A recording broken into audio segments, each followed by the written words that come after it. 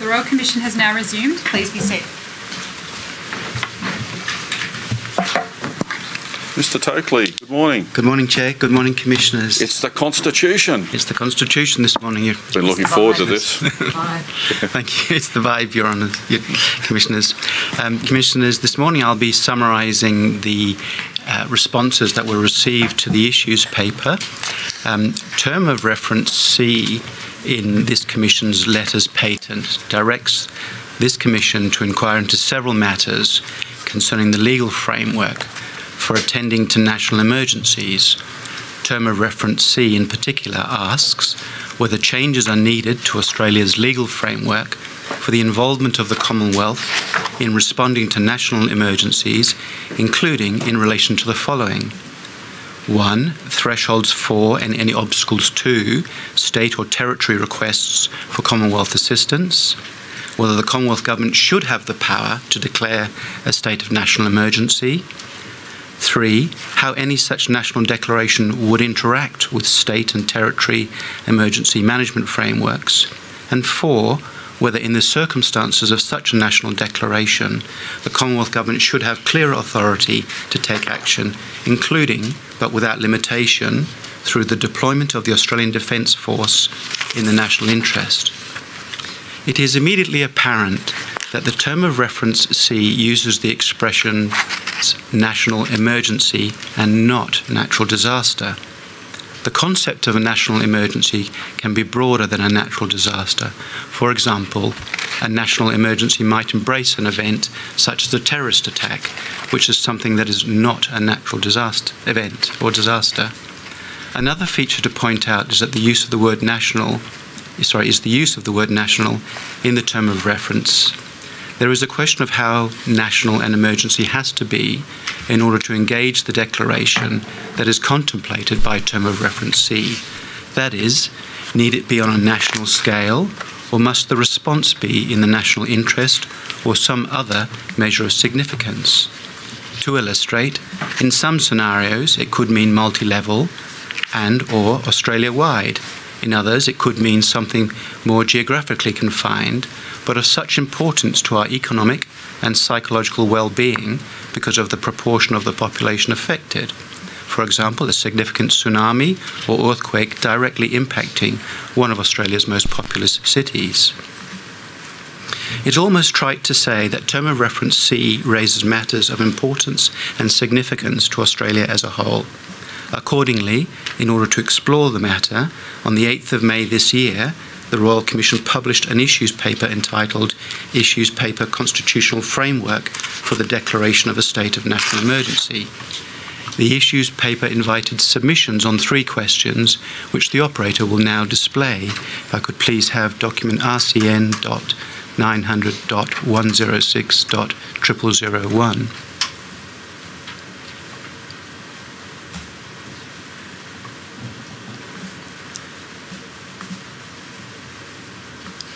And Commissioners, you'll see the three questions displayed uh, there.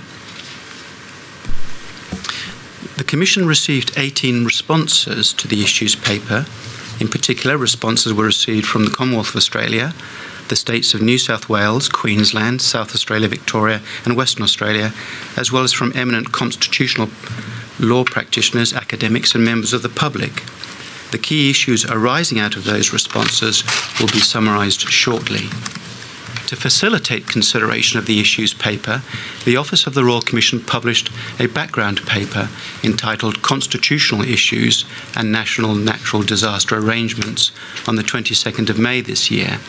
The background paper provided further detail on certain topics, particularly in relation to the external affairs power in the Commonwealth Constitution, under which the Commonwealth Parliament can make laws to implement international agreements to which Australia is a party.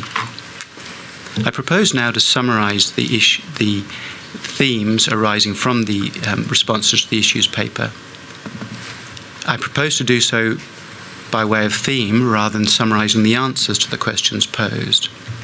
The responses represented a diverse range of issues, sorry, views on the issues. First, many submissions made the point that it was somewhat difficult to answer the questions posed in the issues paper as to the existence of the power to make a declaration of a national emergency in the abstract.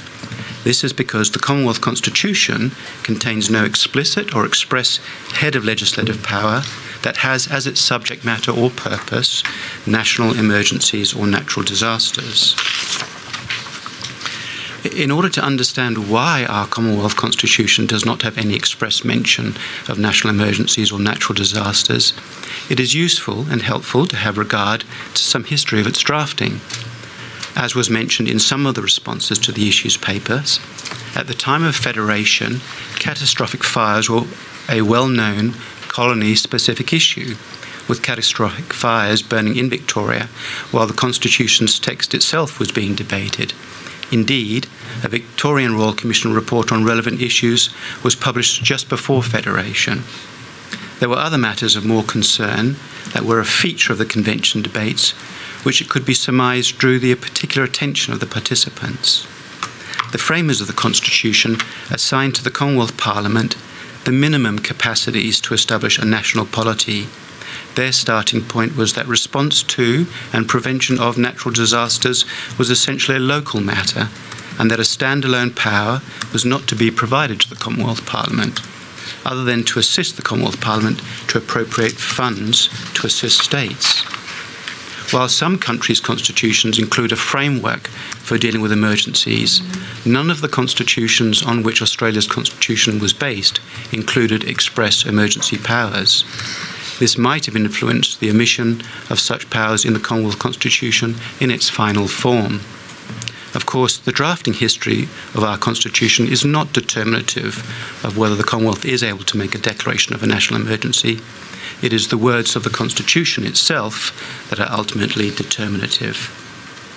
Further, it was known when the Constitution was drafted that the executive power contained in Section 61 of the Constitution would be developed as the nation grew or developed.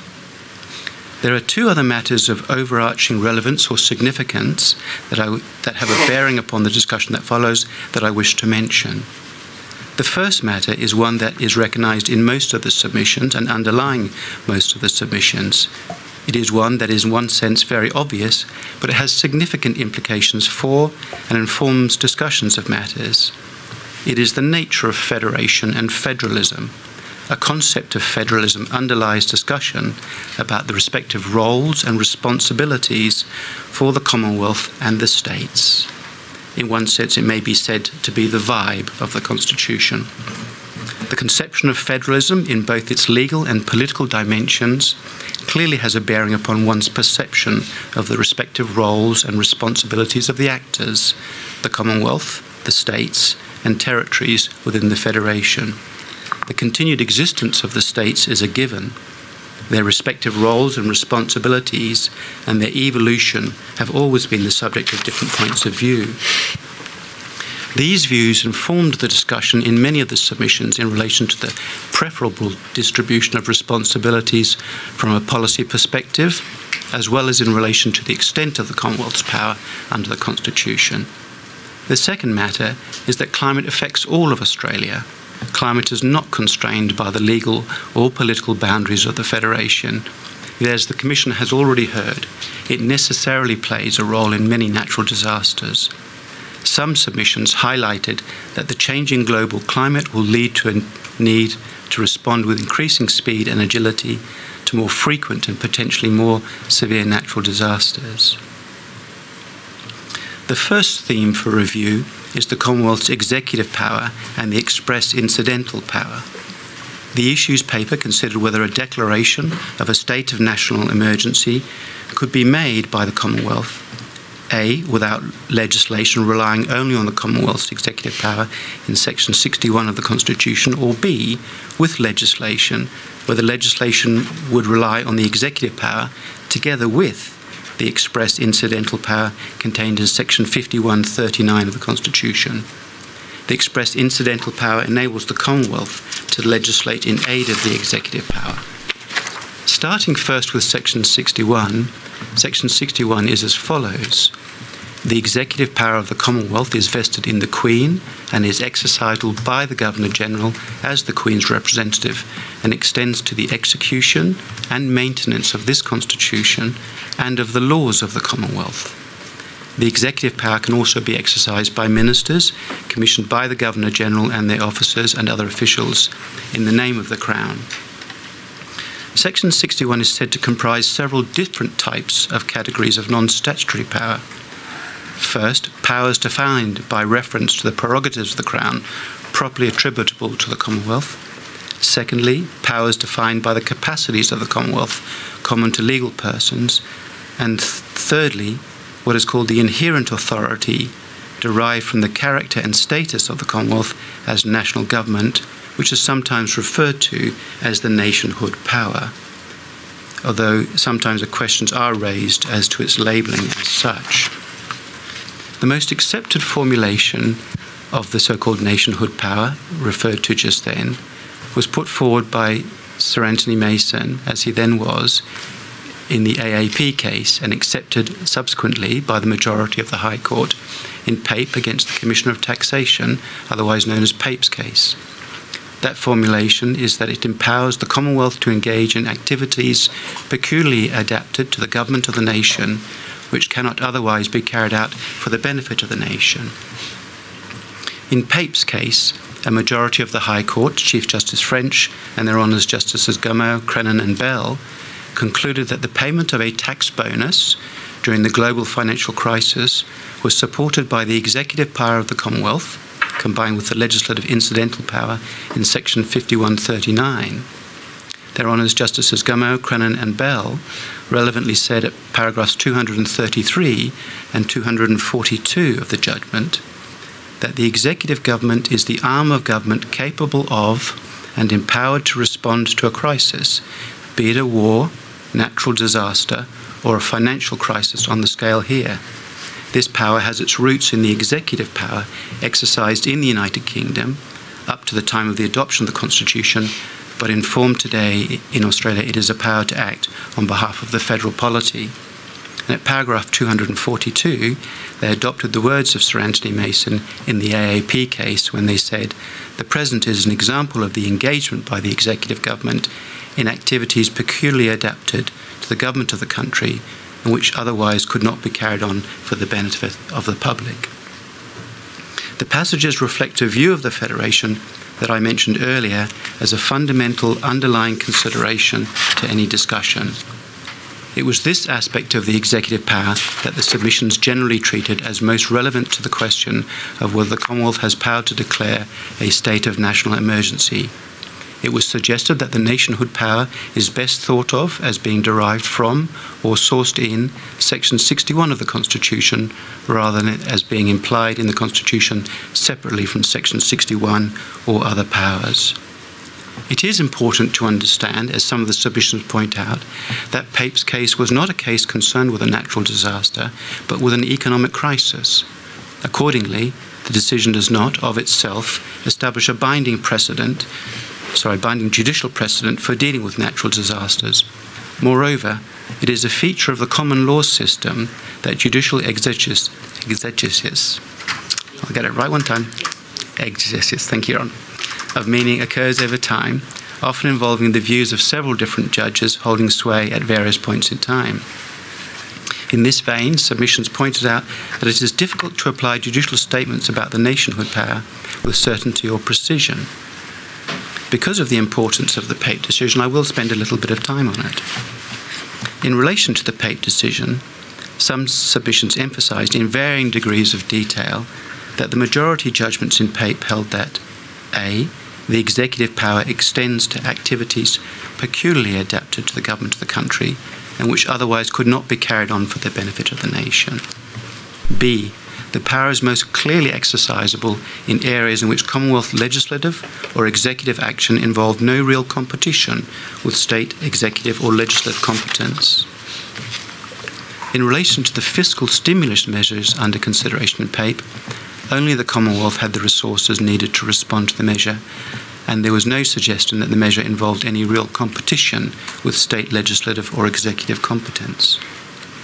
The submissions provided by the State of New South Wales had a somewhat extended treatment of the case and also made several other points. First, that Chief Justice French in the majority and writing separately warned that the power was not a general power to manage the economy. Secondly, the majority did not consider the executive power to extend to whatever activity or enterprise the executive deems to be in the national interest. Nonetheless, three of the judges, writing together in the plurality, appeared to rely on the notion of a national emergency as engaging the power. The three judges did not classify this non statutory executive power to engage in activities as a nationhood power, and one judge in the majority drew a distinction between this aspect of the executive power and an implied nationhood power. The submission observed that the decision has resulted in some confusion as the source of the as the source of the power, its relationship to other forms of executive power, and the limits that apply to it. But that the precise nature of the relationship between the executive power and the implied nationhood power may be academic for the purposes of determining when the power is engaged. A number of submissions cautioned against taking an unduly broad view of what the Commonwealth could do in reliance on Pape's case in this context. A number of submissions noted that it was decided by a 4 3 majority. A number of submissions pointed out that, by contrast to the situation in Pape, the states are clearly in the field of natural disaster response, such that there are limits to what the Commonwealth could do without competing with state legislative or executive competence. This is particularly so in relation to Commonwealth action beyond mere spending. One submission cautioned against placing too much reliance on the reference in PAPE to natural disasters. The caution is based on the notion that the Constitution confers on the Commonwealth express powers relating to war and the economy, but express no powers on the Commonwealth with respect to natural disasters.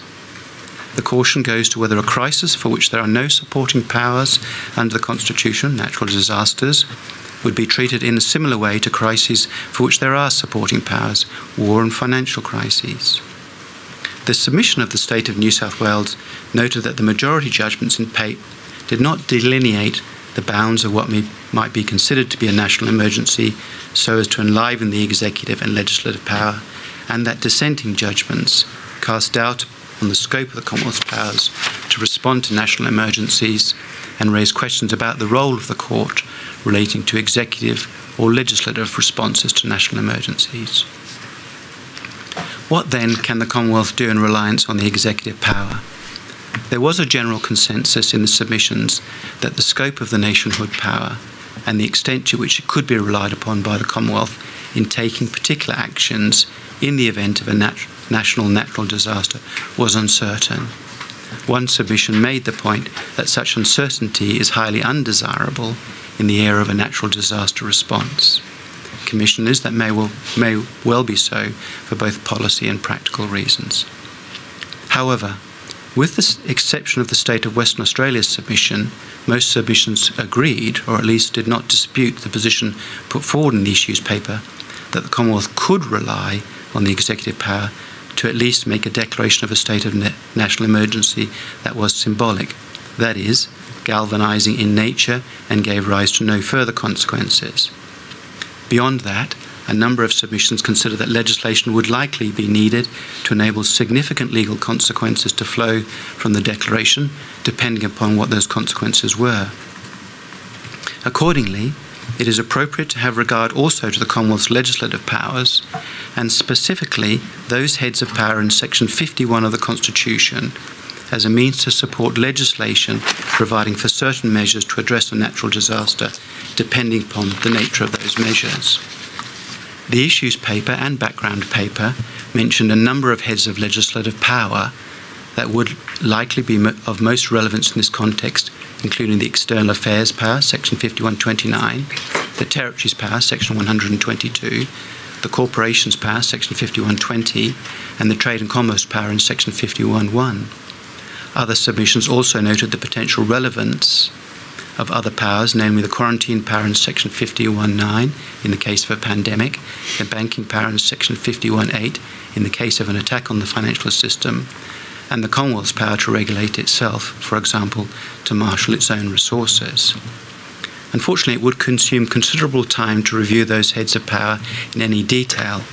However, the following can be said about the reach of the Commonwealth's legislative powers. First, all of the submissions that dealt with the Commonwealth's legislative power appear to accept that a combination of powers, or as it has been called, a smorgasbord or patchwork quilt, can be used, and none of the submissions cast doubt upon that approach from a constitutional perspective.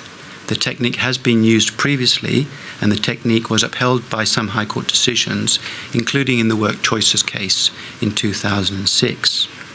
Most of the submissions discuss the Commonwealth's legislative powers make the point that there may well be gaps in the coverage of any legislative scheme based on Commonwealth heads of legislative power.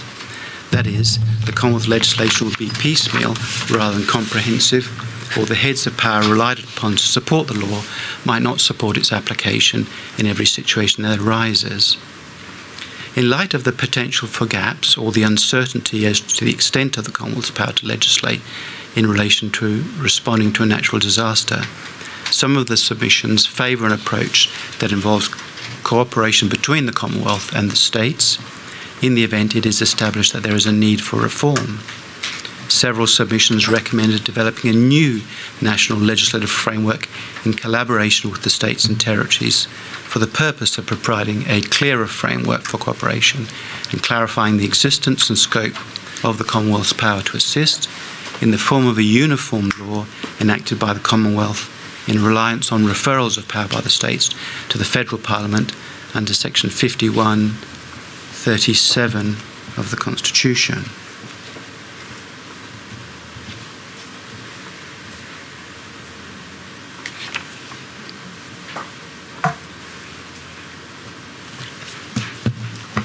Commonwealth submission noted that Commonwealth laws on many important matters, including corporations, terrorism, personal property securities, fair work and redress for institutional child sexual abuse have been enacted based on referral from the states.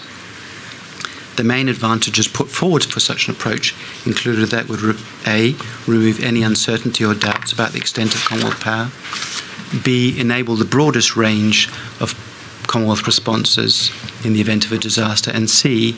emphasise the nature of Australia's cooperative response. In conclusion, the most important propositions emerging from the submissions are as follows.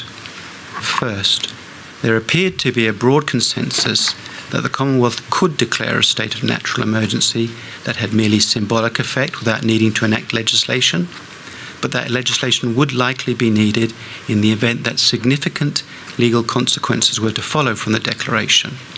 Various views were expressed as to the scope for relying on the executive power combined with the express incidental power to legislate for these legal consequences following from the declaration. However, there was broad consensus that the precise scope for legislating in reliance on the executive power combined with the express incidental power was uncertain. Further, a number of submissions indicated that the legislation, supported by other heads of legislative power, might be needed in order to impose coercive obligations on people. Secondly, there appeared to be broad consensus that the Commonwealth would have some scope to legislate in relation to responding to natural disasters, relying on one or more of its heads of legislative power, such as the Corporation's power, Trade and Commerce power, and so on. However, there also appeared to be a broad consensus that there would be some gaps in terms of what the Commonwealth could do in reliance on these powers. Thirdly, there was strong support in a number of submissions for pursuing Commonwealth legislation based on a referral of powers, referral of powers, including to avoid such uncertainty and gaps as mentioned above. A number of submissions also referred to the possibility of pursuing alternative forms of cooperative Commonwealth state legislative schemes in order to achieve this. And fourthly and finally, there was a broad consensus that a number of limitations in the Constitution both those inherent in particular heads of power and separate express or implied limitations in the Constitution would be relevant to consider in, develop, in, any, sorry, in developing any Commonwealth legislation in this area. Uh, thank you, uh, Chairs. Uh, thank you, Chair and Commissioners, for listening. Um, no, thank you for taking us through all that. I think that's been very important. One, one thing to note in all that, it doesn't appear that the Constitution took into account that the growing expectation of the Australian population over time for uh, for a Commonwealth uh, response or action in in many areas. I that's, would say. That's correct, yeah. Chair. Mm. Okay, please continue. Thank you. Yes. I just have one quick question. Yes. Did it, Mr. Mr. Tokley, did any of the um, submissions deal with the Commonwealth's power um, to put conditions on um, financial assistance? I don't know. I don't think so. Thank you. I'll, I'll, I'll check, but not in not in express terms. No. Okay, thank you. Now, please continue. Thank you, thank you, Chair. Thank you, Commissioners. Um, there are some documents to tender for this morning's uh, hearing, um, and if I could, the documents listed in the tender list provided by Counsel Assisting can be found at Volume 1, Tab A of your bundle of documents. And the documents in the tender list include, for each witness, either a submission and or organisational response to a notice issued by the Commission. And Chair, I seek to tender the documents in the tender list as a bulk tender, and I mm-hmm. seek a direction from you that the documents identified in the tender list, together with the document's identification number, be recorded on the transcript as the documents tendered today. Okay, so we go 30.1 through to 30.15.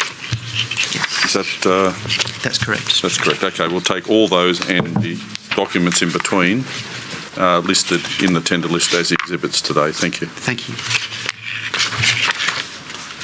And also, I noticed that you referred to the Constitution there, Mr. Tokley. Can you just show me that? Because I think most people expect you to wheel it in on a on a trolley, and uh, it sits in that uh, that small document there. So, Yes, it's it's a it's a handy pocket-sized yeah, version for, of, for those that should need it, yeah. of, But of uh, those who need it, and and um, wonderful bedtime reading, if I may say so. no, but I think it's important because I think most people would expect it to be a far bigger document uh, than what's uh, quite concise on that.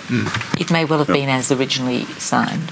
It may Signed well have been. I know you can get it online and uh, and, Yes. and reference it, but it, uh, I think it just puts a lot of it in perspective as well. Yes, and I, I think the original price of this was only two dollars, so i i immensely affordable. I hope not drafting the Constitution. No, no, no. No, just the book. No. Just a little book. Okay, thank you very much. Thank you very for much, taking us through that. It's a it's a good context for the rest of the day. And um, Commissioners, uh, my colleague Ms Dominique Hogan-Doran of Senior Counsel will be taking the rest of the day. Taking the rest of the day in a seamless transition. Thank you.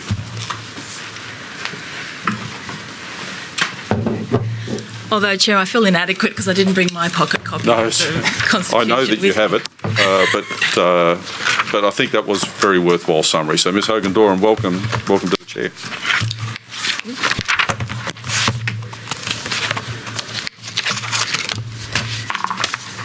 Commissioners, we have a number of witnesses today. As you know, our first witness uh, is Dr Christine Owen. She will be followed by uh, Mr Mark Crosweller and Mr Campbell Darby, uh, and then we'll break for morning tea. Then we will have um, Professor Cheryl Saunders uh, until lunchtime, uh, and then this afternoon Secretaries uh, and Gaetjens. I call uh, Christine Owen. Trent, can you get this out? Professor Owen, good morning. Thank you for joining us.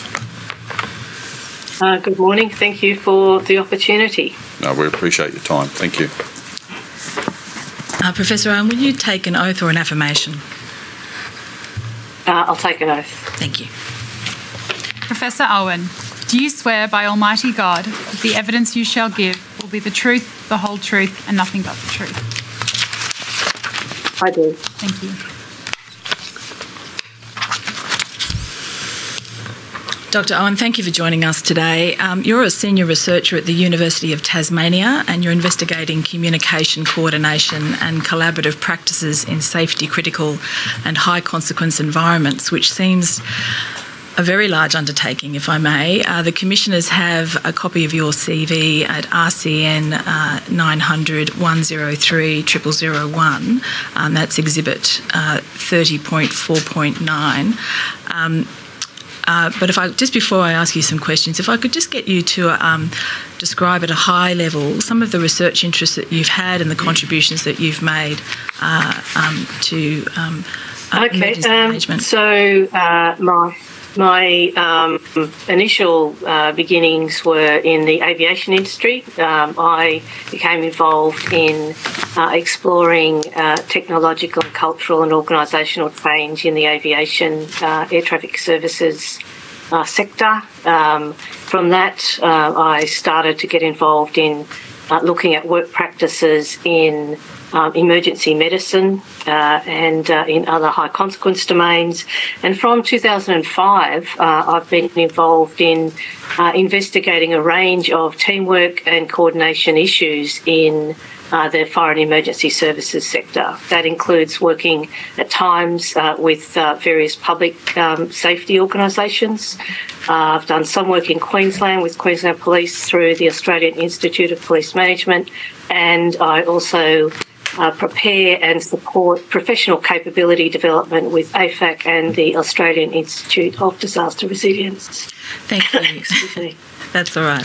Um, I'm going to come in a moment to uh, the broader question I want to pursue with you today, which is strategic emergency management. Uh, but if I could just begin with um, some of the work uh, that you've done uh, and your observations in relation to um, in emergency management uh, arrangements, there is a often a process of after action reviews, and we've heard evidence of a number of emergency services, indeed nearly all of them now, having introduced what they call lessons management frameworks. Um, just seek your insights as to the utility of those arrangements and how can governments or academia better support emergency management organisations to learn lessons from their experiences of previous emergencies and disasters. Okay, um, that's a kind of rather large one. Um, it is. I think. um, I think uh, what, one of the things I've noticed in the past 15 years is the degree to which uh, there has been a maturing uh, and an opening up and an interest in uh, learning um, lessons, identifying through after action reviews, and they've taken a number of different um, uh, vehicles. Um, but that's also in the context of, uh, I think, a, a defensiveness uh, within the and emergency services sector of feeling like uh, they are sometimes responsible for outcomes that are beyond uh, their uh, control um, and that they are kind of judged in the media and in particular um, you know, rightly or wrongly, um, you know, that, you know, there's a focus in on the outcomes and as if it was bleedingly obvious right from the get go in the moment of um, doing something, making a decision uh, with ambiguous information, with conflicting information, uh, with competing tensions, with fatigue, stress, degraded conditions, and so on. Um, and that that then means that uh, if you're just looking at what happened at the end, you know, it's not kind of taking into account, you know, those aspects of it. So that's kind of one, I think, aspect uh, in terms of after action reviews. Um, I've been involved um, over the years in a number of internal reviews. Uh, and some of those have taken uh, different formats. So, one, for example, after the Dunalley fires um, in 2013, uh, and um, a similar approach was taken some years later to look at the firefighter deaths in the Linton um, fire, was to do a staff ride, so to take people back um, to the site, if you like. It's a kind of military historical approach to learning um, and capability. Uh, to, to understand the critical decisions that were being taken by people in the field, in the heat of the moment, in the fog of war, um, if you like, um, and then to try and unpack that in a way uh, that isn't as uh, socially defensive, but actually trying to get people to um, better understand what was working in the system uh, for them uh, or not, as the case may be. Where did kind of breakdowns start to occur um, so that others may learn? And I think uh, in Australia, that's uh, an increasing um, uh, vehicle for understanding what goes on, and that in that case, um, it's actually been particularly helpful. In contrast, um, I've also sat in on after action reviews where nothing's been written down. Um, and in part, um, that's because of, again, a defensiveness about how might critical reflection actually be taken out of context or misused. Mm. Uh, but having said that, and if I can think of another example of being involved in uh, looking at um, uh, the tropical uh, cyclone Debbie and the subsequent uh, flooding events in Queensland, um, there was an intentional, appreciative inquiry approach taken there, uh, and that um, I think to a, a large degree um, that was very beneficial. Um, I'll sum up by also just um, noting that within the broader sector, I think there's been an increasing momentum uh, in trying to understand uh, what we can learn. And people talk about um, just because somebody's had an insight doesn't actually mean learning's occurred unless something's actually changed. Uh, and so it's not good enough for just an author um, of a publication or an after action review or a report to actually say, here are the insights uh, we have now changed, although sometimes uh, in this industry there is not a lot of attention paid to implementation uh, and the concerns about some of the complexities with that. Uh, but um, but broadly, uh, there's an increasing appetite, I think, for learning lessons and for lessons management. Um, I've facilitated a national uh, lessons management forum for the past couple of years. It's been going uh, for a few years longer than that. And increasingly, uh, there's a number of jurisdictions nationally that come together uh, to actually share what they know, um, to critically reflect on a range of novel um, as well as routine problems, and that um, recent work in updating the Lessons Management Handbook as a resource that's on the, I think, ADA uh, Knowledge Hub uh, is actually supporting as an infrastructure that kind of process. Now, um, thank you so much for that response, um, uh, Professor Owen.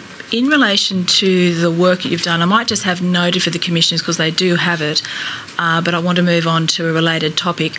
Uh, there's the um, published in the Institute of Public Administration Australia in 2018 is uh, a research and evaluation piece titled "Enhancing Learning and Emergency Services Organisational Work," which is RCN 900. Yes uh, 1000031, um, which you co authored with uh, Benjamin Brooks and Steven Curnin and Chris Bearman, from um, the, the, first two from your university and um, Mr. Bearman from Central Queensland University.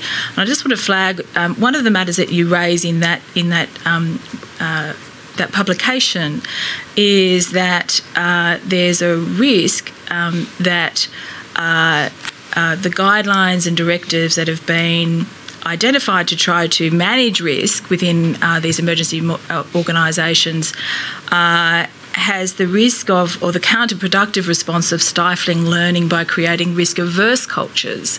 Is that something that you perceive that the lessons management framework or in the way that you have described the lessons management processes can seek to arrest that um, potential counterproductive outcome? I think uh, the there there are a number of cultural and structural factors at play. Uh, one is um, by very nature in fire and emergency services, they tend to be quite reactive and responsive. That's their mode of operation. Um, and then to move into a critically reflective stance where we might take even a near miss um, or an accident and um, replay it as a potential opportunity to learn from, um, you know, can become challenging. And I think um, in relation to that notion of, of what becomes risk averse is that. Um, and you know, in many complex organisations, uh, a change in one part of the organisation can actually lead to more problems somewhere else. So, um, I think part of the problem uh, in after action reviews and in inquiries is that uh, we can come up with a range of different uh, recommendations, um, but in fact, uh, they can be contradictory to each other. Uh, they can then uh, create other um, problems and bottlenecks further down the track. And that in some of those cases, things just become too hard. You know, it's just too complex. So the notion of of things then becoming risk averse is a concern about um, letting the community down, about um, not wanting to sit, to be seen, uh, to be doing the wrong thing, um, as well as uh, in that particular paper, it talks about the pace of change that's actually been occurring within this particular sector, especially over the past five or eight years. Um, that people now talk about having no downtime. um, no time between seasons uh, to actually be able to uh, to stop and think about how they might be rechanging things and, and rearranging them uh, so that um, you know, there might be better outcomes. Um, you mentioned the Cyclone Debbie review. I'll just note for the commissioners it's Exhibit 18.2.23 and a review action plan at 18.2.28. I'm reminded by Mr Glover that that was tendered during our iGEM day, as we called it. You recently chaired uh, a panel of the Victorian and Queensland Inspector Generals of Emergency Management. And the Victorian iGEM has recently provided his report to the Victorian Government on the 29 2020 2019 2020 bushfires, um, and the Royal Commission awaits receipt of that report. Um, in your opinion, what is the importance or value of the role of the IGEM in the emergency management frameworks? Uh, it's a good question, and I think that um, there are a number of other um, aspects in terms of. Um, uh, sorry, I just had an interruption downstairs, unexpected. Um, uh, that in addition to the Inspector Generals, for example, um, there have been, um, in the case of, of Victoria, especially post uh, Black Saturday, uh, there's been an increasing uh, role for uh, what they've called um, kind of real time performance monitoring that's been mm-hmm. going on.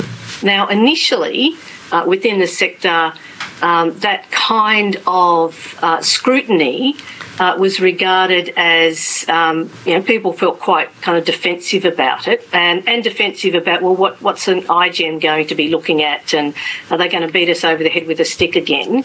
Um, and so I think what has actually happened and is evolving uh, in both of those uh, jurisdictions uh, is, an, is both an acceptance that um, having someone look over your shoulder isn't actually to imply that you don't know how to do your job or that you're doing it wrongly, uh, but actually, in the case of monitoring uh, and quality assurance, which in part is large part is the IGEM role, is actually a kind of reassurance and a calibration and a feedback mechanism, particularly for people who are involved in uh, real time uh, performance monitoring, uh, to actually provide a resource and a support uh, for those people rather than another big stick.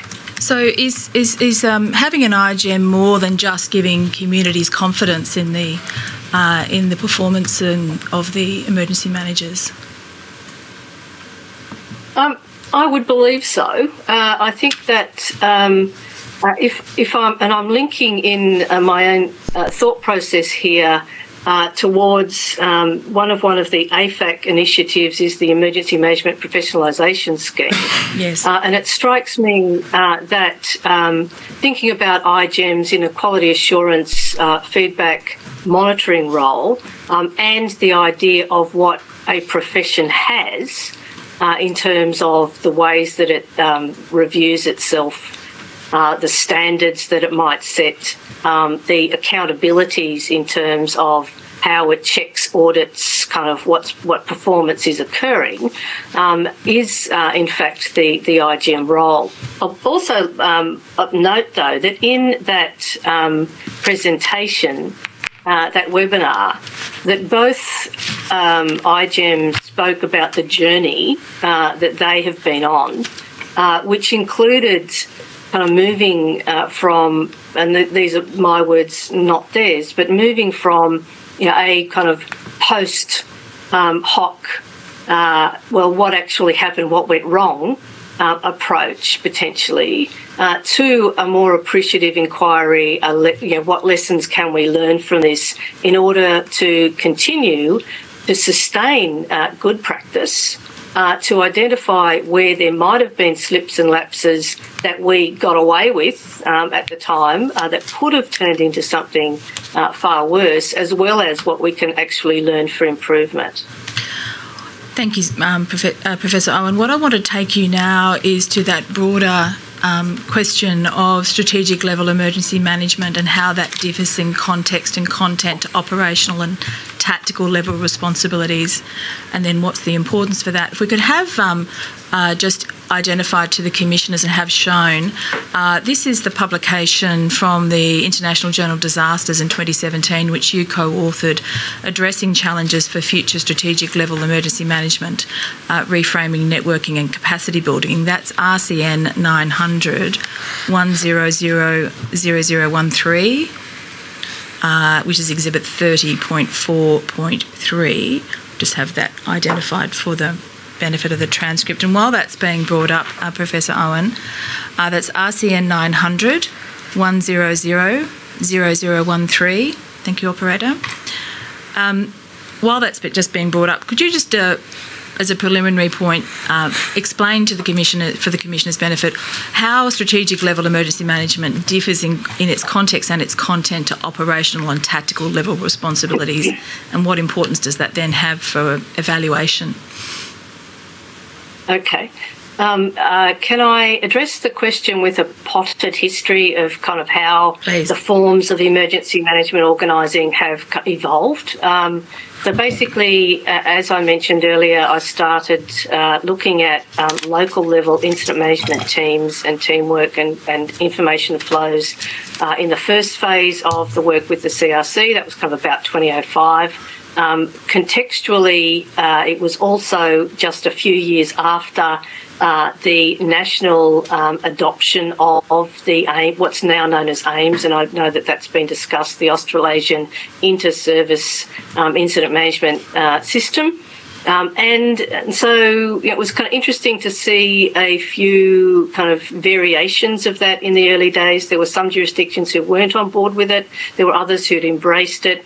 At that point, um, how we managed an emergency was framed up as you know, there's an incident controller, there are four other people in um, an incident, a local level incident management team, operations, logistics, planning, um, and they might, if things kind of uh, get um, complicated or go on for a while, need subunits within them. So we have situation within planning and resources in, uh, and so on. Um, and so um, then events uh, were were larger, and there was then uh, a bit of inquiry into well, how was it that people at a regional level and a state level were accessing that information? How were they supporting it? Um, and and in particular, after Black Saturday. Um, there was a lot of work done in uh, Victoria about better understanding the the regional footprint, and I've uh, been uh, observing uh, the uh, Commission's hearings for the past few days, and you know, I know that um, you know the discussion about resource sharing has come up, um, and in fact. Uh, what's uh, the focus there at a regional level is actually to organise uh, you might have multiple incident management teams, for example, operating within a particular region, and then how does that feed up uh, to uh, to a state level? I recall being involved in an internal review at the time about, you know, uh, well, certainly post Black Saturday, let's just say, and making the observation that what seemed to be happening was that the roles and responsibilities at the local level were being duplicated at the regional level and then duplicated again at the state level. Um, and so the question was, well, what, how is that adding value uh, rather than just adding up number of fire trucks, number of personnel, uh, etc. Uh, and so, uh, and within the agencies, they were already looking at that. And so, a variety of different roles and responsibilities have since morphed and evolved uh, within those arrangements. Um, and and having then been involved in looking at um, what happens above the local incident management team, um, I've um, also observed the number of state operations centres, and I know they've been briefly mentioned in the last couple of days. Um, and one of the things that uh, struck me is that um, people at the time had a maturity uh, within uh, the sector of understanding what kind of professional development and training was needed to undertake the, the roles at a local incident management level.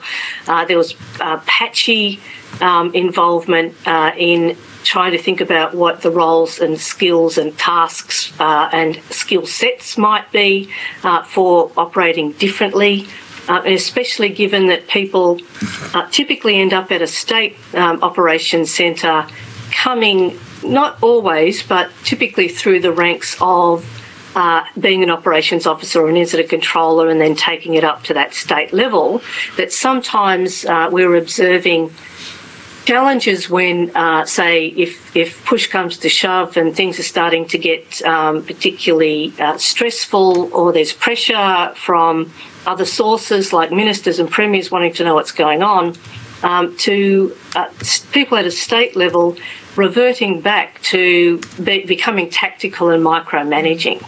Um, and trying, and in some cases, subverting this, the uh, organising um, information flows uh, that were supposed to be helping them by going through the back door to get kind of information. And so we spent some time within uh, the industry um, identifying, well, what is similar and different about um, these particular roles and responsibilities. They're, they're, not, um, uh, they're not duplicated. And so at a strategic level, um, the, the crisis leadership attributes are, are quite different. Uh, they're they're not at the immediate responsive um, approach. They're about trying to understand what that whole of government uh, need is. To be thinking about uh, consequence management, and I know um, Emergency Management Victoria have done a lot of work uh, in articulating uh, recently what um, you know the the primary, secondary, tertiary consequences, the immediate, medium, long term um, impacts might be. Uh, and that, that also then raises a question about the level of, of uh, communication, ambassadorial uh, skills, diplomacy skills that might be required uh, for trying to get the best out of um, the people that you're working with. Because the other thing uh, that I think is important um, to identify is that at a state, even without thinking about kind of cross state borders, a major event um, being operated out of a state operations centre involves hundreds of people. And that of those hundreds of people, frequently there are many, many liaison officers from different hmm. organisations. Mm. So uh, at a state level, uh, there's a need for people to be having input and providing information to um, telecommunications utilities. They are playing a, a, their response role. Uh, it's not just uh, the fire and emergency services responders on the ground who are involved in the event. Uh, they uh, telcos are responsible for getting those community warnings out. Uh, there's issues around uh, infrastructure, uh, gas, electricity. Uh, within those agencies or, or, sectors, there's been a considerable um, devolution. So you can't even talk about a gas provider. You've got to talk about 18 different parts um, and various others who might be involved. Mm. Uh, there are issues, indirect issues, communities of interest, um, tourism, tourism ministers, um, ministerial liaison on people, and so on. So, hence, um, it's it, you can't um, at that point think that um, and uh, and you know, a, a state operations officer or a state response manager or a, a duty officer or whatever they call themselves, depending on what um, jurisdiction you're in, nevertheless, um, then have to bring those people to the table and try and get the best out of them. And I noticed in uh, Mr. Murphy's um, uh, comments yesterday uh, that each of those um, representatives within a state operations centre are also running their own um, operations centre. So the police have theirs, uh, the telcos have theirs, health have theirs, and in relation to health, they too might be having their own emergency in terms of, you know, where are the triple O calls coming from? Can they reach those people, for example? So some some of those issues. So I think you've you, I think you've covered quite a number of the core challenges which uh, were identified in the research. In fact, I think you've expanded beyond those. If I just have those shown to the commissioners 0015. Um, operator, we could have that document back up and have 0015 and have the core challenges um, uh, identified just in that. Thank you. Um, so, this is a study that was undertaken. The methodology included uh, interviews and workshops with Australia's senior emergency managers, uh, and um, the I'll just capture these for the transcript because I think you've dealt with many of them. Uh, that the core challenges confronting these as um, strategic level emergency managers was increasingly complex to context, the environmental, social, and technological change, the tensions between political drivers and operational realities, the role of emergency management and community resilience, measures of effectiveness and information systems and social media, all different ways of identifying um, some of the, the, the, many challenges that they must um, operate within, which I think captures a lot of what you've already said.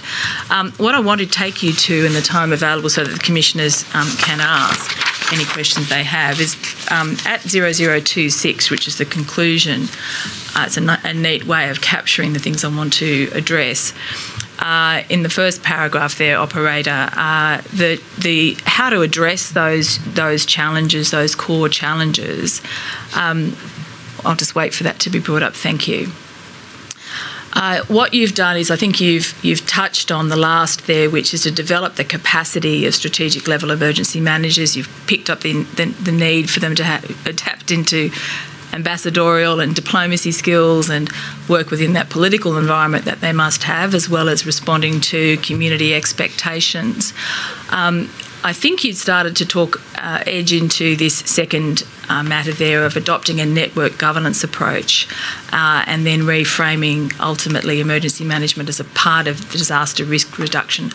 In the time we have available, if I could just invite you to address those two matters to provide some explanation or insights for the commissioners on how that work then all pulls together. Okay, uh, thank you. Um, so the idea of, uh, and that was work co-authored with um, Steve Curnin and Karen Bosomworth. So um, uh, we kind of uh, spent some time uh, thinking about uh, these implications. Is that um, to recognise that um, trying to come up with yet another mammoth um, organisational bureaucratic structure where everything you know was being organ- or coordinated um, and uh, decided upon uh, is not going to work for, for the reasons I was just explaining in terms of all of those various um, uh, organisations, public and private, and jurisdictions having their own legislations, their own accountabilities, and so on. So then the question becomes well, how might um, those organisations best work together? And I think.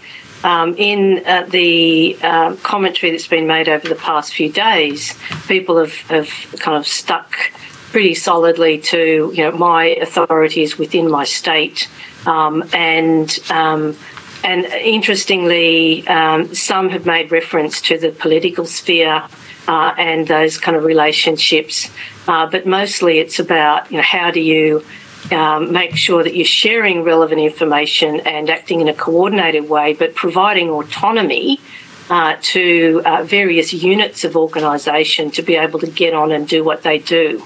Uh, and in relation to that idea about network governance, I just wanted to um, observe that Australia isn't alone in um, facing this particular conundrum.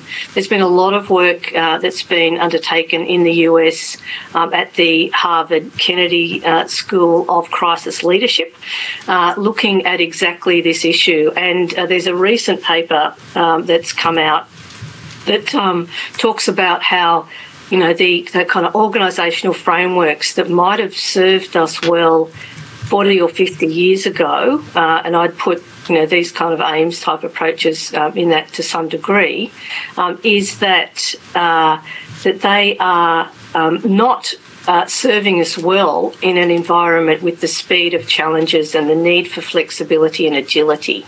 So the question then is how do we decentralise uh, decision making about uh, relevant issues uh, in a way uh, that don't doesn't create bottlenecks uh, but in fact allows people uh, in their various communities of interest to get on and do, do what they do. The idea about uh, reframing emergency management as a component of disaster risk reduction um, has you know, some um, differences of opinion uh, that, um, in part, uh, the the um, emergency services response sector is seen um, as um, having to clean up um, a lot. They uh, the, in the interview comments that are listed in that paper, um, that they end up needing to be responding to uh, other public policy decisions that have been taken uh, about floodplains and about. Uh, not putting infrastructure into levee banks and so on. Uh, but there's also an issue here um, that uh, uh, that is about well, where does the, the funding for emergency management go? Does it go um, to people who are clearly and tangibly responding to crises, or does it go into uh, creating um, resilience in, in infrastructure um, and in communities that mean that there's no need um, or there's there's little need for um, uh, for uh, those emergency responders in the first place. And of course, you know, I think there's probably a bit of um, disquiet within the emergency services sector about that. But having said that, it's since this paper has been written, um, and I'll make the observe that it's 2016, and in fact, you know, it was based on material that was, had been completed in 2014, and the publisher took about 18 months to, to get it to publish.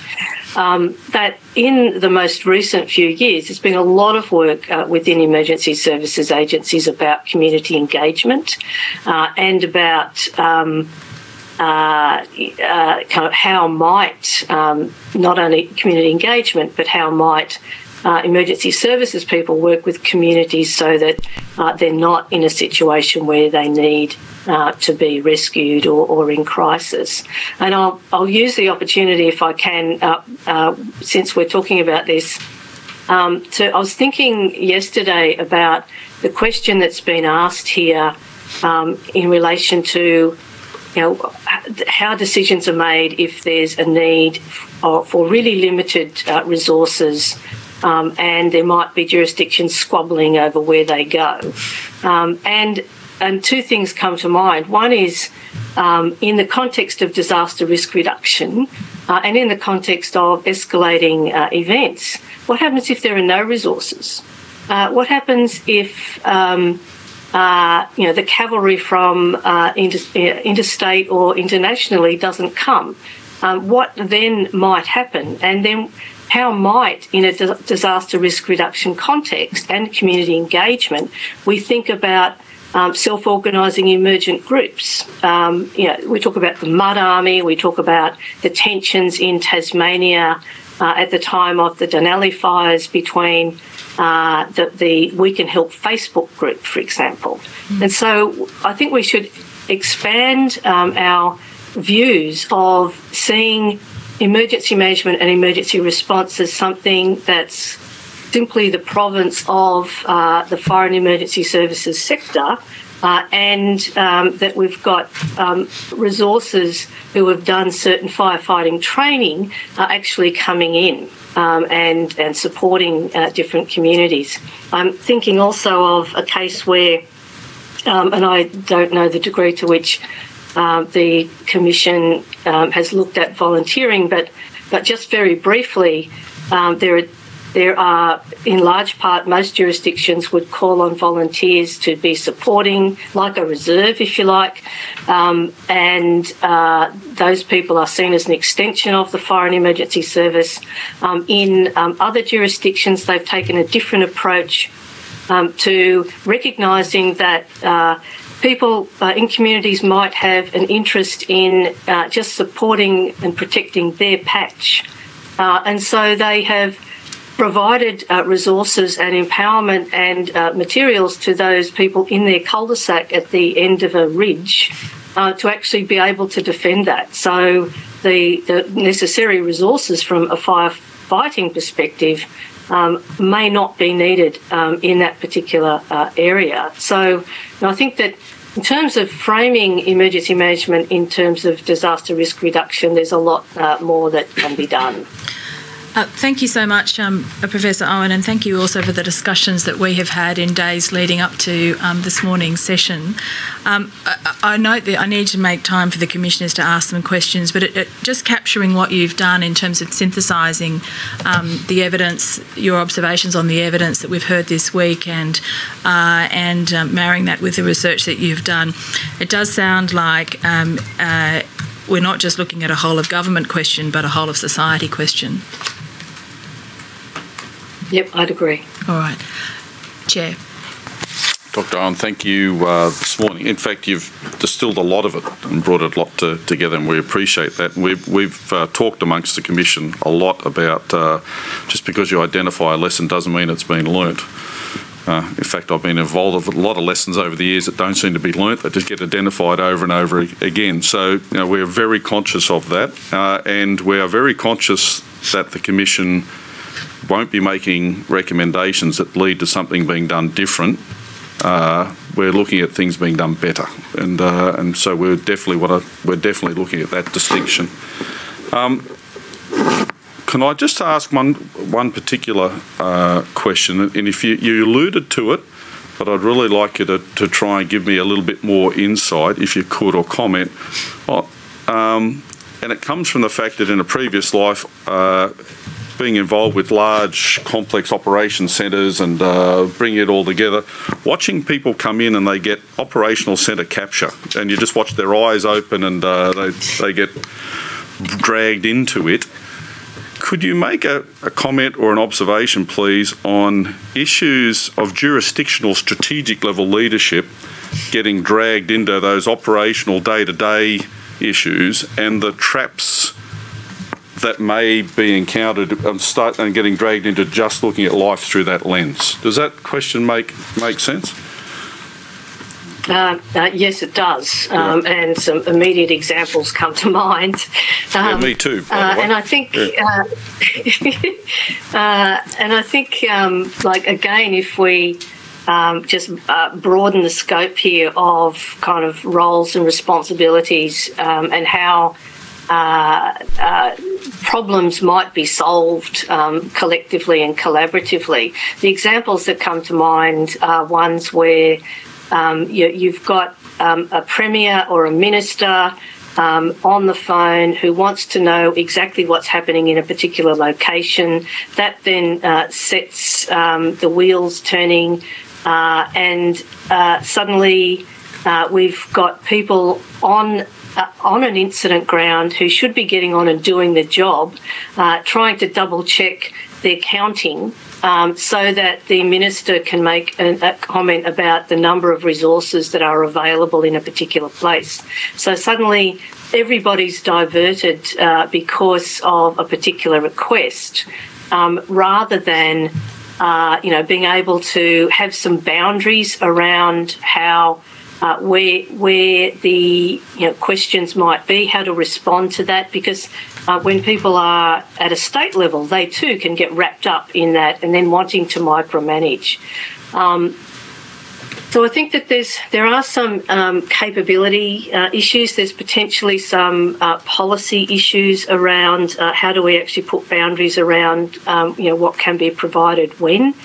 Um, and certainly some of the um, information technologies actually now, I think, are, are better um, in terms of providing support for that. But I think it's also about assisting people to recognise uh, what are the right questions to be asking um, and to be taking a, um, a more a higher level approach rather than uh, wanting to know exactly how that person is managing that particular event uh, because they might do it differently. So I think there's, and, and ironically, having mentioned some of the information technologies, I've also observed that sometimes uh, if you uh, get a, a situation where you've actually got a visual um, in a state operations centre of what might be going on on the ground in a particular place, uh, people get wrapped up and start kind of looking at that as if they were there. And I have a, um, a uh, an anecdote from um, being involved uh, or being involved with a colleague who was observing a um, uh, a critical uh, hostage um, exercise, uh, and the people in the state ops centre were so obsessed with kind of what was going on at a particular location, uh, they didn't notice on another screen uh, that hostages had actually been captured and, and, and uh, taken away. Now, you know that's a that's an example simply of how we can become distracted. Uh, we can uh, engage in tunnel vision, uh, and under those circumstances, we've actually kind of lost the plot. No, and I've seen that as well in an operational sense as well. And so then that's getting dragged down into the operations. Can you make a comment then on the ability then if you're getting dragged down to make those overall strategic level decisions more broader than that operation itself? Have you seen anything in that in lessons that you might have drawn out?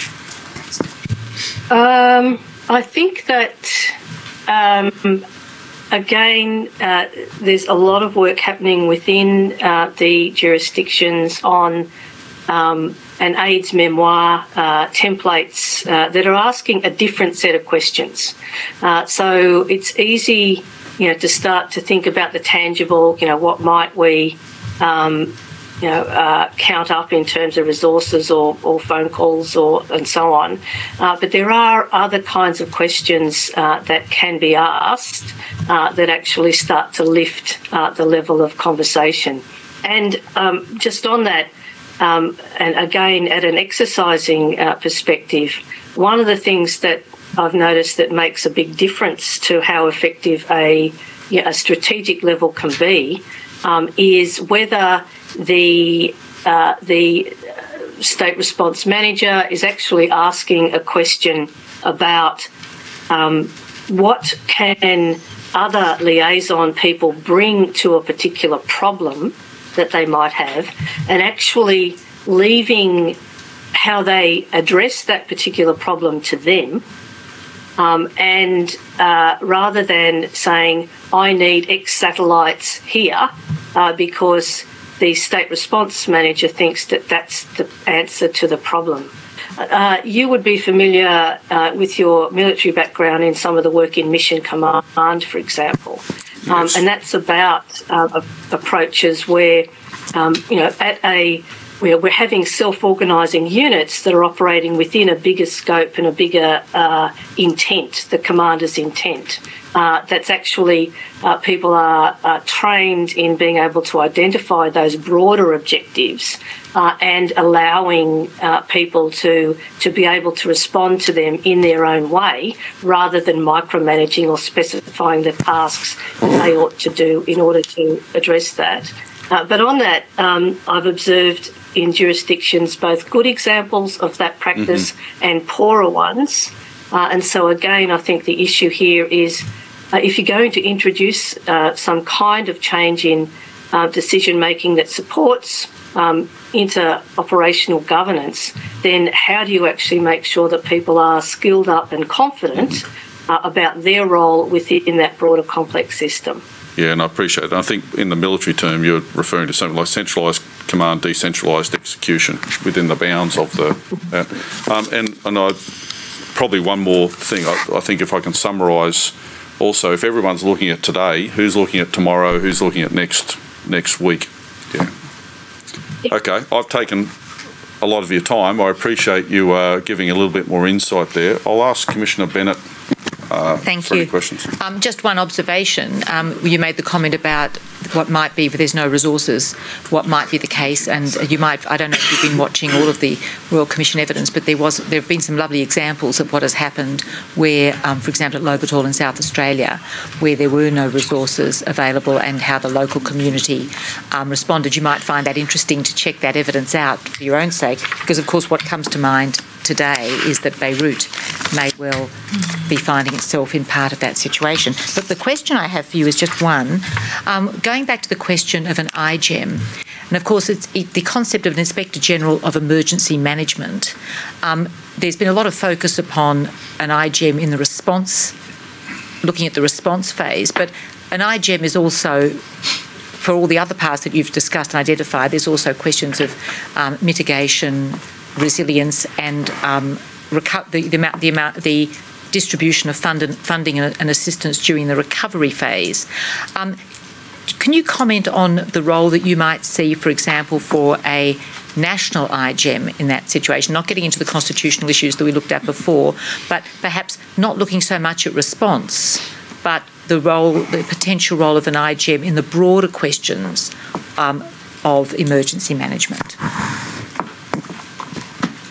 Um, there's there's a, so, if we were looking at um, the role of an IGEM at a national level, uh, which I think uh, could be really interesting, uh, it would also uh, be useful, I think, to to start to um, explore uh, the ways in which even you know the whole quality assurance and monitoring approach is being undertaken across jurisdictions. Um, you know, not all of them have IGEMs, but they certainly have, um, you know, quality assurance and monitoring approaches. What might we learn uh, in terms of the similarities and differences there? How might an IGEM, even at a state level, uh, provide the enabling conditions for some of the conversations that, that need to happen around mitigation and preparedness? Um, I'm reminded that. Um, uh, and for some reason, your comment uh, reminded me that at a national level, uh, the uh, the Commonwealth used to fund um, the Australian Emergency Management Institute, uh, and it provided a national capability development role for people from various state jurisdictions to come together to share what they knew um, to to learn uh, in a variety of different um, accredited and, and, professional development contexts. Those people from uh, different uh, state jurisdictions included uh, the uniforms as well as police, some military, some humanitarian aid organisations, uh, local government, and so on.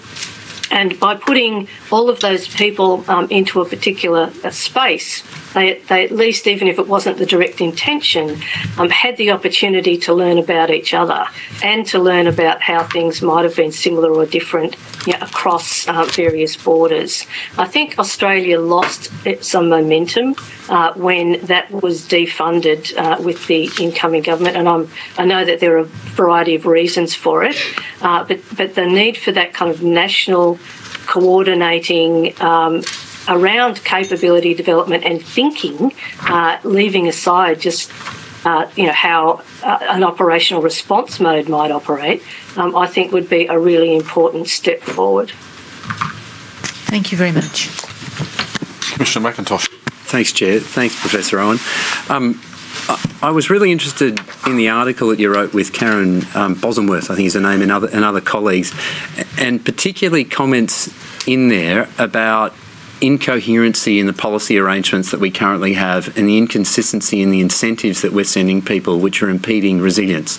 And I think the story that's told there by, uh, well, reported there by a senior um, emergency person is, is how we tell the individual and communities that it's their responsibility to, to be resilient and be prepared, yet when disasters occur, they turn up. Well, in that case, I think you were describing how when there's a flood, they turn up with helicopter, helicopters and all sorts of other equipment to help people, and, and that that. Th that scenario is, is impeding resilience. And I just wondered whether you had your research had thrown up um, the extent to which that is actually occurring, the extent to which those inconsistencies in, in policy messaging and policy incentives is actually impeding resilience. Uh, I, I, think uh, again, um, uh, somebody used the word the vibe before in, in terms of talking about the, the, constitution. I think we're on a journey, um, and I know that you know that's a, a, kind of phrase that gets thrown around. But um, uh, I have noted that um, over time there seems to be a little bit more. Um, uh, coordination um, in what the messaging is uh, that occurs at a state disaster level uh, to the various political representatives, for example, to how um, aspects might be um, rolled out. But I think uh, there's also some issues in here about community expectations, and I noted in the opening address uh, that that came up you know, as you know one of the growing um, issues around the expectations of what the Commonwealth or, or state governments or local governments uh, might actually be doing. Uh, and I, I, suspect that uh, there's a lot of work uh, that's needed. Uh, in just clarifying the environments that people live in, uh, what can reasonably be expected, and and not um, taking potentially cheap shots um, if, for example, the helicopter doesn't drop bread, you know, at um, that particular flooded location. You know, so I think there, there's still um, uh, the capacity for mixed messaging, uh, and I think there are still uh, differences in understanding around what shared responsibility, uh, what community resilience even means. Uh, and, uh, you know, in the future, there are going to be particular issues that we would be better to get proactive about uh, rather than trying to deal with them in the moment. Thank you. And I hope you're keeping warm down there in Tasmania with the snow. You've got no idea. yeah, we do. It was minus four here this morning, so it, we got an idea. Um, Professor Owen, thank you very much. We appreciate it. It was a, it's been a very beneficial session. I must say, you've got the best office I think I've seen this week too, behind you. okay, thank you. Yeah. Ms. Ms. Hogan Doran. Uh, uh, thank you, Chair. There's nothing from parties with leave, so may uh, Dr. Owen be um, released from her summons. Dr. Owen, thank you very much. We appreciate it, and uh, you're released from your summons. Thank you. Thank you. Good. Commissioner, the next panel is uh, is ready, so we'll call them. Uh, uh, I call Mr. Mark Crosweller, AFSM, uh, and Mr. Campbell Darby, DSC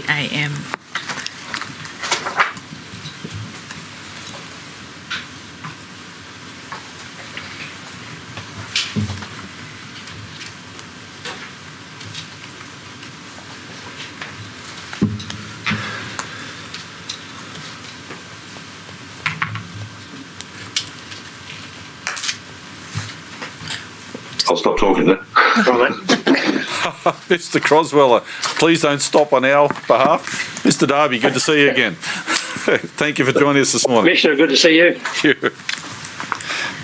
Uh, both Mr. Crosweller and Mr. Darby will affirm. Mr. Crosweller, do you solemnly and sincerely declare and affirm that the evidence you shall give will be the truth, the whole truth, and nothing but the truth? I do. Thank you.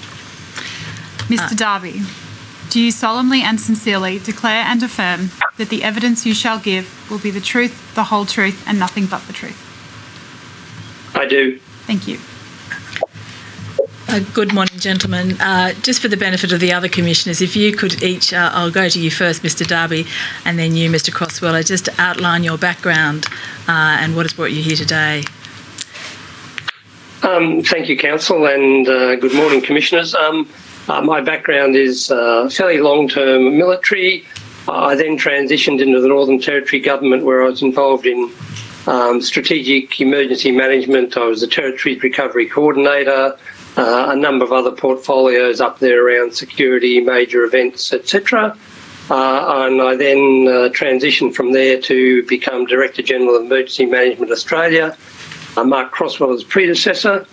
Um, and that was at the time of um, the 2010-11 floods, um, the Japanese tsunami, etc. And since then, I've been uh, privately consulting in um, the area of emergency management, whole of government crisis coordination with both the Commonwealth and a number of states and territories. Thank you much. Thank you so much, Mr. Darby. And I'll just note, Commissioners, that Mr. Darby's um, extended ref, uh, resume is at DAR 500 001 0001. Mr. Crosswell, I'll go to you. Um, thanks, Counsel. Good morning, everybody. Um, so, Mark Crosweller, I, I commenced um, in emergency management um, in 1985 as a volunteer firefighter in the New South Wales Bushfire Brigades, um, as a volunteer for about 10 years, and simultaneously was in uh, engineering and consulting industry. Um, in 1994, I came on uh, staff full time as an inspector. Um, 1996 as superintendent, 98 as assistant commissioner, uh, 2009 as commissioner, and 2012 as director general of EMA. Um, uh, totals, and then uh, in March 2018, the head of the National Resilience Task Force, also for the federal government. Um, it's a total of about 35 years uh, in the sector. Thank you, Mr. Crosswell. And, Sorry, I interrupted you. Keep going. I, I can tell you what I'm doing now. um, uh, so I'm now director of ethical intelligence, which is my own advisory company, um, senior advisor to KPMG, uh, and director of the Bushfire Natural Hazards CRC. Thank you so much. And Commissioners, um, uh, Mr Crosswell's resume is at RCN 900 102 0001. Um, what I will do, uh, gentlemen, is, is just come to you both. Um, uh, in the first instance, focusing on your prior roles as Director Generals of EMA. Uh, we heard some evidence. I'm not sure whether you were able to hear the evidence of uh, Dr. Owen or any of the other evidence uh, during the course of this week. But one of the questions um, we explored with Dr. Owen and I put to uh, your um, successor, uh, Mr. Cameron, uh, yesterday was the idea of reframing emergency management uh, within the broader risk reduction and resilience frameworks.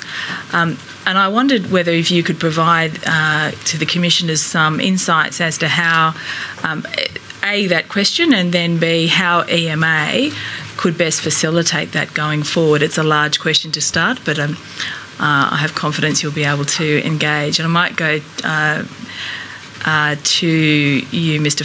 First, Mr. Crosweller.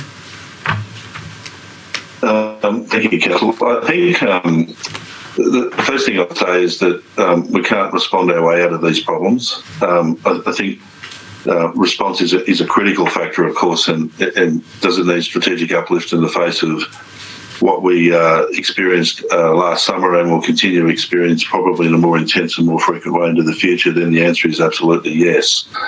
Um, but the difficulty is that only seen in that context without looking at the broader issue of risk reduction resilience will continue, I think, to lead to systemic failures in how we deal with these problems. So, um, response is a, essentially the last risk treatment action uh, that we have available to us. And if we don't incorporate uh, more strategic uh, considerations of risk reduction in our in our institutional policies, particularly about where and how we place ourselves upon the landscape uh, going forward in anticipation of such effects, um, then I think again we'll end up in a bit of a pickle. Um, resilience also, it's not possible to be resilient if risk um, reduction is not enacted at the highest level and enacted systemically because um, without reducing harms in the system, then it's almost impossible to be resilient to the production of harm and the uncontrolled production of harm. So, we find in these um,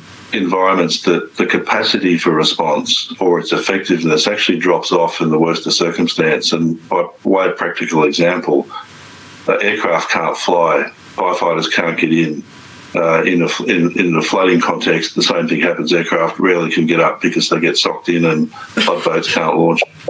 So the capabilities actually, as much as they're um, immense and we could invest more in them and they're useful for the purpose, actually become degraded in the worst of circumstance. So that forces us to rely even more systemically on the risk reduction that we've, we've undertaken prior to the day of the event and the, and the extent to which citizens and systems and institutions can be resilient to those effects.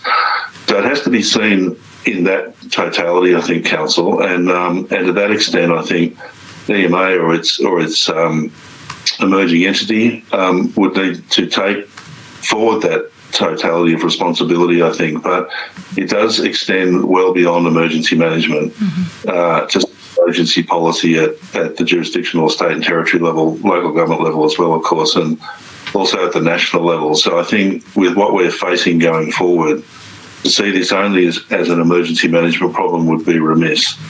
Um, we would probably end up uh, it, probably end up in a worse space in five to ten years if we did that. If we don't take a more systemic and strategic view of, of risk creation, risk reduction, and the necessary systemic resilience that we need to put in place uh, to deal with these effects, particularly when response gets degraded in the worst of circumstance. Um, I'd probably finish by saying that um, resilience is admirable and necessary, but it also has a limit. Um, as citizens, particularly uh, during the course of my career, I, am really yet to find someone who wasn't trying to do the best they could in the worst of circumstance. And Whether they've met the resilience standards that the government has set for them is a different question, and whether they could, in fact, even meet those standards is a, a, another question yet again. But they do do the best they can, and they turn to uh, institutions for support when they become highly vulnerable, so their resilience runs out uh, or they hit a limit. It, it does concern me that that uh, increasingly the capacity for institutional support in that circumstance isn't there. Um, and I think there's been a degradation in in the uh, the structural, social, and economic supports for resilience over the last 20 to 30 years, which is showing up now where people are turning for assistance and help, and it's not uh, there perhaps to the extent to which it could be. Um, and I think this season really highlighted that. Um, some of the narrative in the media was you know the governments could do no more. Uh, you know, we literally the headlines were saying expect people to die, catastrophic conditions are about to manifest uh, people should abandon their localities and follow instructions, and so it goes on. Um, that sort of leaves this profound public policy question: Is that an acceptable position to be in into the future? And I think the answer has to be no. So there has to be systemic and institutional responses to this in, in concert with um, you know, greater awareness at the level of the citizenry, but also um, helping them to reach the capacity to meet the resilience standards that we hope that they will achieve. That has to be dealt with in its totality systemically going forward and being led at the national level um, and carried across all levels of government in order to make sure that we're properly positioned for the inevitability of these things into the future. And there is we, have published on inevitability now for six or seven years. Not, not, not to be dramatic, because I think it's simply a fact of life. I think, uh, and and you know, my, my, last final point, because I already said final point, but um, governments are the insurers of last resort, and and really uh, we can't trade off risk on the basis of rarity. Uh, because we don't have all the controls to do that in natural hazards.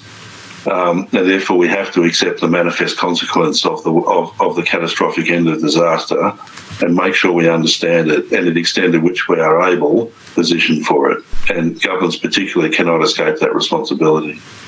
Mr. Thanks, Darby. Counsel. I'll. Thank you, Mr. Croswell. Mr. Darby, I'll come to you. I did, I did ask the question in the context of how EMA can best facilitate that going forward, and, and of course that was your experience. But um, if you wanted to turn to the whole of government perspective, which of course means we're talking First Minister level, um, uh, please, please feel free. Um, thank you, Counsel. Um, I'm very much on the same page with um, Mark on this. That I'm not too sure EMA is the body to facilitate this unless there is a significant change to the scope and role of EMA. Um, I believe that if we leave these broader um, whole of government strategic policy issues that need to be undertaken to achieve uh, the risk reduction framework and the resilience that we're seeking, we leave it in an emergency management context, I think it will fail. Um, we went through a lot of pain in 2011 with a national uh, national disaster resilience framework. Um, with some good work was done in that. That was looking at whole of government issues around community education, around planning, around insurance. Um, but we didn't achieve all the things that we, we could have done in that. It was a major undertaking, almost akin to some macroeconomic reform. But we didn't get where we needed to get with that. The sort of things that are needed to be undertaken in this space, as Mark says, are really whole of government issues around legislation. They cut across levels of government, where local government has a major part to play in it. Uh, and I think unless unless EMA and the scope of EMA and what it's expected to do changes, and you might even need to change the name of it because as soon as you put the emergency bit in it, uh, you you could say there's not much in a name, but it means everything, and people will immediately go back to see EMA doing the things that it used to do, and it's much broader than that. Uh, we were just having a conversation. I was talking about Queensland and the the Queensland uh, Recovery Task Force, which is a uh, a statutory agency sitting outside of government, but with a legal remit to really look at um, how to uh, mitigate risks, how to rebuild after recoveries, and they're the ones who are taking on this role for the whole of for the whole of the Queensland government, sitting outside an emergency management space, and it seems to be one area which is really working really well in Queensland. Thank that, you. That role of an external um, external input or review, um, I'm not sure to what extent this um, uh, raises the same issue. Um, uh, we've had some earlier questions from the commissioners today concerning uh, the role of iGEMS and the role uh, at a state and at a state level, uh, and the idea that perhaps um, there might be some role for a Commonwealth iGEM or, a, or, or some kind of broader agency that takes on uh, this sort of not just assurance issues but broader issues. Um, is that what you had in mind, Mr. Darby, or are you speaking to a different a different intent? I'm probably speaking to a different intent in that I don't necessarily know that it needs to be a statutory authority in that sense, but I'm not too sure that sitting it under a single department is probably the way to go. It, um, we, have spoken a lot about the uh, the Australian New Zealand Emergency Management Committee, which was sort of conceived to undertake some of these things, but like most um, committee bureaucratic structures, I think it is uh, in need of a significant refresh. Um, most bureaucratic organisations over time tend to become a little bit stale, a little bit too big, a little bit uh, unable to be quite as adaptive as they should be. And I think that that's one organisation that could be in need of significant refresh. Uh, I'm not too sure at the national level a statutory authority would achieve what you want, but it needs input, strong input from all First Minister's departments and even within Prime Minister and Cabinet, I think, to make sure that there is uh, an ongoing ability to report back so the the political level can see what is being achieved uh, with the objectives that have been put in place. Mr Crosswell, there's a proposal which we've heard in evidence uh, in respect of ANZ EMC that uh, the Commissioners and Chief Officers Strategic Committee, which is a presently a subcommittee of AFAC, be brought in under and repositioned under ANZ EMC. What's your view of that proposal, particularly in light of what Mr Darby's just said in respect of ANZ EMC itself? Um, I, think it needs to be repositioned in a governance context. I, think um, ultimately where that sits, um, the reference to ANZMC is because it's the existing governance framework. But I, I would probably argue that that the full answer to that question lies in the government's response to strategic uh, to the structural adjustments to governance. Um, it was set, I set it up with uh, AFAC with Stuart Ellis, the CEO at the time, because we had anticipated the need for a, a greater level of coordination uh, in real time in complex environments of potentially conflating events. And um, uh, it's probably fair to say, I think that politically and bureaucratically, we, we took it as far as we could given the appetite for that sort of coordination at the time. And I think at the time, you know, there was much at the government level, for example, much emphasis on the activities of ISIS and counterterrorism, and there was a lot happening in the space of national security and but I think you know the window of looking through catastrophic natural hazards uh, was not necessarily you know fully open, but given the context of where we're all at, that probably makes sense. Um, so it's done some good work. It, it, needs to continue, of course. That that dynamic nature and having commissioners and chiefs at the highest level coming together quickly and making those decisions uh, is important. Um, However, uh, I think with an increasingly complex environment and conflating environment, uh, for example, we haven't really contemplated, well, I think we had contemplated in discussions when I was Director General, but um, the underlying impacts of pandemic, for example, and the other thing that's happened this uh, season, of course, which has been not necessarily overt, which is the significance of cyber threat and cyber attack and cyber intrusion um, does warrant an even higher level consideration of resource allocation, perhaps even beyond commissioners, uh, to the political level uh, in times that we may not necessarily be able to foresee or foreshadow in specific terms, but I think we can probably foreshadow more generally. So I think there is a, a need to bring it into a more accountable governance structure. I think it's proved its worth. I do think, though, there's a level of complexity in the operating environment going forward that requires a, perhaps another layer or a, a, more a more sophisticated consideration of those hard decisions about resource allocation. And COVID 19 gives us a bit of an insight into that. Um, COVID 19, of course, is a global rupture, a global event. Uh, you know, would a, natural series of natural hazards conflated with cyber and national security give you the same global effects? Probably not, but will probably give governments enough of a headache to need to come together in a similar way. Mr Darby, uh, you've had experience uh, in providing strategic reviews in relation to counter-terrorism, and uh, I've just come to you uh, in terms of your insights in relation to the work of COSC and its proposal that it be put into ANZ EMC in that broader context that Mr Crosswell has just raised. Um, I mean, what Mark says is exactly right. That the the governance structures uh, will determine which way you go with this, and I'm not too sure the the ANZ NEMC as it sits at the moment is the right body. It would need to be significantly operationalised, uh, similar to the way AHPPC is sit, flits between a, a policy making body and an operational sort of advice, advisory body. Um, we need to be careful that uh, that COSC group doesn't start stepping into the policy space. Um, and they weren't set up to do that. But I think there is a bit of a danger that um, the way AFAC is conceived, there, there, there is almost automatic conflicts of interest in that. One, conflicts of interest between what jurisdictions might be doing. Uh, secondly, conflicts of interest that they AFAC is a body which is funded by the agencies themselves, and then you end up with a situation where agency heads are using AFAC to lobby against their own particular governments. Could be. Uh, I'm not saying it happens, but it's one of those things that we always had some concerns about, about bringing AFAC fully into the ANZ uh, Emergency Management Committee when it was uh, when it was first conceived. So there are some of the concerns in it.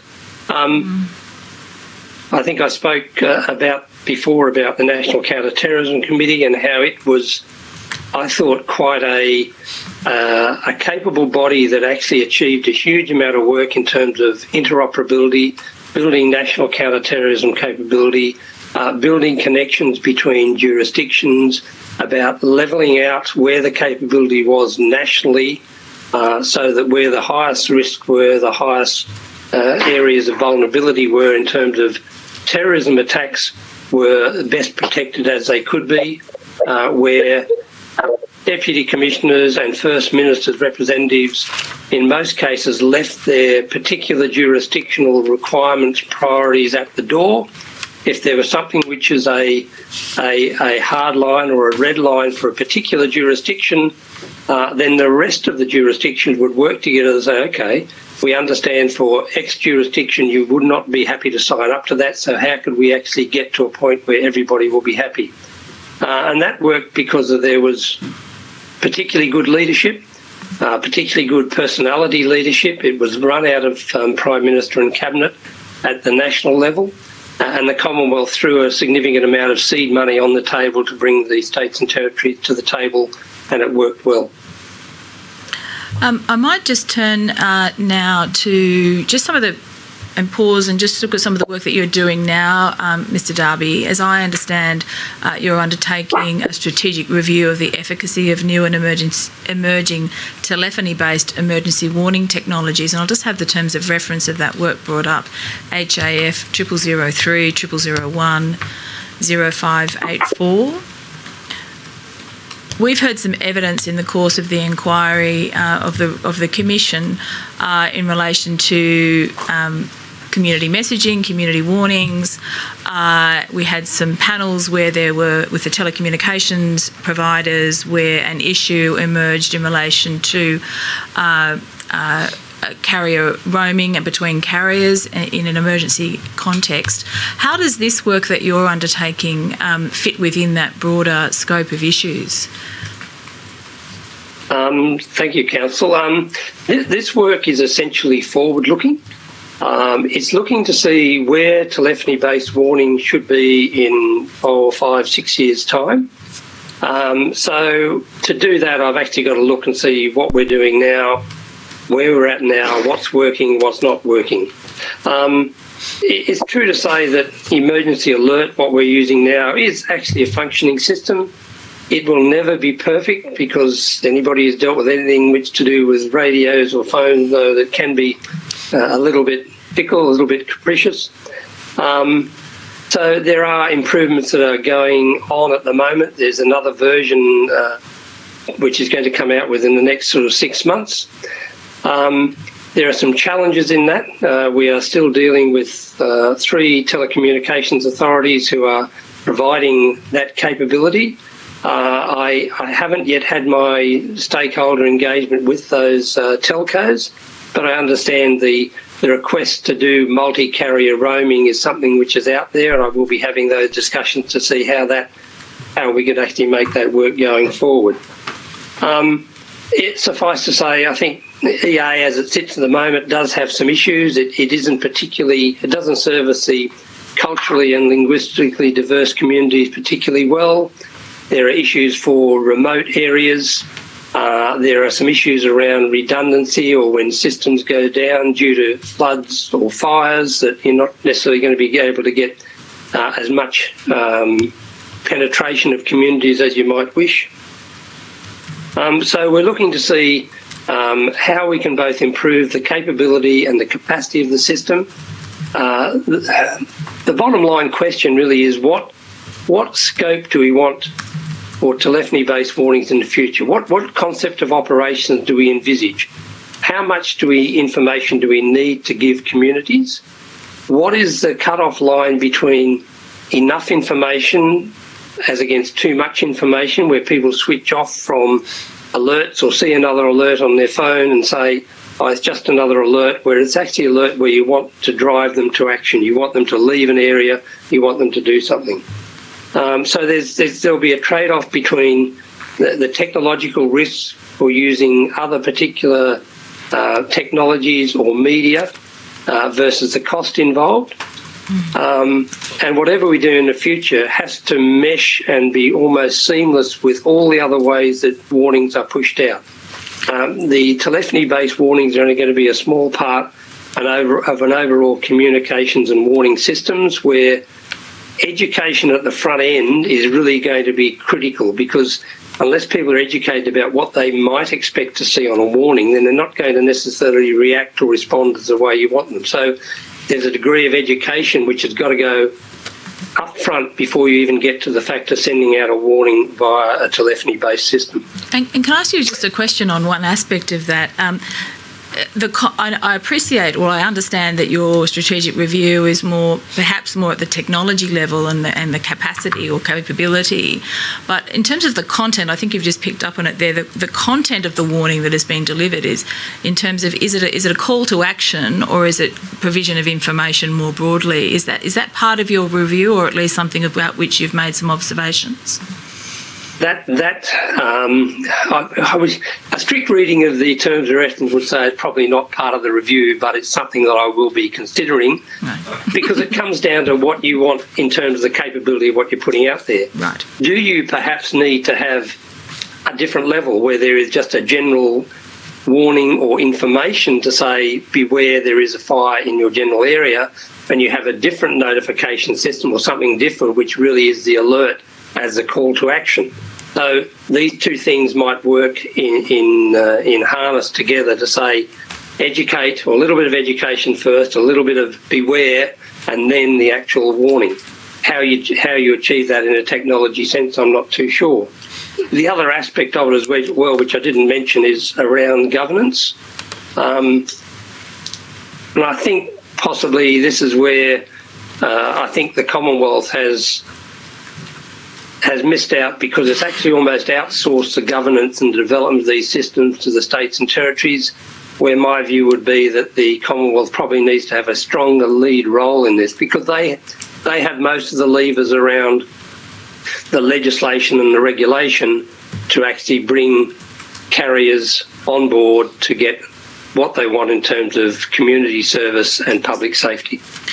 And, and, just looking at the scope of your uh, review, this is the last question I want to ask about it. Um, paragraph two uh, requires you to undertake an assessment of international capabilities in telephony based warning systems and emerging technological applications.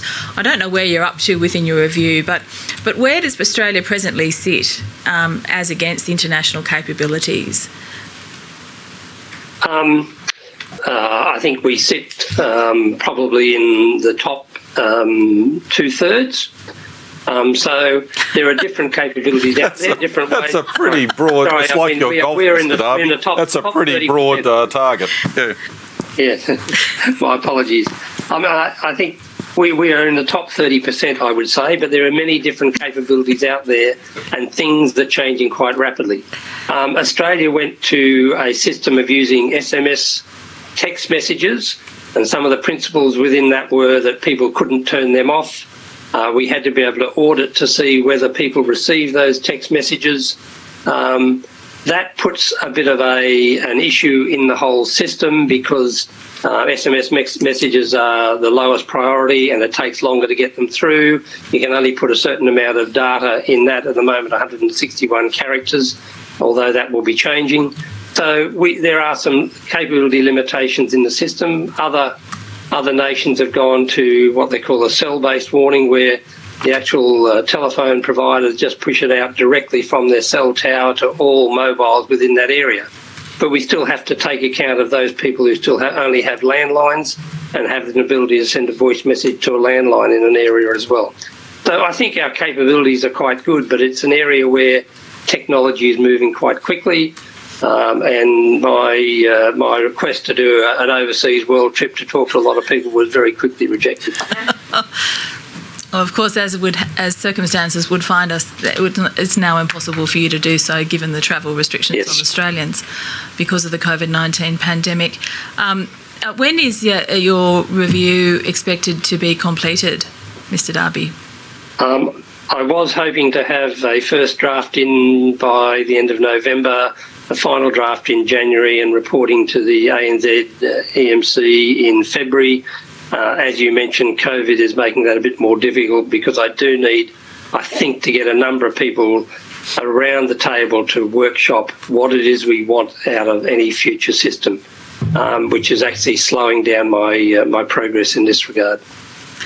Thank you, um, Mr. Darby. Mr. Crosweller, um, I, before I come to the, well, perhaps it's a, it's a good segue to it, the National Disaster Risk Reduction Framework and the work that you've done in that area. I just wanted to get some insights from you in relation to, we've heard evidence today and we've had some questions about community resilience uh, and community receptiveness to messaging from government, uh, both prior in the preparedness or in the prior phase, and then we've just spoken with Mr. Darby about the messaging they receive in circumstances of emergency and crisis. Um, in in what are your reflections in terms of the community's um, receptiveness to that kind of messaging from government and institutions? I think um, certainly my research through my um, PhD study showed that uh, accuracy was a big issue, and I think um, the one-way mode of communication it, it can be quite directive, and uh, the, uh, the the situational awareness of that information can be limited, or even perhaps inaccurate or out of date. Um, I think free and full access to information is fundamental to public trust, and the systems are have certainly improved since 2009. Uh, the Victorian bushfires, for example, and and the uh, 10, 11 floods in Queensland. So you've got to give credit to the to governments in the sector for you know, really sort of a strategic uplift in warnings, but it's hit yet again another limit, which is the reliability, the accuracy, and the contemporaneous nature of the information. And I think um, that's where the next piece of work is really. And I think the other piece of work is um, it needs to be um, interactive. I think citizens see a lot, sense a lot, and feel a lot, and, and want to tell somebody. Um, you know, sometimes when it's critical or urgent, that's triple zero, of course, but but often it isn't. And um, our capacity to analyse uh, that intelligence and use it in such a way that it can be useful for warnings um, is not yet um, it doesn't yet exist in, in the sector, but I think it needs to. It's some of the advice I'm giving the private sector and um, other entities at the moment is to say, look, there's a rich amount of information and intelligence that exists in these incident grounds that the community holds and uh, first responders hold as well, for example, which isn't able to be channeled or harnessed in any meaningful way or analysed or processed or turned into intelligence. Um, and I think we need to think seriously about making sure that happens. Um, because information, uh, you know, the, the, one of the greatest sources of human suffering is ignorance, of course. And how do you how do you dispel ignorance? Will become more knowledgeable. Um, if we can help citizens to become more knowledgeable at the time and prior to the time, I think that kind of helps the helps us to position as best as we can for what we're about to experience. Even um, you know our understanding of the risk landscape uh, is not as good as it could be uh, in terms of um, uh, risk knowledge about flood, fire, storm, and cyclone across Australia is, you know, it's reasonably good. I'm not saying it's bad, but uh, does it, for example, adequately take into account the effects of climate change going forward and and the adaptation challenges in in that regard? Well, no, it doesn't. It's very immature in that respect because the, the knowledge isn't able to be produced because the data is not necessarily accessible or available, and the methods for analysing aren't uh, finalised nor standardised. So so I think knowledge, intelligence, information is a needs strategic uplift and is a new frontier for this sector um, to improve the capacity for people to make informed decisions. So if we're really going to focus in on resilience, and we need to, of course, subject to those structural supports and things we talked about earlier, then then knowledge is key to this. And um, there's there's plenty of evidence through previous commissions of inquiry that highlighted that the knowledge was just deficient. It was either antiquated uh, or uh, or inaccurate, or you know, there's a whole lot of problems with it. And and unfortunately, I think that it's so critical to public trust that it, it, it just can't you can't ignore it or you can't underinvest in it. Um, and I think the interactive nature is something we really need to explore uh, much more profoundly. People do want to tell us what they're seeing or how they're feeling about it or what they're even what they're sensing. Some people just sense things are not going well or things are not right. They want to tell somebody we, we should be up for listening to that because you know it's a rich form of intelligence and human beings kind of feel as though things are going bad. It's probably because it is. Um, and our traditional means of picking up that sort of information um, well, we don't have them really. We're not able to tap into that. So I think it's a it's a gap that we could do well to address. Mr. Darby, is there something you would like to comment on on that aspect of Mr. Crosweller's response? Um, no, I think Mark is right. We haven't yet been able to um, tap into these rich sources of information, and, and there's a natural reluctance, I think, some of the time to to accept that the information you're getting is imperfect and therefore you shouldn't use it, uh, which I think is probably the wrong way to to approach it. Sometimes, if you have information there and you're getting enough sources, as long as you can determine those sources are slightly different and it's not just repeats of the, a single source, mm. then that is actually a good way to say we've got something happening here. We need to respond. Um, we don't know exactly what it is, but we have a good sense it'll be X, and, and therefore we need to take some action. Mr. Crosswell, I just I want to come to you now and the time available to the national your work on the National Disaster Risk Reduction Framework and um, your um, insights as to how it, its implementation can be progressed from here. Yeah, so I think uh, I think key key to the framework implementation is a, a strong strategic partnership with um, the private sector uh, and governments about how to move risk reduction forward. I mean, it's not, uh, you know, risk reduction at the citizen level is a microcosm of the problem, really. I think, you know, it's institutions that design societies and ultimately make decisions about where and how we place ourselves upon the landscape. And, um, and if those settings are more mature and more informed by climate disaster risk, and I think we stand a better chance of, you know, resisting or persisting or absorbing or transforming from these effects. But um, but the mechanism isn't really there for that dialogue, and so. Um, for, for many a year, you know, sensibly so, I think we've heard uh, right, right back to the National Strategy for Disaster Resilience a call for you know public-private partnerships and dialogue and and uh, responsibilities and accountabilities, all the words you hear in bureaucracy, but there's no governance to give effect to that, mm. and there's no monitoring of implementation. Um, now, the private sector is diverse, of course, uh, incredibly, and, and governments, you know, comparatively speaking, are centralised or much easier to the corral. Um, but there are peak industry bodies, captains of industry, representative groups uh, that we, I think, ought to tap into um, more often and more formally. And allow them to provide advice to government at the highest level about not only where they see the problems, but how they might collectively solve some of these things. So, when I was as head of task force, there was an incredible willingness to do that. Um, we consulted with over, I think it was well over 100 entities in the formation of the framework, and a very small number of those were governments, of course, and the vast majority were from the private sector or community sector. Um, and the willingness was uh, was unambiguous to continue to work with government on strategising and implementing risk reduction.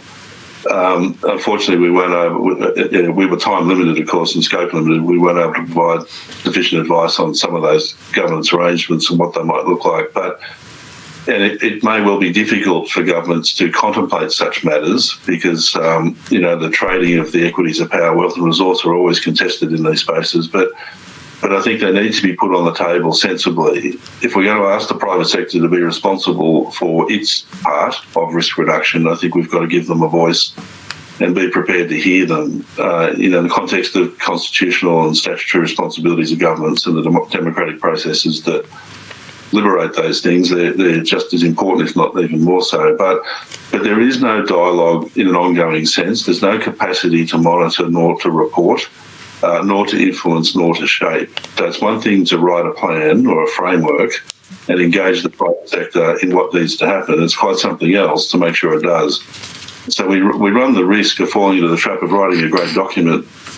And I think we've all collectively participated in doing that, and COAG endorsed it earlier this year, which is, a, I think, a testament to the efforts of those 120 organisations. But it will mean for little if we can't continue to monitor its implementation. So there has been some planning done, as I understand it, through EMA and through ANZ EMC, and you know that's that's progressive, of course, but but the extent. But I've talked to the private sector since, and there is essentially no dialogue uh, or conversation now happening with the private sector about next steps and what that might look like. So.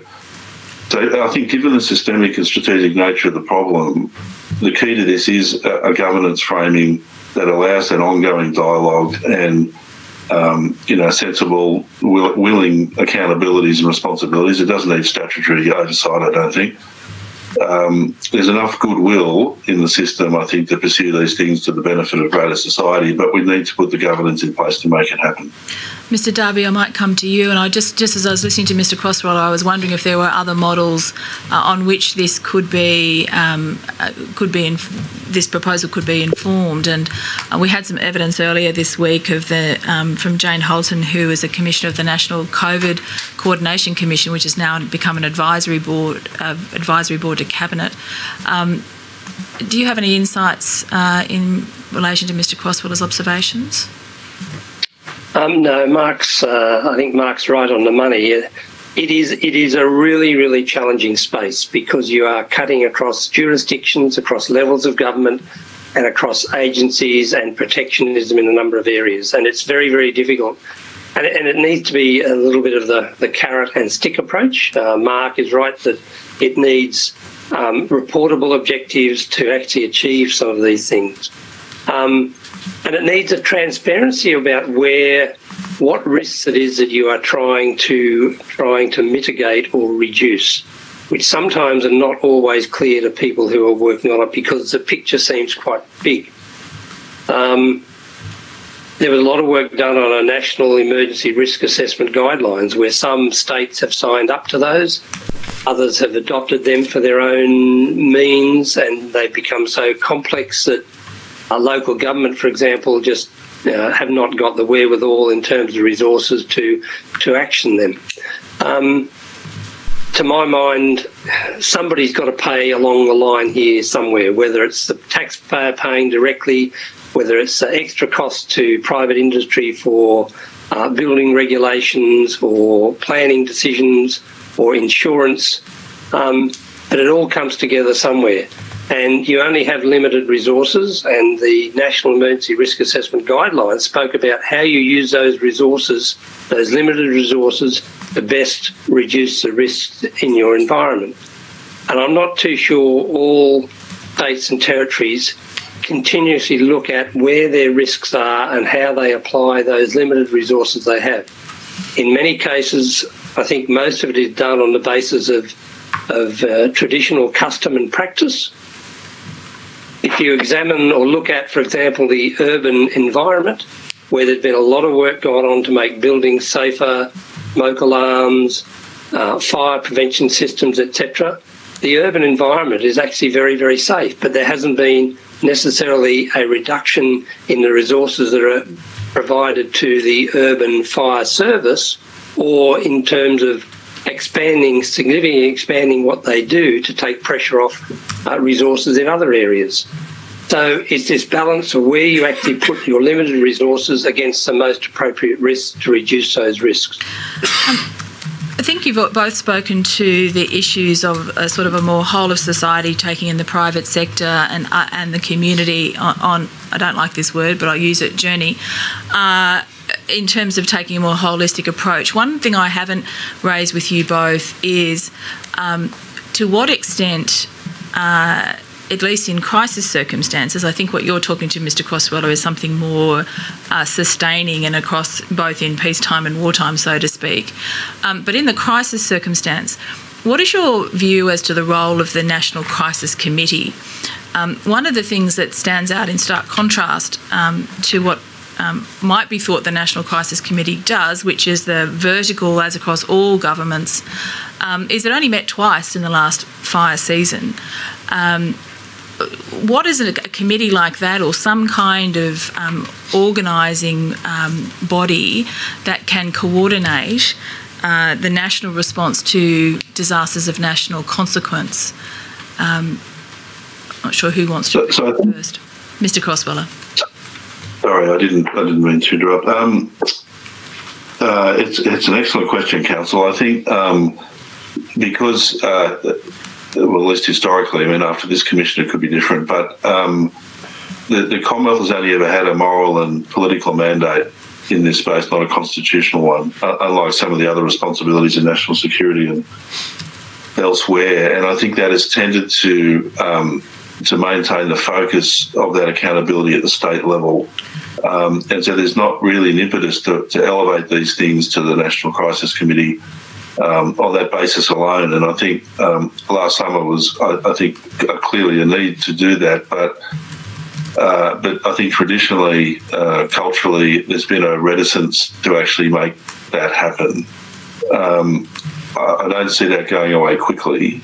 Um, uh, to be perfectly honest about it, um, but I think we need to uh, we need to come back and think about that because, uh, as we've mentioned, I think the Commission's heard you know, on numerous occasions that how, complex this is all getting, of course, in crisis and the competing nature for the resources and and I think also the citizen or the electorate's expectation of political cohesion and coordination and support, which has clearly been demonstrated in COVID 19 to great beneficial effect to both governments and citizens. Um, really needs to be brought into this space, uh, you know, under, under that, uh, if you like, notion of goodwill or, or, sense of responsibility to the broader society. So, so I think I think there are some cultural constraints here, and we need to recontextualise within culture the fact that we cannot continue to see these things as small and maintained within jurisdictions because it suits us to see it that way when clearly the the presenting conditions and the crisis is suggesting something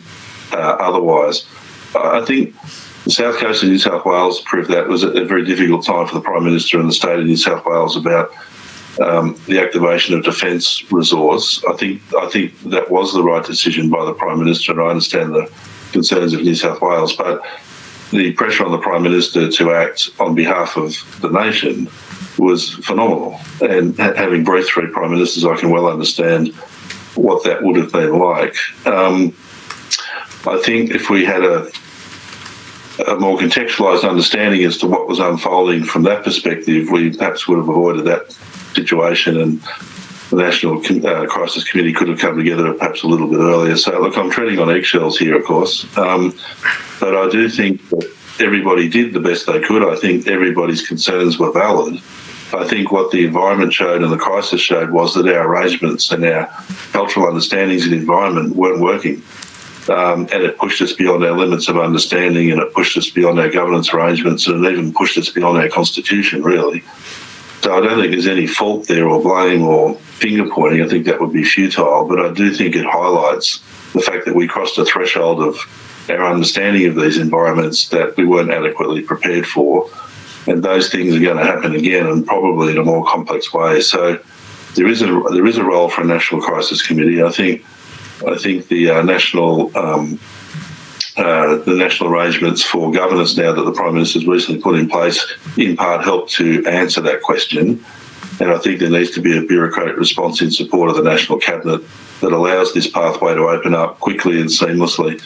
Um, in crisis response, of course, but the, the thing which we'll probably miss the opportunity to see in this commission is the recovery. Um, and I think the recovery effort is equally, if not more complex, and probably needs coordination at the national level over an even longer period of time. And so I think that's worth contemplating. Well, more than worth contemplating, I think we should act on it. Thank you, Mr Crosswell. And Mr Darby, I'll go to you and then I'm going to go to the Commissioners for their questions. Um, look, thanks, Councillor. I think my uh, my time since involvement in the National Crisis Committee, I probably shouldn't comment too much, but it, it, was set up to do exactly those things you talk about, and I'm not too sure why it possibly only met on those limited number of occasions. I think the national arrangements have come a long way since my time. Uh, there's a lot more acceptance of states and territories about how they interact with the Commonwealth. Um, in the past, there used to be a strong resistance to even the Commonwealth going out and doing pre season briefings to understand what the risks might be, where the shortfalls might be for particular states and territories. There was a reluctance of a state or territory to admit they didn't have all the, uh, the capabilities and capacity they needed. But I think we've moved on a long way from there uh, in these days. Uh, and a lot of things Mark put in place to actually address that uh, are, are working well. And I'm not too sure why the National Crisis Committee um, didn't meet more regularly to advise upwards towards the National Cabinet. Um, I always had a view that we had all these arrangements at the bureaucratic level, but there was nothing at a political level uh, to actually have a, an operational or a, a crisis sort of arrangement where the Prime Minister and Premiers got together quite quickly to discuss um, crisis matters, uh, and that seemed to be overcome quite quickly in this uh, event. So it, it is there and it can work well, and it should work well uh, with people coming together quite quickly to address issues uh, of uh, national significance in disasters. Certainly, the um, material that's been made available to the Commission supports that the National Crisis Committee has met frequently during the pandemic. Uh, I might now go to the Commissioners. Yes, thank you for that. Noting the time, I've, I've just got one question, and I'll be for Mr. Croswell, just to build on uh, what he was talking about. Frameworks.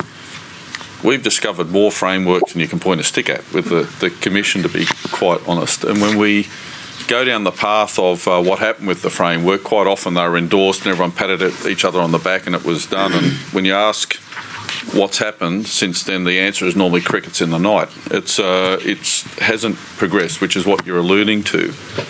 When you were talking about who should monitor the implementation, all too often everyone looks at government to do that, a level of government to do that.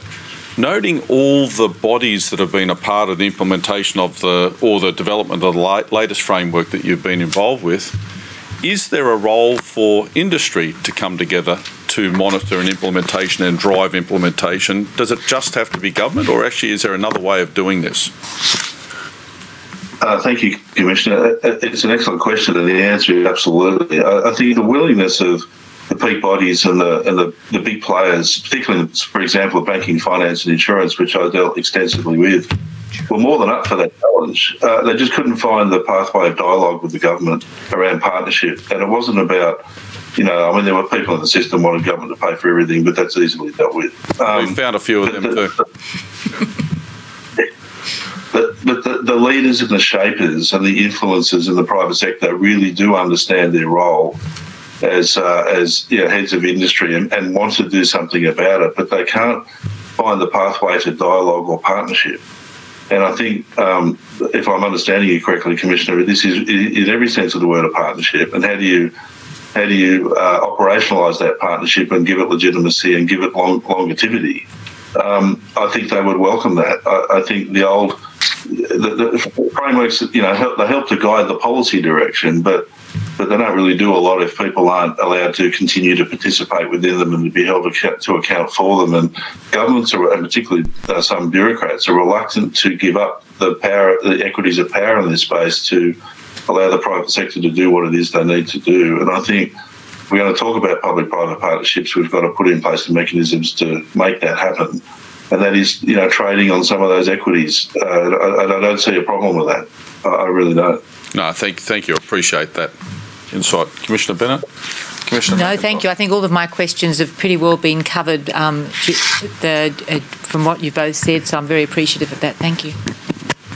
Yeah, nothing from me. I, I think um, Mr. Darby put his, his finger on the pulse when he said the biggest obstacle to change here is that there are costs and they don't go anywhere and someone's ultimately got to pay. But other than that, that's a comment. So thanks very much. observation. Uh, so, Mr. Croswell and Mr. Darby, and once again, good to see you again. Uh, thank you for uh, taking the time with us this morning. Again, you've added another little part of the jigsaw puzzle, but a very important part uh, of bringing this to, together. So, thank you both very much. Ms. Hogan, Thanks, Commissioner. Uh, nothing from parties with leave. nothing with parties. So, we will uh, Be released. be released. So, Mr. Croswell and Mr. Darby are released from your summons. We appreciate your time. Thank you. Thank you. Yeah. And with that, we will adjourn until 11:30 Canberra time. Thank you, Chair. On time. Thank you. All rise.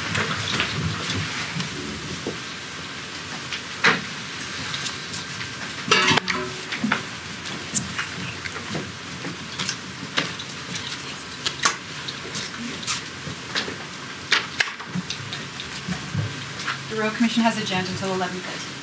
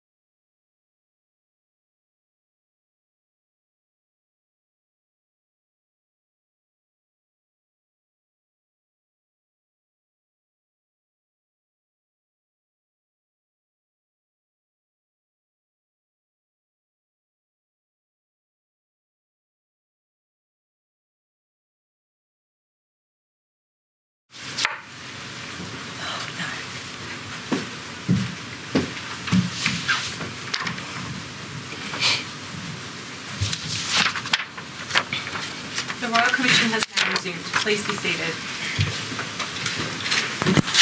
Ms Hogan-Doran. Thank you, Chair. Our next uh, witness is Laureate Professor Emeritus Cheryl Saunders AO, who's the Co-Director of Studies Government Law and Co-Director of Studies in Public and International Law at the University of Melbourne. I call Professor Saunders. Professor Saunders, good morning. Thank you for joining us. Good morning. It's a pleasure. Uh, Professor Saunders will affirm. Professor Saunders, do you solemnly and sincerely declare and affirm that the evidence you shall give will be the truth, the whole truth, and nothing but the truth? I do. Thank you. Professor Saunders, thank you for making yourself available today. And for the benefit of the commissioners, uh, I understand you've been teaching at the University of Melbourne a master's course in, of all things, multi level government. And, and tomorrow you'll be teaching on emergency powers. Um, I feel like asking you just to repeat the, the, the, lectures that you're giving in the course of today. But um, so thank you for making yourself available. Yeah, I'm, I'm happy to be here. Thank you. Um, a, large question, which I'm, uh, I did give some notice for about two minutes. Um, could you describe, for the benefit of the commissioners, a, at a high level, the nature of the Commonwealth as a federal polity, uh, including how that impacts on the areas of responsibility within the polity and decision making within the polity?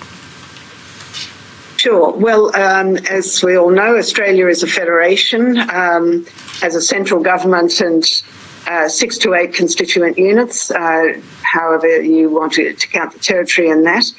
Uh, we've got a form of federation that divides uh, legislative and executive power between the um, between the levels of government, um, and uh, each of the levels of government has its own institutional structure and its own democratic relationship with the Australian people or a section uh, of the Australian people through a parliamentary structure, uh, each with its own cabinet, parliament, uh, electoral system, uh, and so on.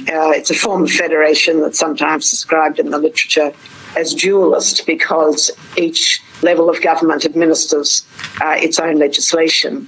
But from the standpoint of, uh, of your concerns, uh, it's relevant because both in the uh, particular emergency that this commission is looking at, the bushfires, uh, and for that matter, the, the current health uh, and economic emergency, uh, power is divided between the levels of government in, in ways that mean that they both have relevant powers to be brought to bear on the solution. Uh, and it's not it's not just a question of power. I think we also need to talk about uh, capability and and and knowledge. So each also has knowledge about what's going on uh, and what needs to be done uh, to solve the the crisis. Uh, and each has some capability and experience and uh, institutional structures in dealing with it. So, um, the way in which Australia is set up, and for that matter, many other countries around the world, are set up means that um, in order to solve certain kinds of national emergencies, uh, you really need the efforts of both and perhaps all three levels of government to be brought to bear on the problem. And you've spoken of that sort of a dual responsibility in terms of the allocation of powers, and also uh, that each each level of government has uh, its own capability and knowledge that it brings to the process of decision making. What impact does that have for in a sense, multi level decision making, coordination of that multi level decision making within our federal structure, is that anticipated by our federal structure?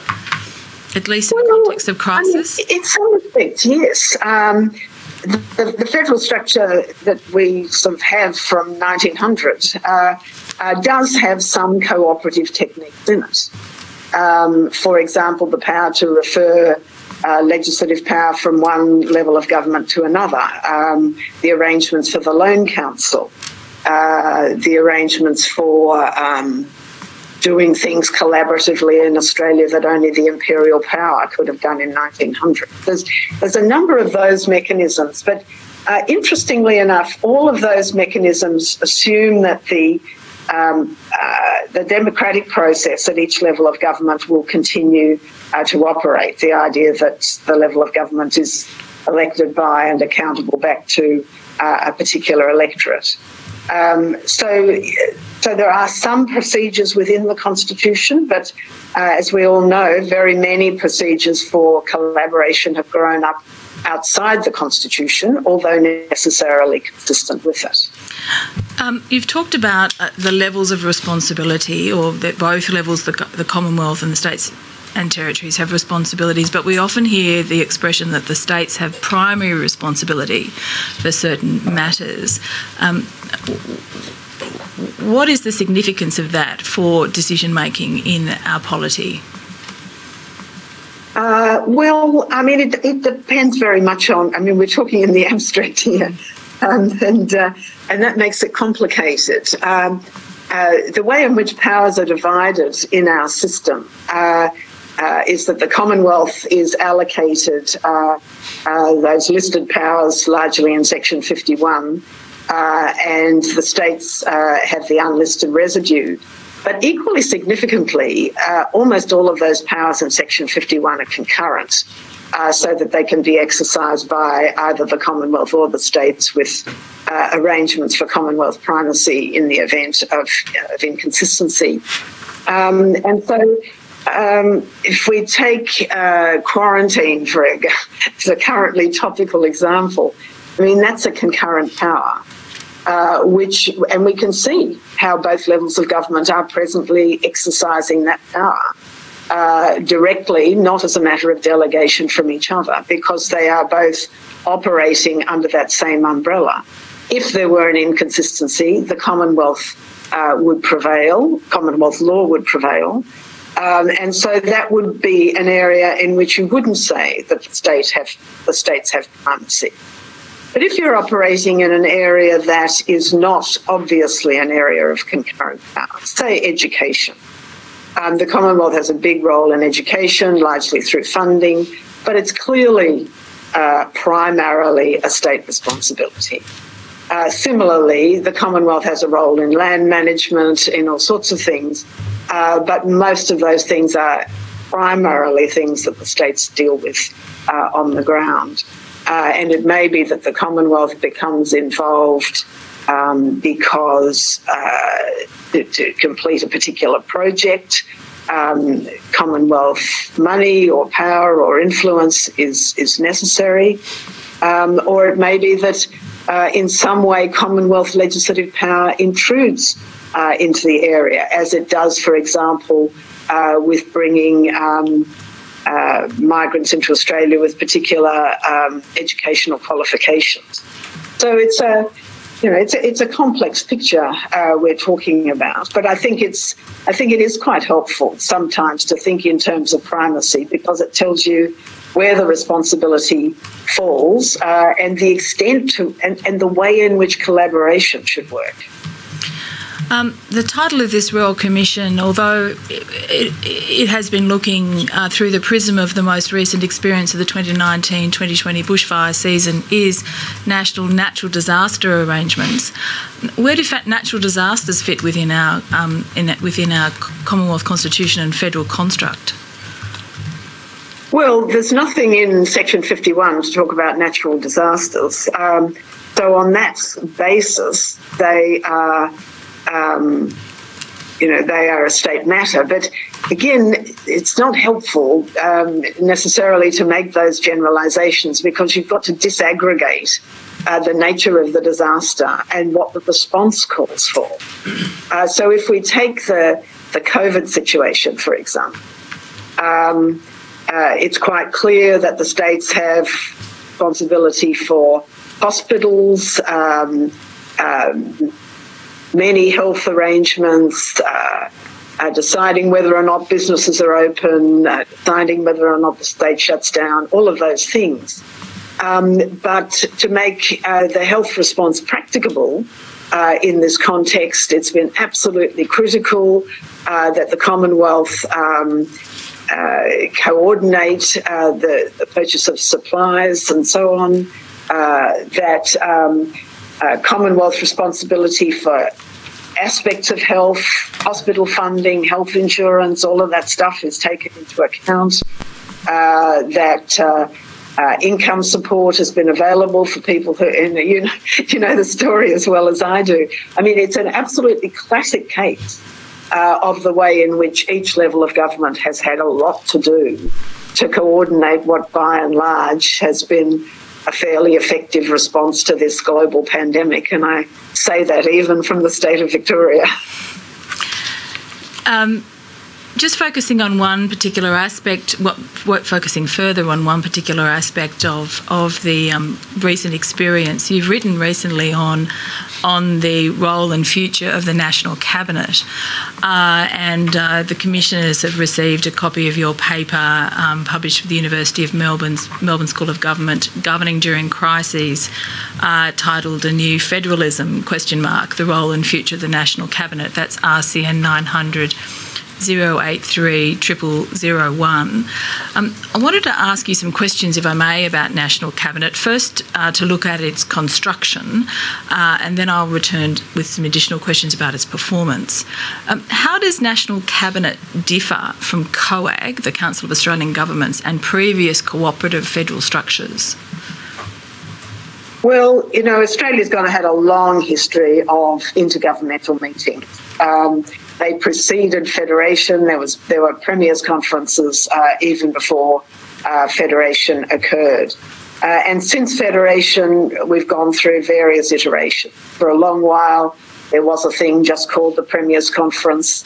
Um, after a while, that turned into the heads of government meeting, and you only have to think about the acronym, acronym to see why that didn't last terribly long.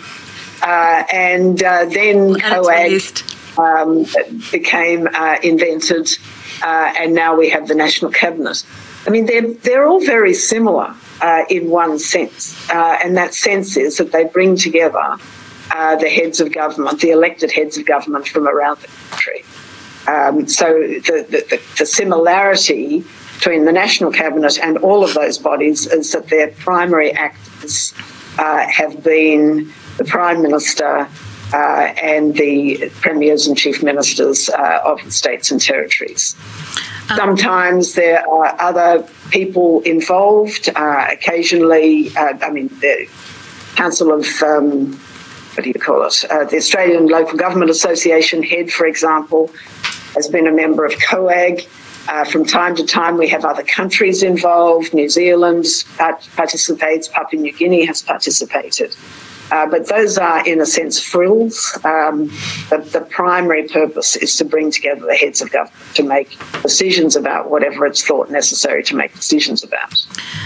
Uh, and at least in recent experience, um, uh, has it has it been successful in allowing that decision making to be made uh, uh, quickly and or more quickly than might otherwise happen, or has it been more than just speed that has been the virtue of National Cabinet, do you think? Uh, look, I, I think um, timing depends a little bit. In, in, in fact, I think if effectiveness depends uh, on what they're trying to do. Uh, so, uh, even though you know, my answer to you suggests that national cabinet looks just like COAG in many in many respects, in fact, it's operated quite differently uh, to COAG. Um, and it's a little bit worth reflecting on why that might be. Now, one answer is it's actually dealing with something that needs to be dealt with.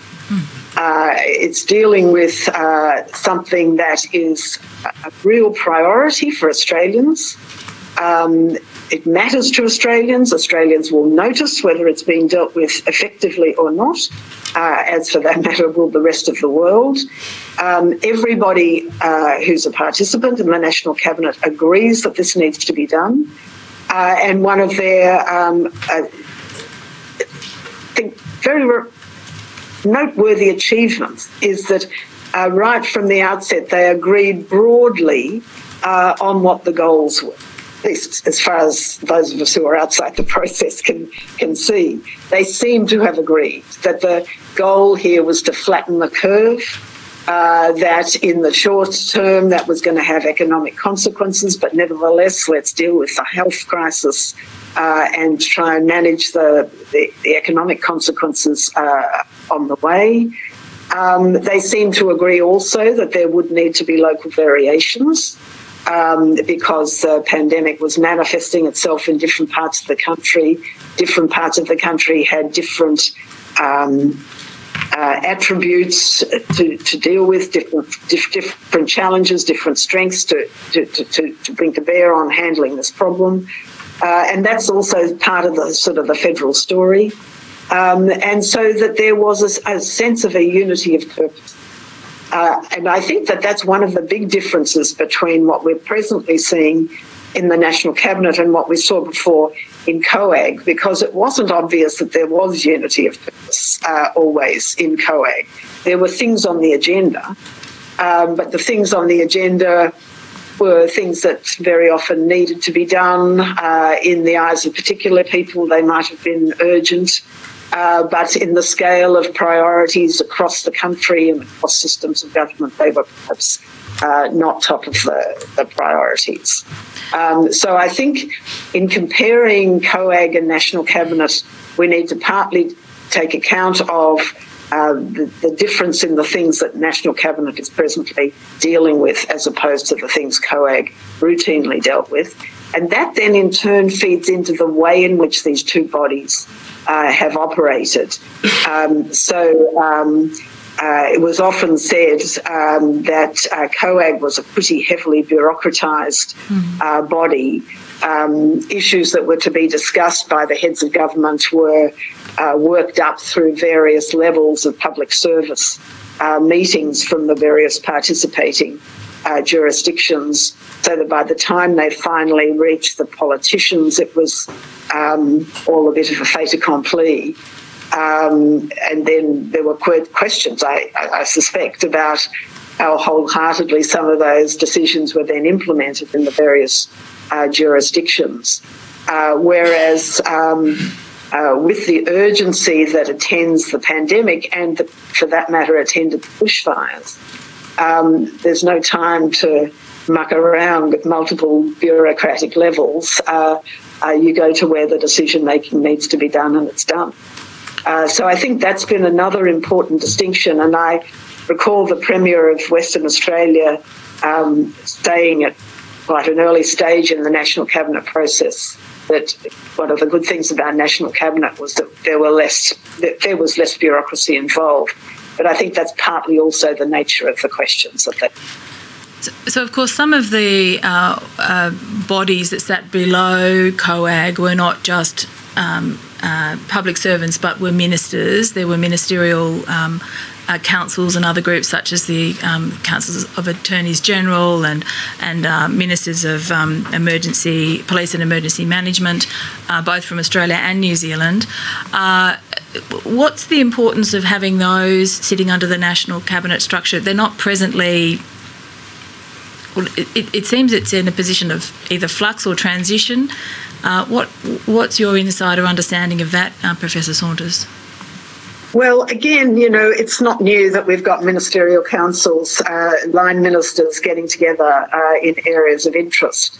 Um, and it's interesting the way you put it, saying that they're under the under the national cabinet, which in a sort of a way they are. But I, I guess that was that was a COAG invention. The idea that uh, you had COAG at the top, and then there were all these COAG councils uh, underneath. Whereas hitherto, um, my impression was, and I've never even thought about it in hierarchical terms before.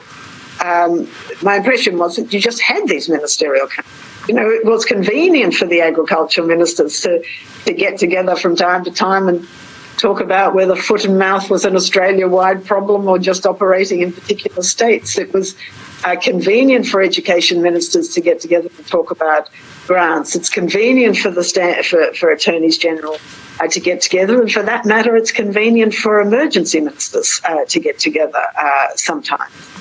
Um, and so all of those um, councils, you know, some of them are very uh, have a very long lineage again. I mean, the agriculture ministers go back to at least the 1920s, for example.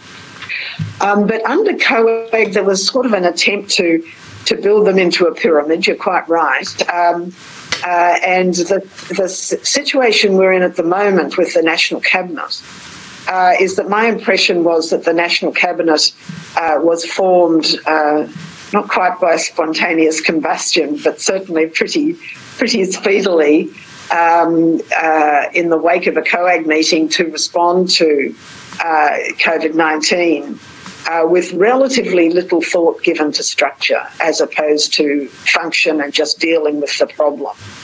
Uh, and then because it worked so well, and, um, and if I can just sort of digress a little bit, uh, uh, it worked well because it was dealing with the, with the problem. Uh, but in order to deal with the problem, it had to do something that I'd been hoping would happen in Australia for a long time. There had to be actually mutual uh, a mutual understanding that each level of government had a role to play here.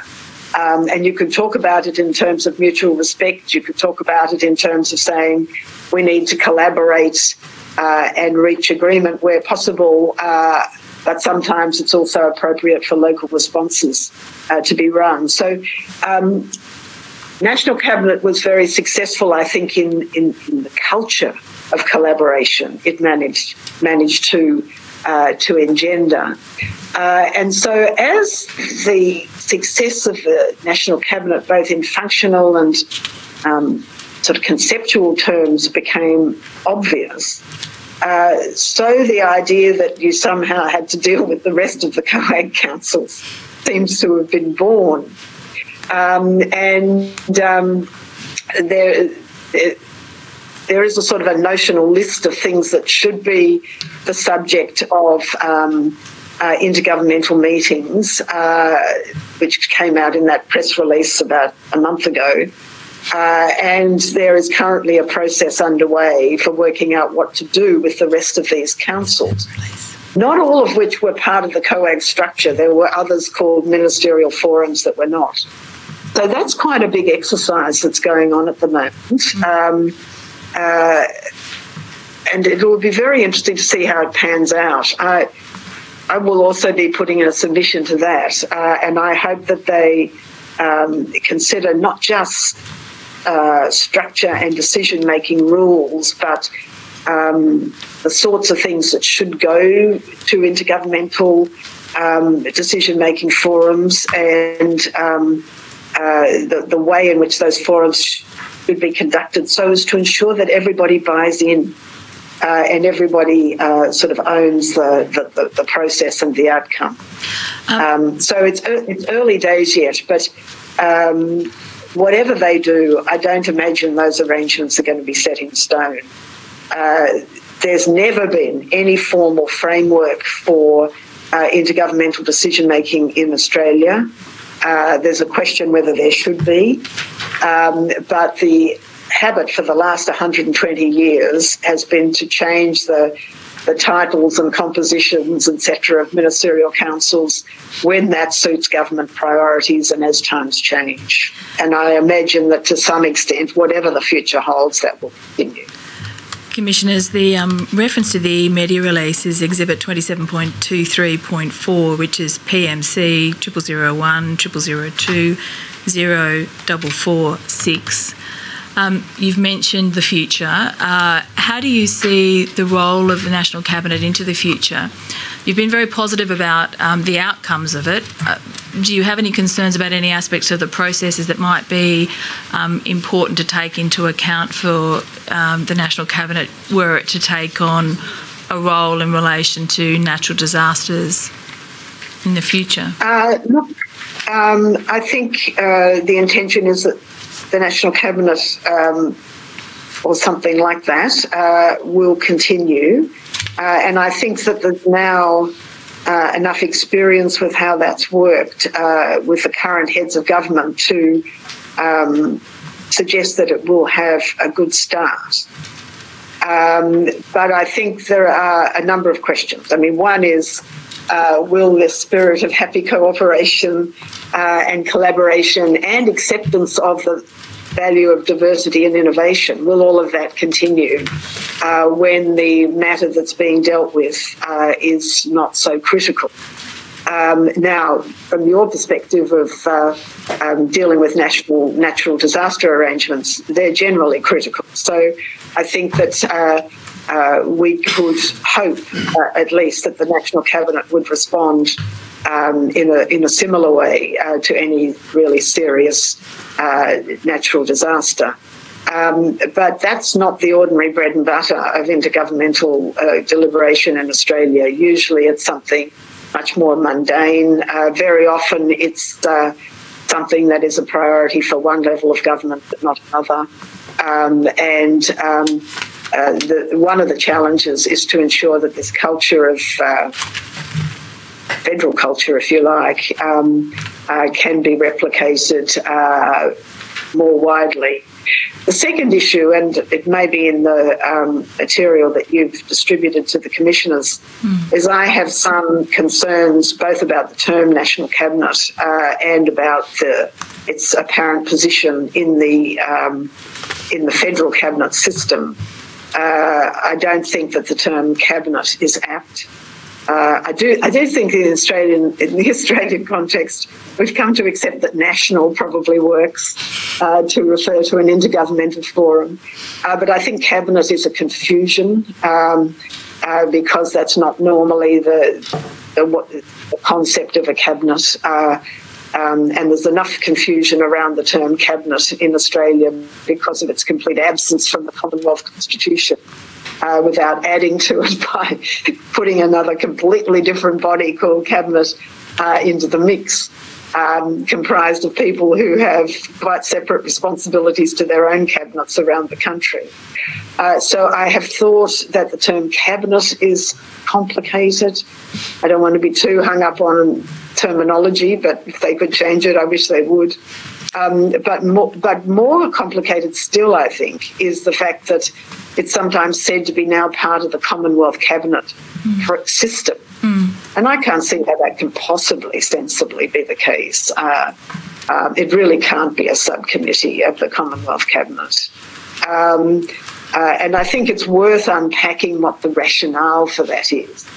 Um, and the rationales I've been given two, one by you, I might say, and I, I think it's probably absolutely right, um, that uh, uh, uh, it's been rolled into the Commonwealth Cabinet system in order to uh, ensure that there's some uh, degree of um, uh, culture of cabinet confidentiality between the members, and that it also that also serves to protect.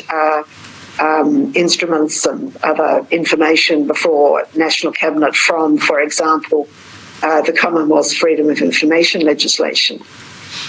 Uh, but I have two answers to that. One on the, f- the first, the idea of, of, confidentiality. I don't think that's ever been an issue uh, in Australian intergovernmental forums. I think they've developed a culture of their own, just like any such body does. If you want it to work, you need trust between members. And trust between members means not going out and blabbing about what your um, fellow Premier did uh, to the next passing journalist. Um, uh, and I, so I think that there is that solidarity anyway within these intergovernmental forums. And I think it's appropriate for us to build on that, not try and equate it to some other uh, different kind of body. Um, and as for the freedom of information point, um, um, there is already some protection for intergovernmental information uh, in freedom of information legislation. It may not be strong enough to deal with the sorts of things uh, that a national cabinet might deal with, particularly in the emergency context. Uh, it depends on how frank you think that uh, elected people should be with the public in an emergency context. I mean, I, I think the experience of COVID is that frankness is actually quite helpful, but um, but, but, but, but, the general point is if you need better protection for intergovernmental forums in um, freedom of information and other related legislation, then provide it. Uh, it's not beyond us to do that. Um, rather than mixing this up with the Commonwealth Cabinet system. That would be my, my, my response. Um, there's the final matter I wanted to take you to uh, before I take it over to the, hand it over to the commissioners is uh, just the broader piece, and I think you've already touched on it. But do you have any comments to make about reform to the national federation arrangements more generally, having regard to um, the principal concern we have in this Royal Commission, which is governing during crises and crises involved or triggered by uh, natural disasters of a national consequence or on a national scale, uh, or which are compounding and consecutive and thus yeah. creating enormous. Um, sorry, go.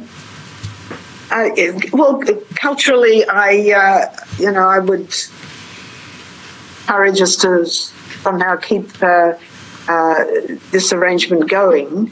Um, I think there are all sorts of um, things that might be done to encourage that. One of the things that uh, um, I've played with in the past, for example, is having um, a, uh, a, support structure that's dedicated to the intergovernmental machinery rather than just running it out of the Prime Minister's department uh, or out of the Commonwealth Line Department, which what has, for the most part, happened in the past and tends inevitably to ensure that it's a, a Commonwealth agenda that's being run. I think if you really want buy-in and ownership of these arrangements and commitment to them, I think um, we need to think about how that is achieved for the institutional structure as a whole.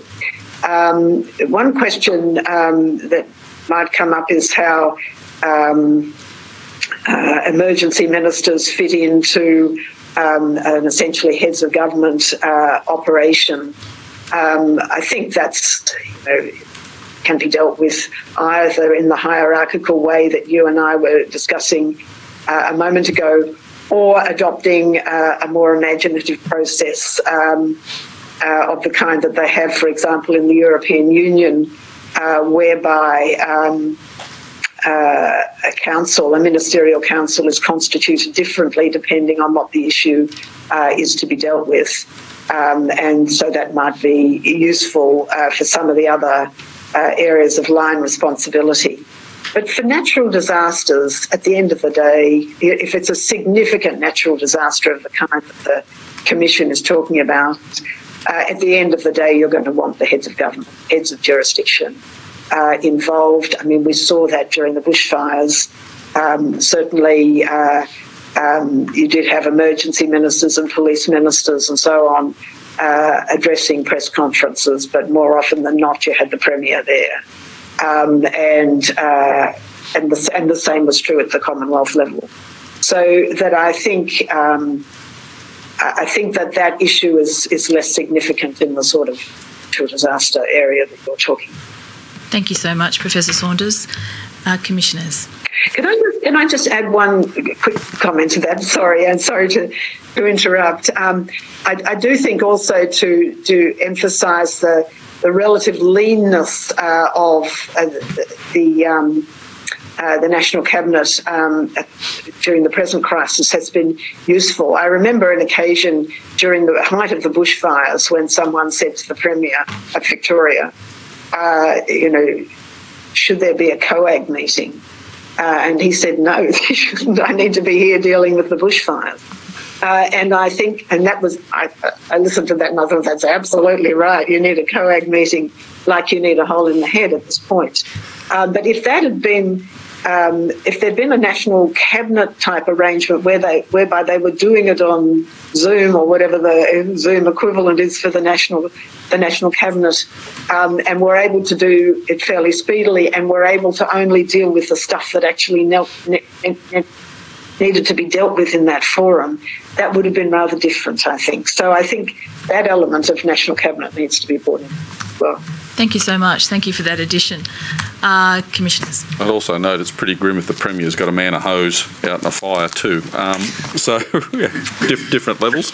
Um, in regard to the Constitution, Professor Saunders, is the National Cabinet, the way it's come together, recognition that with the many complex situations that are currently facing us, regardless of which jurisdiction has primary responsibility, acknowledges that there are very few areas, if any, where one jurisdiction has sole responsibility for a response.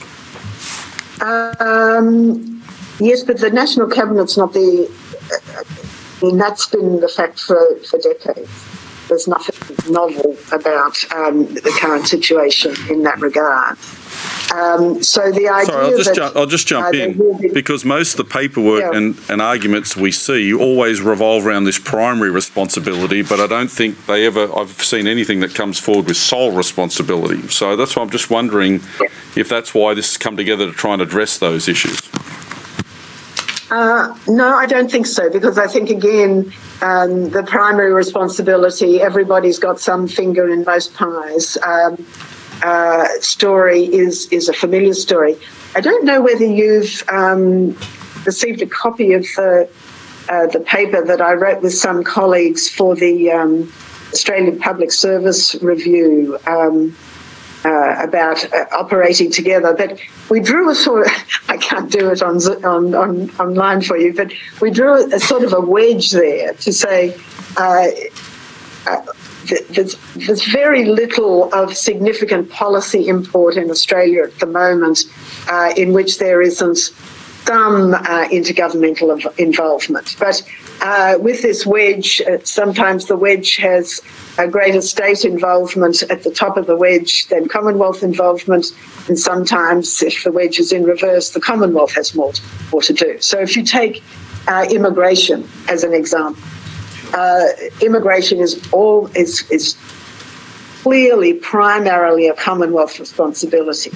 But insofar as states provide schools and, uh, and housing, uh, it's helpful for the states to have something to say about uh, immigration numbers. So you can just see how that primary, primacy thing works out. Uh, thank, thank you for that. I appreciate it. And we will actually source a copy of that We're document. just, we're just looking it up. We're just looking it up, but before the end, uh, we will get back to you on that one. Commissioner Macintosh. Thanks, Chair. Thanks, Professor Saunders. Um, i- in your evidence, you've described how there's somewhat of a, a split in intergovernment relations. You've got the, the non-crisis situation where it's arguably defined by contestation, and I, and I suppose to some extent that's both um, natural and desirable, that the contestation between jurisdictions and um, between political parties and even within political parties is it, it keeps us strong. And then we have the crisis situation where you, need leaders to put aside those differences and come together for a, a single purpose. Um, I was wondering, given that that division in inter, intergovernmental relations and that history, would there be any merit in in reserving the national cabinet for those crisis situations rather than trying to create the national cabinet as as the catch-all for all situations? Well, it's an interesting thought. Um, uh, one that deserves consideration. My my hesitation with it is that it's twofold, really. I don't think that the divide is quite as binary as you just described. Um, that on the one hand, you have uh, natural disasters or crises where we're all in, and on the other, it's contested. Uh, I think there's quite a lot of things that are, are, are not crises, but are not particularly contested and can usefully be dealt with uh, in a national way. Um, but I think um, then that that that sort of very large and amorphous category eventually tails off into things that actually are completely the priority of one government, uh, and uh, the others aren't so fussed about it. Um, uh, so I do think that there is value. I do think that there is real value in keeping uh, intergovernmental processes, and in particular, um, the time of uh, the leaders of jurisdictions for things that really matter. Uh, and they might be crises or they might be other things. Uh, but to keep them for things that really matter rather than trying to load a whole lot of other stuff uh, onto that agenda that could be dealt with uh, by jurisdictions just doing their own thing uh, or could be dealt with at uh, other ministerial levels.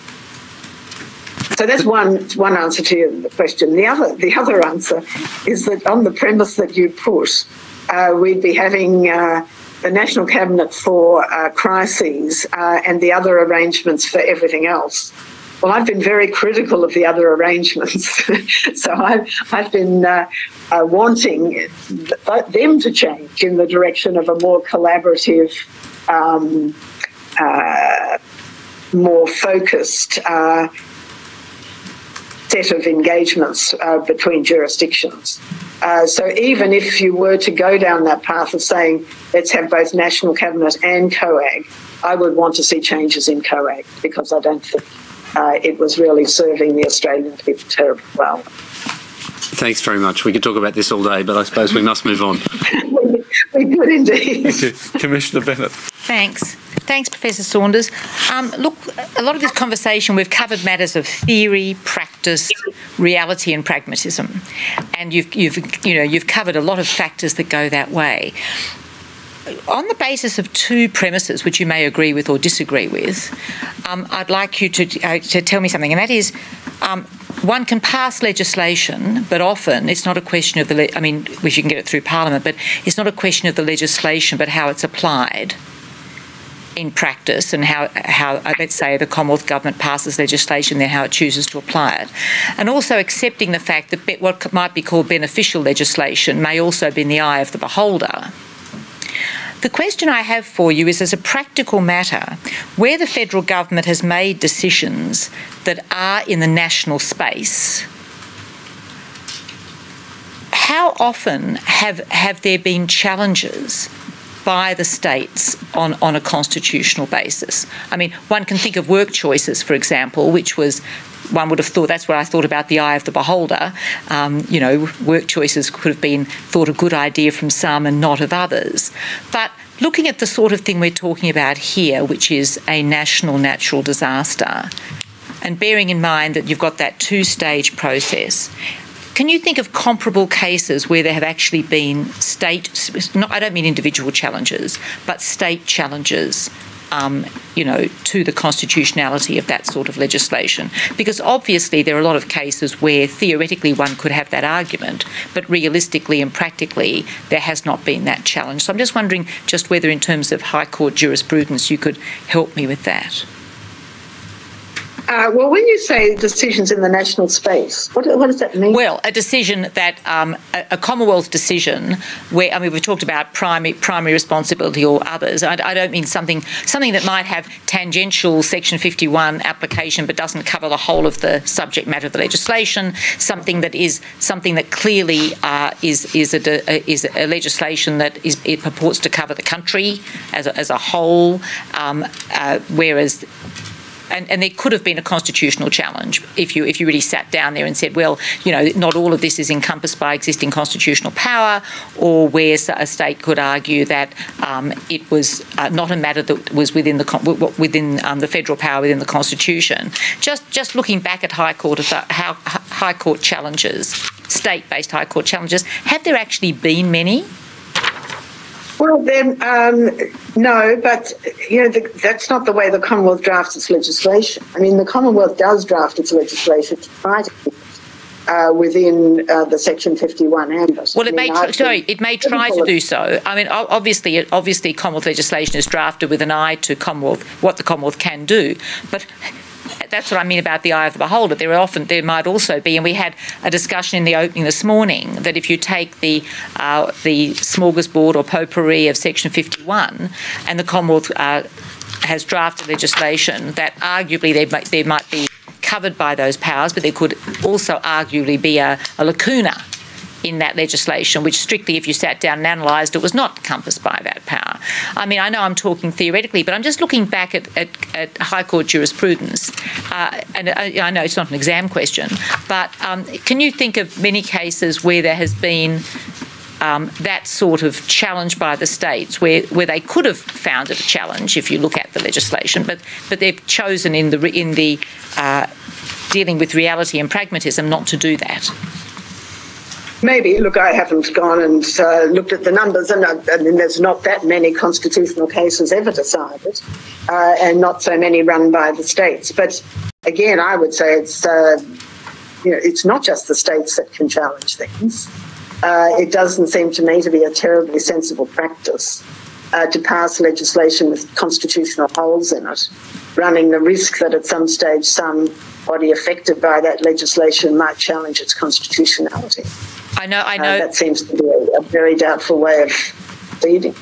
I wasn't suggesting it was a good idea. I was just wondering about bearing in mind that we do have a federal system and there's um, consciousness on the parts of the states and the Commonwealth as to the uh, roles, uh, as to the as to the different balances within the power and, as, and to um, government responsibility.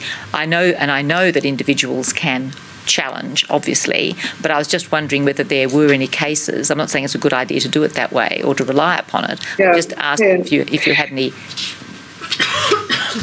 any Well, apart from, I mean, the most recent, as you say, is work choices. Um, uh, maybe Spence more recently in a sli- slightly different context.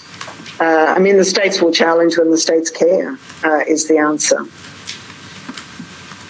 yes, but there haven't been that many cases where it's happened. No, No, thank you. Thank you. I just want to get your assistance on that. Thank you very much indeed. Professor Saunders, thank you. Can we get credit points for your course after this? no, you, you'll be very welcome there at four o'clock tomorrow afternoon. I'm expecting you all. No, thank you very much. It's been very beneficial. You've given us another angle on this, and we really do appreciate it. And for the record, that wasn't a Royal Commission putting pressure on the professor to get credits for a course that they're not enrolled in. I just want to make sure that we're uh, full of the, the full probity issues are understood here. Thank you very much. Thank you. Very Ms. nice Ho- to meet you. You as well. I look forward to meeting you in person at some stage. Ms. Hogan Doran, Thank Uh, Bye. we'll just look for Nothing any. from parties with leave. Okay. Communicated. Thank you, Chair. Uh, may uh, Professor Saunders be released from her summons? Thank you. Professor Saunders, you may be released from your summons. Thank you very much for spending the time with us. I know your time's precious. We appreciate it. Thank you. Thanks very much. Bye bye. Thank you. So with that, I think we're adjourning until 1300, right? Yes. Okay, so we'll, uh, we'll adjourn now and we'll be back in here 1300 Canberra time. Thank you. All rise.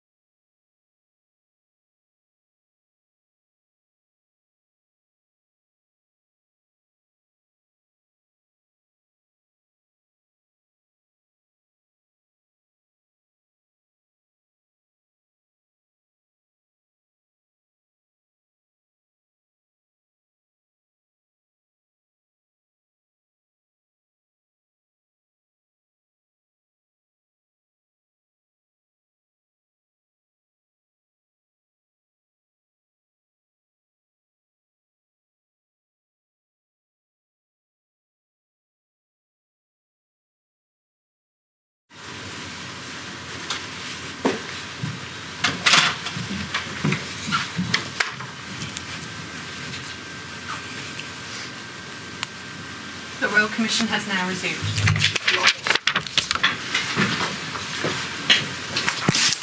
Ms Hogan-Doran. Thank you, Chair. I call the Secretary of the Department of Home Affairs of the Commonwealth, Mr Michael Pezzullo, AO.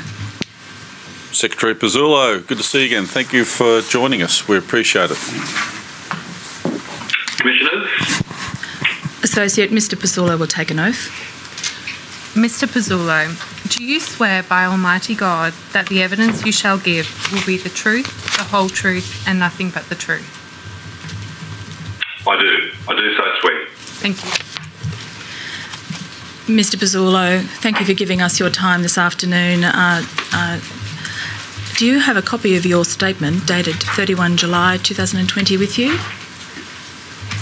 Yes, I do, Counsel. And the contents of that statement true and correct to the best of your knowledge and belief? Yes, it is. Just sketch for the commissioners what your role is um, as Secretary of the Department uh, of Home Affairs, which I understand you have- were appointed to on 20 December 2017. Uh, Counsel, that is correct. I've been the Secretary of this department since that time.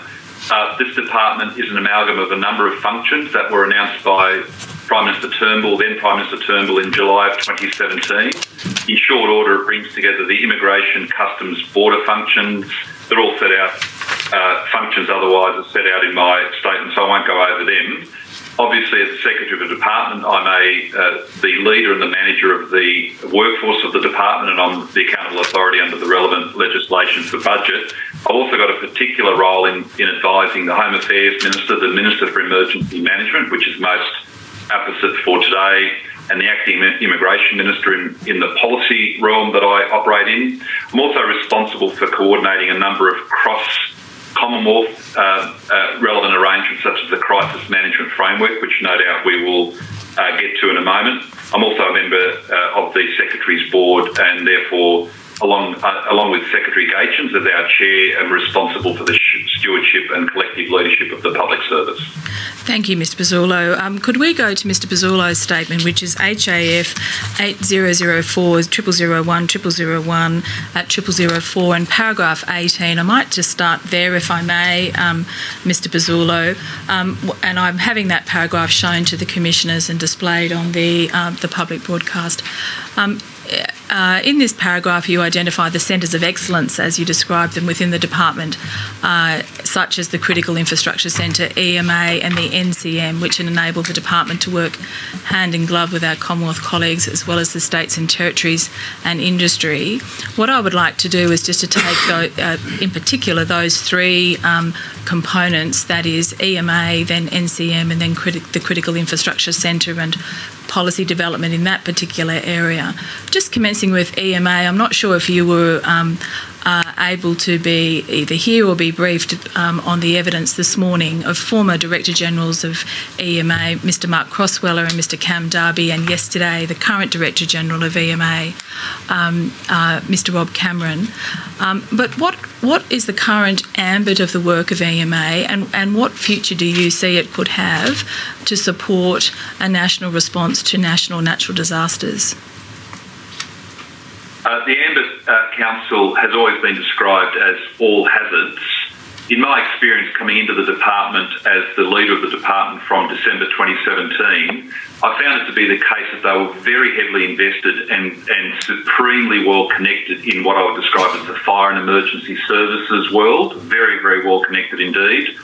Um, and notwithstanding the fact that the Director General of that function, whether it was in this department or in the Attorney General's department or in days of, of old in the Defence Department tended to be a second or third, or in some case four, fourth tier officer in bureaucratic terms, was always considered to be a peer of and work alongside uh, commissioners of fire, rural uh, fire especially, and emergency services. So whilst the ambit is all, all hazards, it has been very much focused, and it's a function of Australia's climate, our topography, uh, and so on and so forth, to really focus on fire, flood, storm, etc. And they do that very well, and no doubt we can further explore that as we uh, get into these into this discussion. The thing that we've bolted on since over the last two and a half years is an ability to truly operate across all hazards. So one of the first uh, stress tests that we did of our arrangements uh, two and a half years ago actually uh, was on pandemic. How would we partner up with the Department of Health with its national incident room, its ability to respond to and anticipate uh, pandemic crises. What would be the role of EMA in that context? Because obviously you're not dealing with the fire and emergency services commissioners, you're dealing with a completely different ecosystem of stakeholders, as it were. So what EMA has evolved over the uh, uh, last two years is into very much a node that can that can lock lock into whether it's a fire, storm, or a flood vector. As if think of these threats as vectors. Pandemic, and I'll get to the NCM in a moment because we have to bolster the EMA to deal with the massive magnitude and scale of the global pandemic. But I'll, I'll get to that when I speak about uh, NCM. Or hypothetically, if we were to be the subject of a massive cyber attack, how would they partner with the Australian Signals Directorate and the Cyber Security Centre over at uh, Defence? Not to deal with the cyber attack itself, think of that as the vector, but how would they bring those common core skills of situational awareness, rapid response, crisis coordination, uh, the tasking clearinghouse for the ADF in, say, responding to a cyber attack? Often they are the same issues. Telecommunications are down food supplies have been impaired. People can't get access to medicines. The power's out. So they are sectors. So the, way, the discipline that we've introduced in the last two years, which Mr Cameron may have, did in fact speak, speak about, I'll use my own terms, but essentially goes to the same construct, is irrespective of vector, what are your series of sectoral responses? Mm. Uh, and then obviously in, in relation to each vector, who is your key partner? A fire, a flood, a storm, cyber attack, a pandemic, a geomagnetic storm would be something different again, and God forbid a massive agricultural catastrophe such as the introduction of foot and mouth into Australia. And so one of the ways in which we think about EMA now, you are the node that brings those disciplines together and then depending on the vector, you partner on to different parts of both government and industry. You mentioned the National Incident Room and also um, uh, the arrangements for cybersecurity. To what extent is um, EMA's uh, Crisis Coordination Centre still a central um, organising? Uh, arrangement or, or location for the coordination um, of sectors and for responding to these different vectors, to adopt your terminology, um, in circumstances of crisis?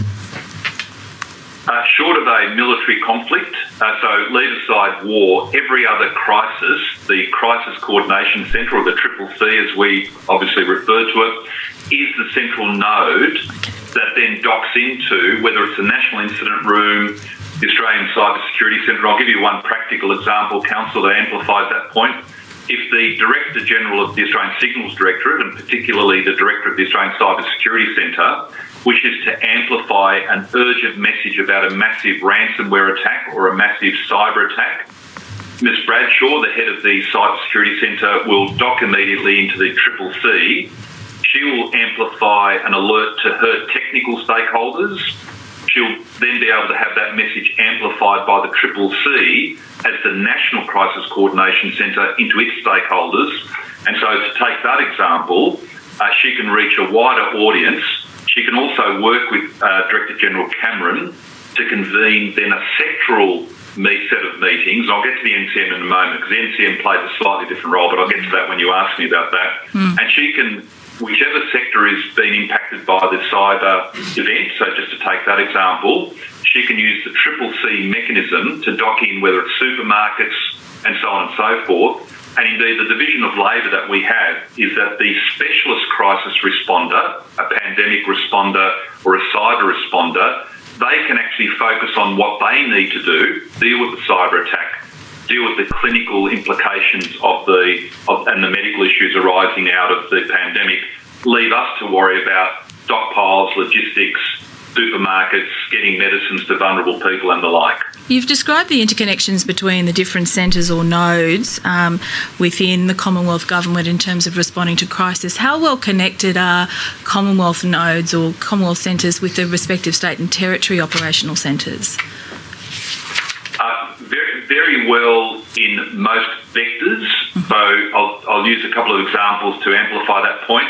One suggestion that I that I intend to make the, to the commissioners through through you, counsel, is that I think that there is a an opportunity here, particularly with the creation of the national cabinet that no doubt we'll get to, for the states and territories to think about bringing their home affairs like capabilities together, but we'll, we'll get to that no doubt in a moment. But vector by vector, those nodes are very well connected. So, for instance, EMA's connectivity to the commissioners and chief officers and their command centres.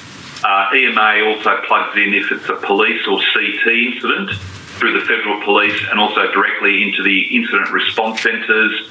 Very well connected uh, with the ADF into state crisis emergency centres as well. So I would contend to this commission, vector by vector, the connections are very, very good. The question in my mind, an open question indeed, is now that we have the National Cabinet, the National Coordinating Mechanism, is there a gap that could be remediated relatively straightforwardly by having Home Affairs, supporting the Department of Prime Minister and Cabinet perhaps, also connecting up First Minister's departments. Now we've done that through the NCM. Yes, can I come, can I come to the NCM because uh, um, prior to um, the terrible COVID pandemic, uh, the the coordinating mechanism appeared to be the National Crisis Committee. Uh, on a vertical level, and as between as across um, the Commonwealth Government, the Australian Government Crisis Coordination Committee the NCM seems to be have as its foundation what was the structure of the NCC, but it's not clear um, that it's not. Sorry, I withdraw that. It appears to be much more than that. Is that right? And if so, in what ways? Yes, uh, your observation is very astute. In fact, when the Prime Minister asked for advice about how best to plug in uh, or, or link in with Premier's offices, Premiers themselves, heads of Premier's departments and Chief Minister's departments. The advice that we gave him through the Home Affairs Minister and the Emergency Management Minister was to do a relatively minor adaptation. So, in doctrine, uh, you're absolutely right, the National Crisis Committee, essentially a, a, an apparatus that has emerged over 20 years mm. after 9 11, the Bali attacks, and the, um, the more prevalent terrorist attacks that we saw 10 or 15 years ago the connectivity, though, is essentially the same. The difference being because COVID was going to be such a wide societal and economic impact, in a way that, with the exception of 9 11 itself, terrorist attacks have been much more localised. We had to build in deeper connections into industry, supply chains, supermarkets, providers of essential supplies such as hand sanitisers. So, yes, we adapted the National Crisis Committee the, the Commonwealth version of which is known as the Australian Government Crisis Committee. Uh, Secretary Gaetjens and I intend, uh, once we get through both um, the bushfire uh, Royal Commission process, COVID, which is ongoing, we do, just to mark the spot, intend to rewrite the doctrine so that the NCM, which has become a reality, a very useful reality pragmatically and practically used by the Prime Minister and the Premiers. We, we want to then retrofit that back into doctrine.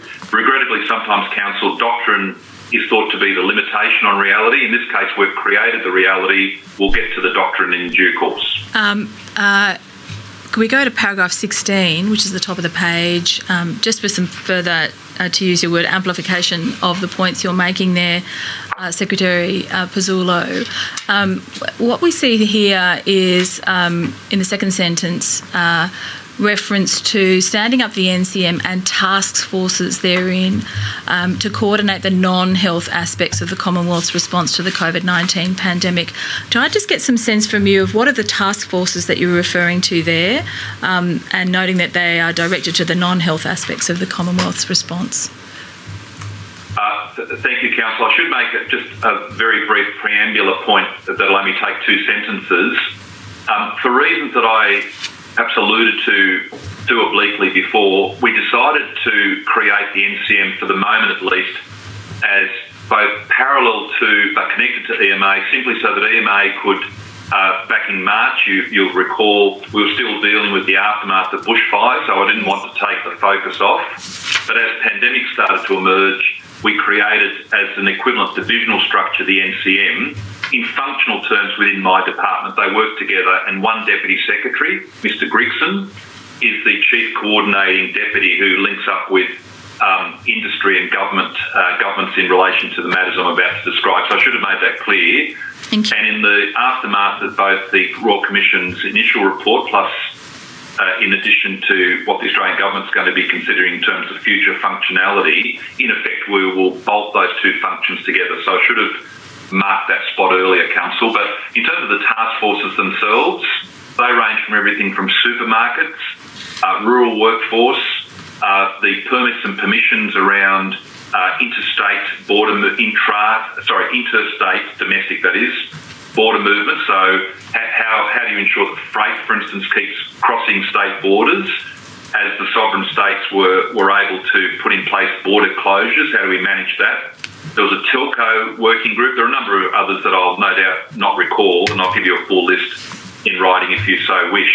Yes, uh, did, would we have enough bandwidth, for instance, uh, through Telstra and NBN to support working from home and schooling from home? So the number of, to go back to my essential models of vectors and sectors, there are a number of sectoral committees and task forces, the NCM being the lynching, uh, the central lynching point of those processes. And so the Prime Minister and the Premiers could quickly mobilise advice and get advice on are the supermarkets going to be stocked? Do we have enough bandwidth? Um, if everyone's logging on from home to do their schooling for their kids and, and for work purposes, are the systems going to crash? So again, it was one node with tentacles into each of those sectors. I want to come um, for uh, later in the piece to the critical infrastructure uh, strategy, but it does sound like the task forces have had at least um, uh, some echo of the TISN arrangements, that is the Trusted Information uh, Security. Sh- sorry, sharing, sharing. There's too many acronyms in this Royal Commission. Uh, but nevertheless, that was a sectoral uh, relationship between government and uh, private industry, and and to also um, uh, where there are uh, government uh, agencies at a state and territory level that are responsible for either essential services or essential, essential infrastructure. Um, was that used to inform the creation of the task forces, or were the, were the creation of the task forces more just a response to the circumstances as the um, the pandemic un, uh, unfolded? That is reactive to that, as opposed to being building on the the pre-existing structures and relationships.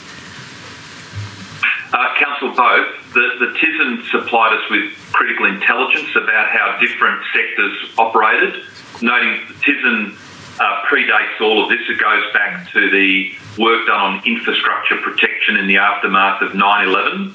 Uh, and most Western governments tended to develop a civil contingencies or infrastructure protection regime, sometimes codified in statute, sometimes through regulation, sometimes through these information sharing arrangements. Australia's had a mixture of both. What that uh, information sharing portal and database gave us was uh, incredibly rich insights into how ports work, supply chains, trucking, logistics.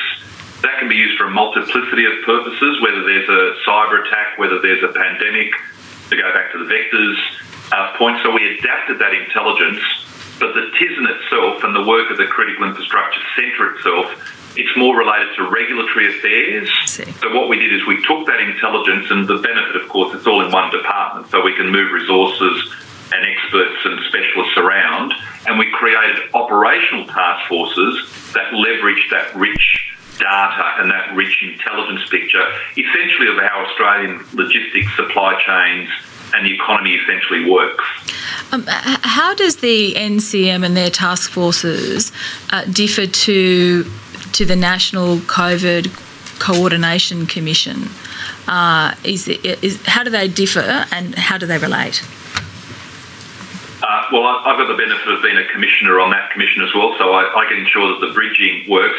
Mr. Power and his commissioners have been tasked to look at longer term re- reconstruction and recovery. That is their uh, principal mandate. The Prime Minister's made that clear both when he when he established the commission originally, and he recently reset it with some new commissioners and and even a clearer terms of reference around advising government on, if you will, reconstruction.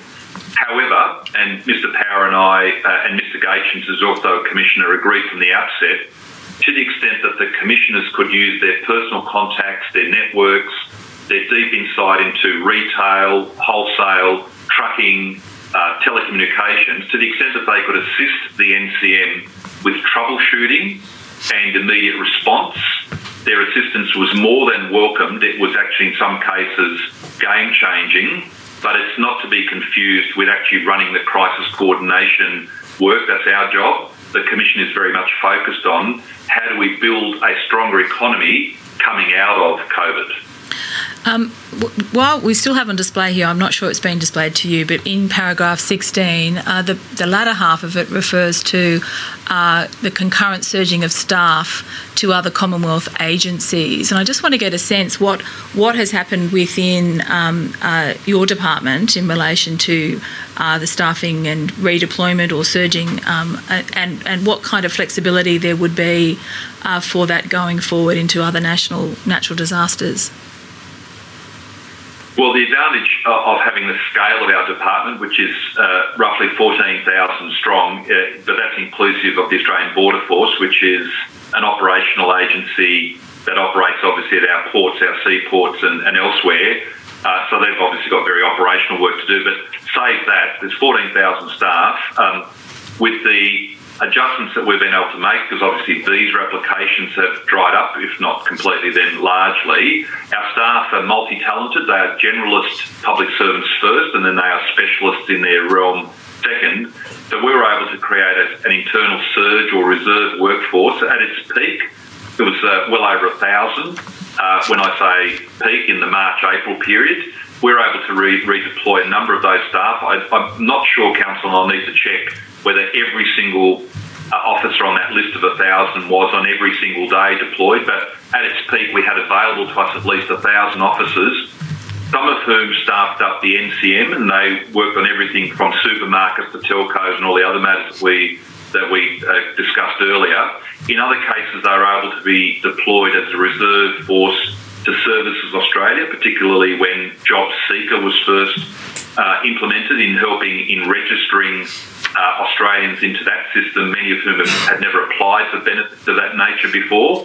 And so, obviously, a talented visa officer, a citizenship processing officer in an emergency, and you would you can't sustain this because obviously uh, you want your visa system to be optimally uh, staffed and so on and so forth. But in an emergency, you do reprioritise, and public servants have got the ability to bring problem solving, good record keeping, good decision making skills the ability to match identities and the like, and that can be deployed either internally within the department to shore up EMA and or NCM, or externally to the externally, such as into Services Australia.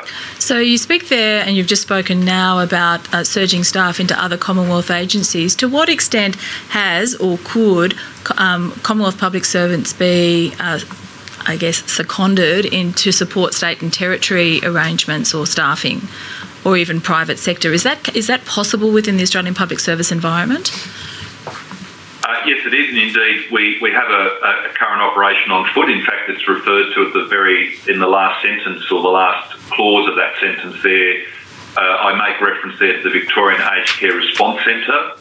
Uh, Victoria uh, requested assistance. Uh, sorry, I'll, I'll, withdraw that. The Federal Health Department that is responsible for the oversight and regulation of uh, aged care homes and residences came to an agreement with the Victorian Health Department, which is of course responsible for public health, that we needed to put a, um, a, a surge team in to assist with command, control, communications, triaging what was happening in those nursing homes. You would have seen public reports in some homes.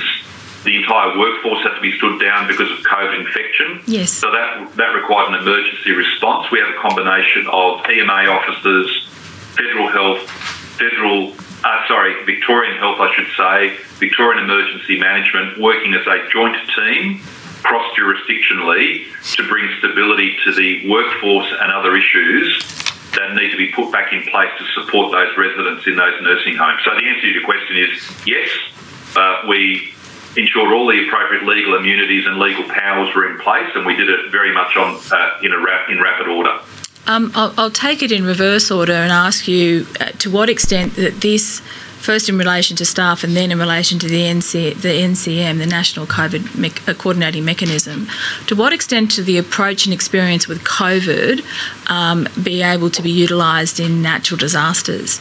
So, just looking at the question of staffing to begin with.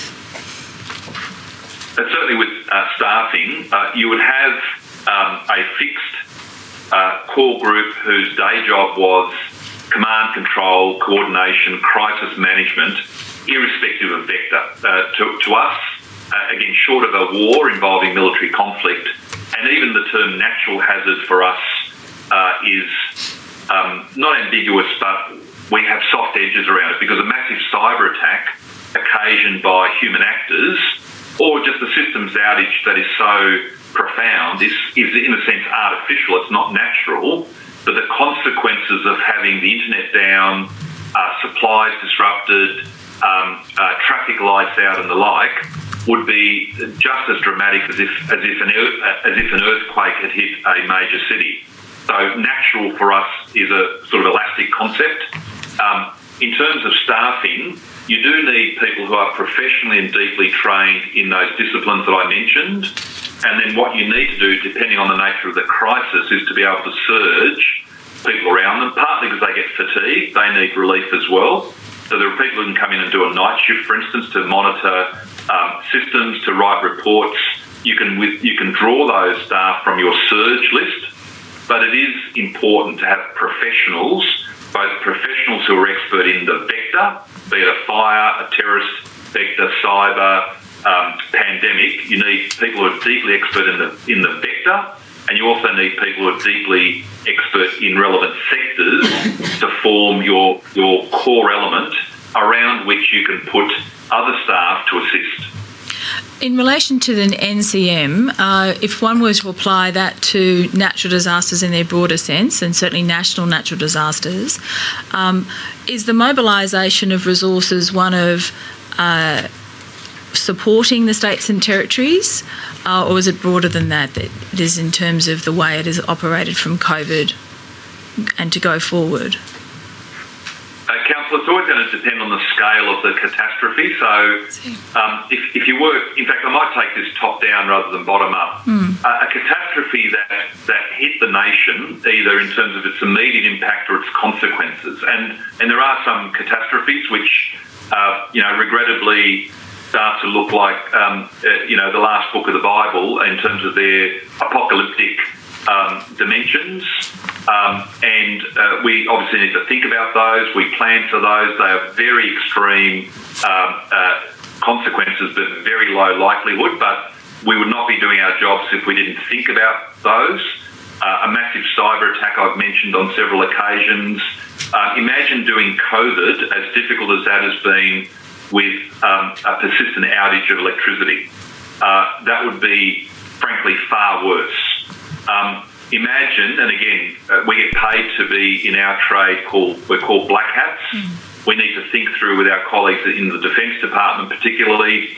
Imagine a bioweapon, and I don't use that term lightly. I use it in a very uh, uh defined fashion. Imagine a coded virus that was designed to kill at a particular rate of lethality in relation to which a vaccine was actually had been engineered but was being withheld. There are, there are going to be, and then of course there's the outbreak of, of war, which is very clearly a national uh, function. There are some catastrophes, um, mercifully, uh, rarely, rarely occurring, that would be of such a character that only the Commonwealth, in its in its nationhood role, would have the capacity and indeed the reach, the resources, and probably in a deep sense the constitutional responsibility to, to lead on. And in that context, the National Cabinet's role would be to mobilise across the nation where no doubt in those sorts of scenarios, and, and I, I, don't use those scenarios lightly, and I don't certainly don't wish to raise anxiety uh, by uh, speculating in almost science fiction like scenarios, but they are credible enough low probability eventualities that we do need to think about those. So that's at the very top end. Clear role for the leader, uh, clear leadership role for the for the Commonwealth, the Prime Minister, in circumstances up to and including war. The next tier down, uh, in my way of thinking about it, are catastrophic incidents which are either confined to a nation, uh, to a state, but of such a profound impact that, that there are national consequences, which have affected our ports or our electricity system, uh, our supplies and distribution. So the immediate response might well be within the ambit of a, uh, of a state with a premier, uh, an emergency services coordinator responding. But the impact, say, um, think of the attack uh, uh in, on 9/11, which was an attack on buildings in New York City and, and, and elsewhere, but they had such a profound impact in terms of the national aviation system, for instance. Uh, President Bush had, had no had no uh, alternative, obviously, other than that, uh, other than to step in and say uh, the mayor has got an element of this under control. The state governor is doing other things. I need to attend to things like uh, further attacks coming and or what happens with aircraft that are in uh, that are in the air. Shared responsibilities, very clearly so. Again, I would see the national cabinet as having, in that still catastrophic but not quite existential category, a key role to play. And then there's probably a tier, and I don't want to tier these in, tier these in a way to, to suggest uh, a lack of importance because if a town is burnt out or people are impacted and they're still recovering after a bushfire that's quite localised, that is dreadful for them and our hearts, of course, go out to them and we try to do whatever we can for the reconstruction. But then in that tier that I'm about to describe, you've got a clearly localised impact well within the ambit and the uh, constitutional remit of the state in question. And the Commonwealth role there is very much to be in support, to provide um, uh, resources as requested. It doesn't prevent the, the Commonwealth, as Mr Cameron's made clear, from positioning resources and maybe anticipating a request, and maybe we can get to that when we speak about the changes that we made to our posture after 1 January mm. just passed in terms of bushfires, pushing liaison officers forward. But in that third category, and again, I, I wish to make it clear to the commissioners, I don't seek to diminish the importance of that third category. It's still it's one it's the one that's most prevalent in terms of probability, and the one that's probably likely to impact on people the mo- most often, that's where the Commonwealth supports. So, just coming to um, Comdisplan and the pragmatic approach as it was described, practical or pragmatic approach as it was described by Mr. Cameron yesterday to its interpretation. Um, what's what's what's the plan with Comdisplan going forward? Uh, in light of the advent of uh, COVID, the establishment of the uh, National Cabinet, the NCM, the uh, the fusing of the NCM and EMA functions that uh, I certainly am contemplating in discussions that I'm having with ministers. Um, we will work with the states and territories to recognise those new realities and to write that into the into the doctrine that's contained in that plan. I see. All right. Um, paragraph nine of your statement, if I may. So far, your responses have been very focused on on the sort of response phase of an emergency, and I just wanted to now pivot to look at broader issues of preparedness, res- resilience, and recovery from all hazards.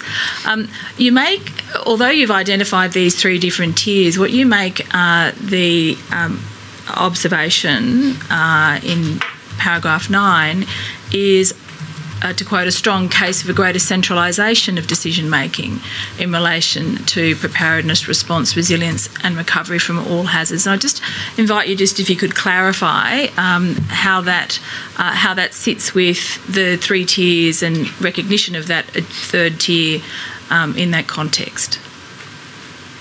I think, uh, and and uh, I, have been focused principally on responding on the day or the immediate uh, aftermath. Um, your responses are going to be better honed uh, with deeper preparation, uh, training and, and, exercising. I don't want to be glib about this, but it's no different from sport or, or, any other endeavour in life. The more preparation you do, the more planning and training you do, the better off you are on the day, although obviously you need to adjust on the day. Um, depending on the, the risk register that I laid out earlier, those matters that are most profoundly, less likely to occur, but most profoundly impact across the nation are the ones where national leadership is always going to be, in a democracy, the, the, the key. So whether it's a massive terrorist incident, whether it's a massive um, outbreak of an agricultural uh, disease, um, uh, a bio, uh, bio strike along the lines that I described, having preset plans, you're not going to slavishly follow them exactly because on the day you'll need to adjust. Hmm. But having preset plans, preset preparedness standards, preset doctrine, and preset communications protocols driven from the top down because inevitably with those sorts of scenarios, the Prime Minister, the Premiers and the Chief Ministers, either collectively or in a, in a couple of cases, perhaps one or two states that have been most impacted, are always going to take an immediate direct interest.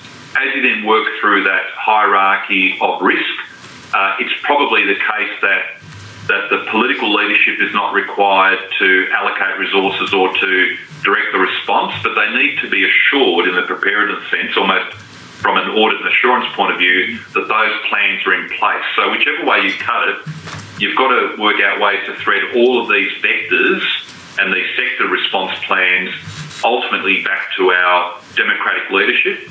And then it's just going to be a function of, as we go forward, vector by vector, sector by sector, what is the best ministerial arrangement and what is the best uh, Commonwealth state territory official arrangement to ensure that that um, governance and that democratic accountability has been put in place. So, in the final sentence in the first two clauses, you say within the framework of the nation's constitutional framework and the distribution of powers across the Federation, Australia must have in place national civil contingency arrangements. Now, just pausing there, what do you mean by national civil contingency arrangements? So, so all of the uh, contingencies that I've been describing, from the most existential to the catastrophic to the, I don't, certainly don't want to diminish them as mundane, but the, the more regular occurring, they all fit within, uh, uh, and perhaps this is uh, my defence planning background uh, showing, they all fit in, in the realm of contingencies. And a contingency is a risk materialised, a function of its likelihood and its consequential impact and what it means both for those immediately impacted and for those who suffer downstream impacts. So that is a contingency. How you deal with those contingencies, flood, fire, agricultural risk, pandemic, cyber, is, is the contingencies framework. And, and obviously, my um, in my submission, I contend that that framework is best managed on a national basis, noting that as you work through that contingency hierarchy, as you get to more localised impacts well within the resources and province of a state, you don't need national arrangements to intervene or to direct, but sometimes you need those national arrangements to be poised to support. We go now to paragraph 20 of your statement, uh, which is on page 0005, operator. Um, I want to now uh, shift from the focus on hazards and the arrangement and look in particular at um, a particular vulnerability, uh, which is critical infrastructure. Uh, and uh, you say here in 2019, the Australian government and industry started work on updating the critical infrastructure resilience strategy. Just pausing in that respect, what's the status of that work, and what is what is the work directed to achieving? So, uh, in two parts, and today is very opportune because the Prime Minister and the Home Affairs Minister just announced the cyber dimension of what I'm about to uh, describe.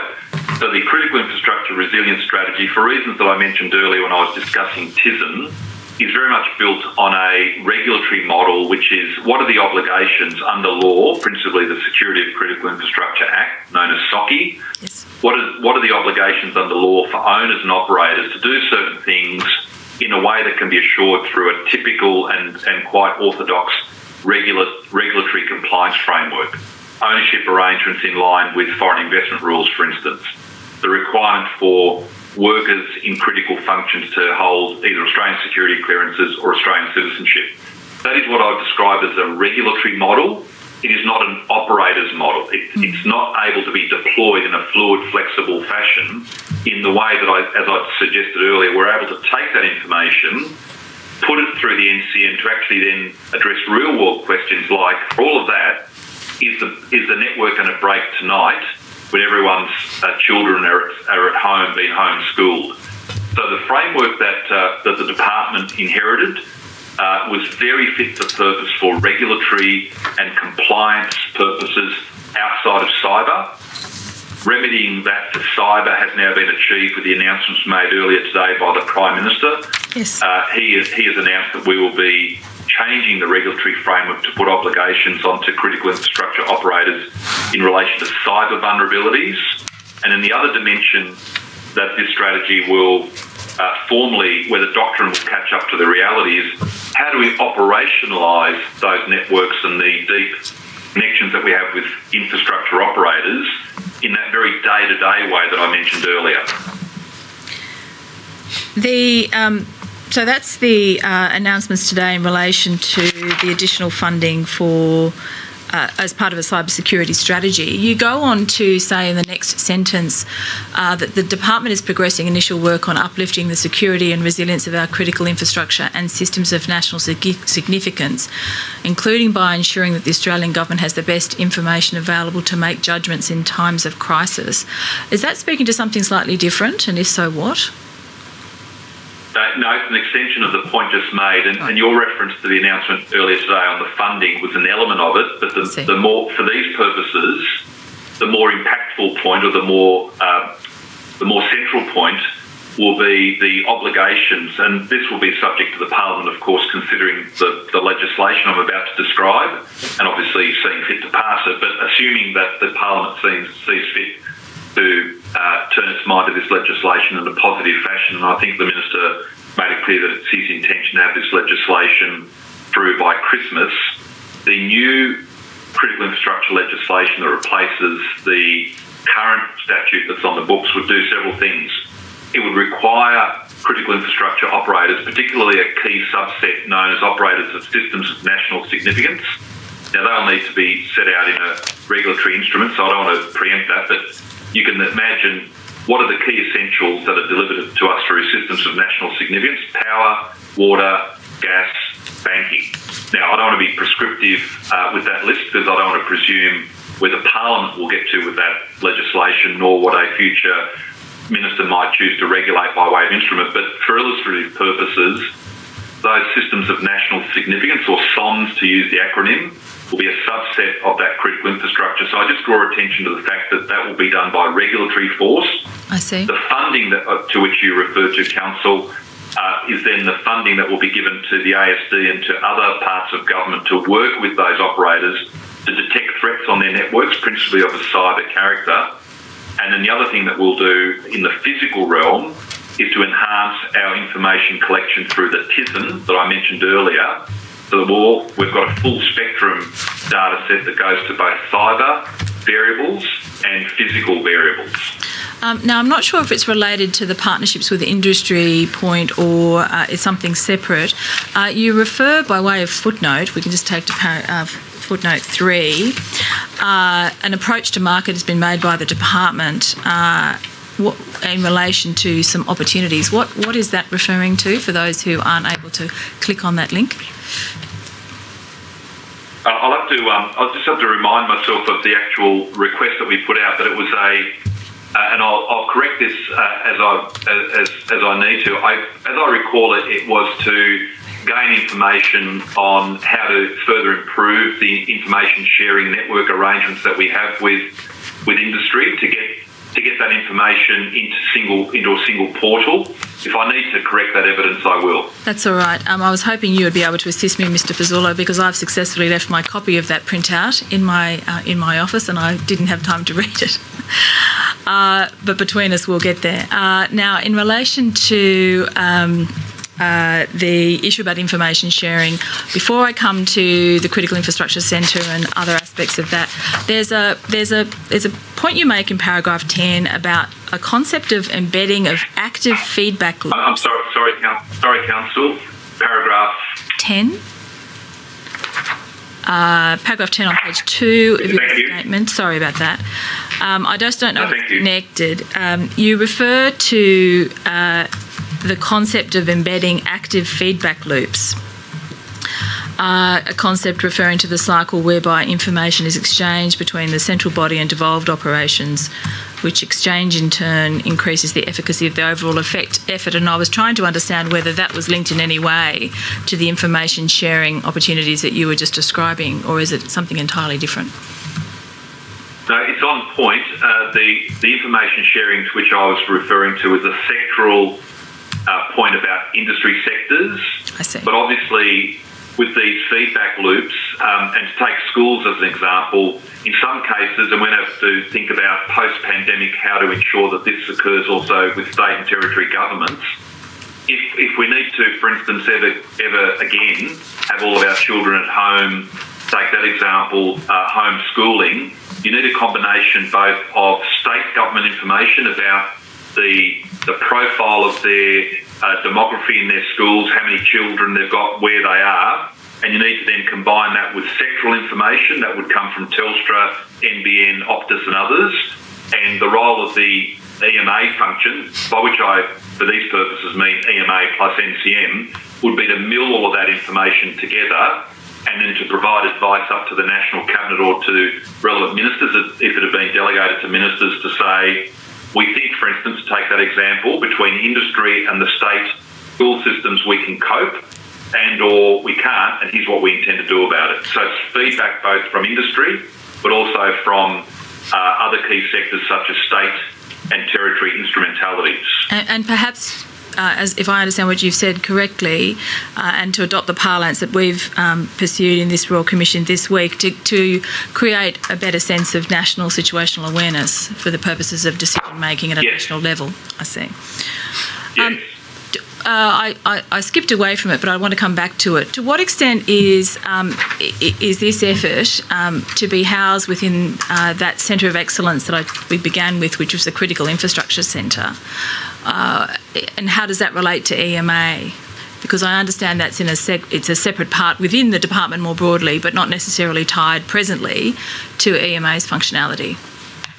Um, uh, well, it is insofar as it's the same uh, group manager or deputy secretary is responsible for both. So there's a structural nexus between the EMA uh, and the CIC or the Critical Infrastructure Centre. Uh, they will specialise, sorry, I should say, I withdraw that. They specialise, present tense, in two different but connected realms. The CIC works in that regulatory realm of which I was speaking before. So, to take an example, the CIC works with the Treasury in assisting the Treasury when it does foreign investment screening. So, they have deep sectoral expertise in banking, roads, power, water, all the sectors that we've been referring to. The CIC does not duplicate the EMA's role. They are regulators and policy and compliance officers. So, for instance, they can be tapped by the Treasury who might have a foreign investment proposal before them to say, what are your understandings of the vulnerabilities, Australia's strategic interest in this um, power grid or this uh, water, water system or this traffic management system? Where EMA gets value in tapping into the CIC is on that same data not from the point of view of regulation or you know approving a foreign investment proposal, but that same expertise can also be very useful in, in terms of dealing with questions like um, uh, freight and logistics. How, how do we ensure that we get uh, food into uh, supermarkets, including in remote localities? That example I used earlier.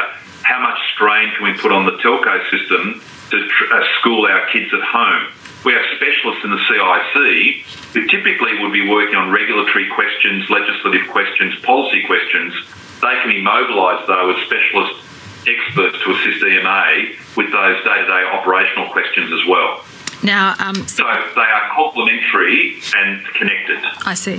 Thank you. Thank you, Secretary Pezzullo. Um, I've been handed the document that I successfully failed to bring in with me, which is uh, that link that we were just mentioning before. Um, to remind you, uh, it's an it's a um, an information document published by the Department of Home Affairs uh, titled Critical Infrastructure and Systems of National Significance Mapping and Analysis, uh, identifying that uh, the department was seeking technical advice and expertise on the development of a national critical infrastructure and systems of national significance mapping and analysis capability. Um, that application, uh, uh, pro, that application uh, closed on the 26th of June. What's the status of that work?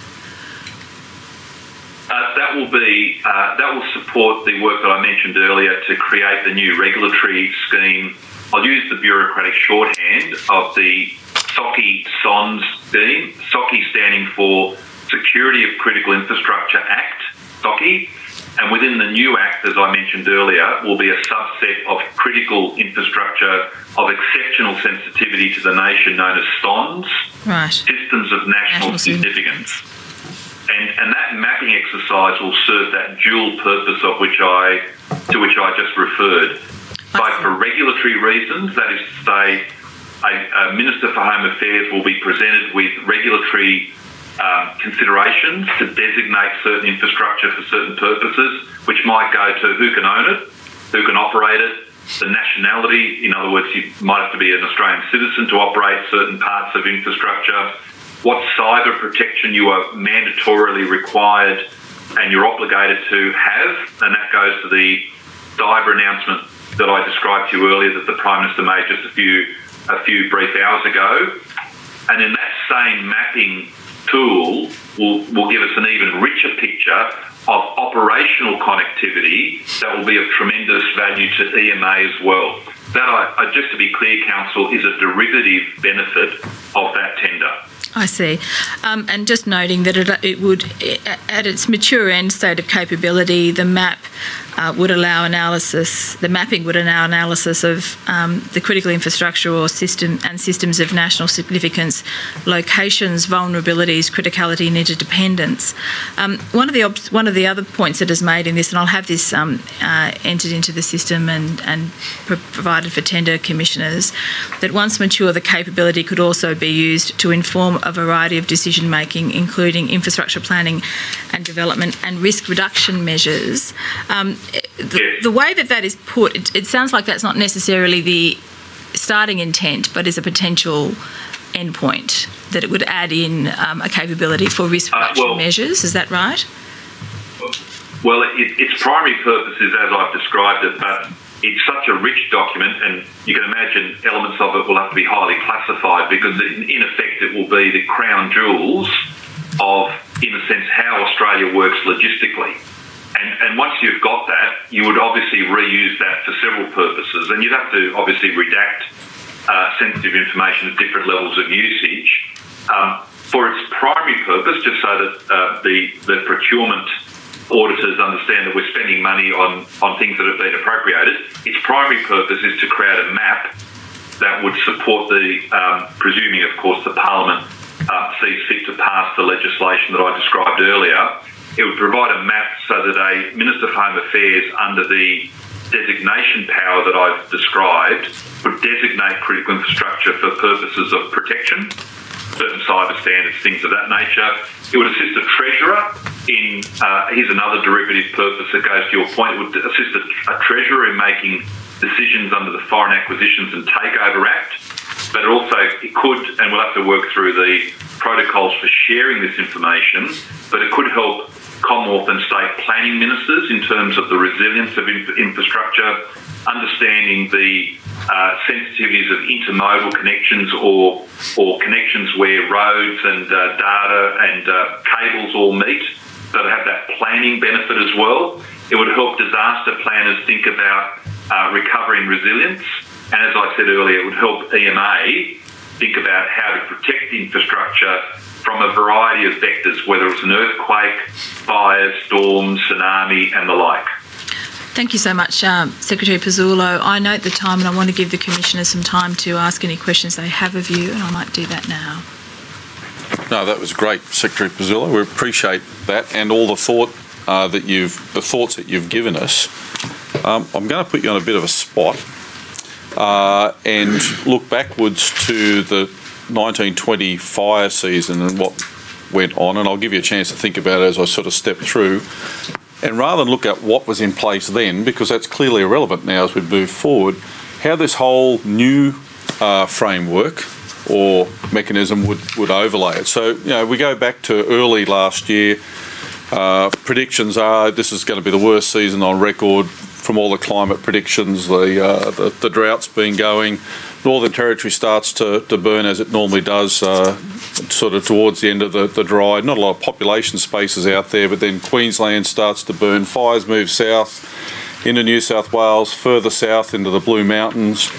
South Australia lights off in uh, Adelaide Hills and uh, and Kangaroo Island, continues to burn south around the, the, the back of Sydney. Further south, Gippsland starts to, uh, to, to burn. We have fires in, uh, in Tasmania, although a bit smaller.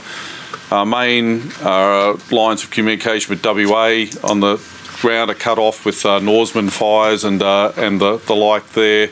And then as we come into the into the new year, we have uh, fires around uh, the ACT, Orroral Valley.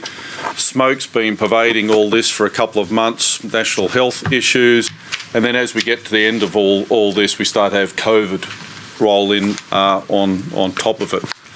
So I'm hoping that gave you a chance to have a bit, just a quick think. But at a higher level, how would this new uh, format work to be able to, to look to uh, to address the issues that would come out of that at a uh, at a national coordination level.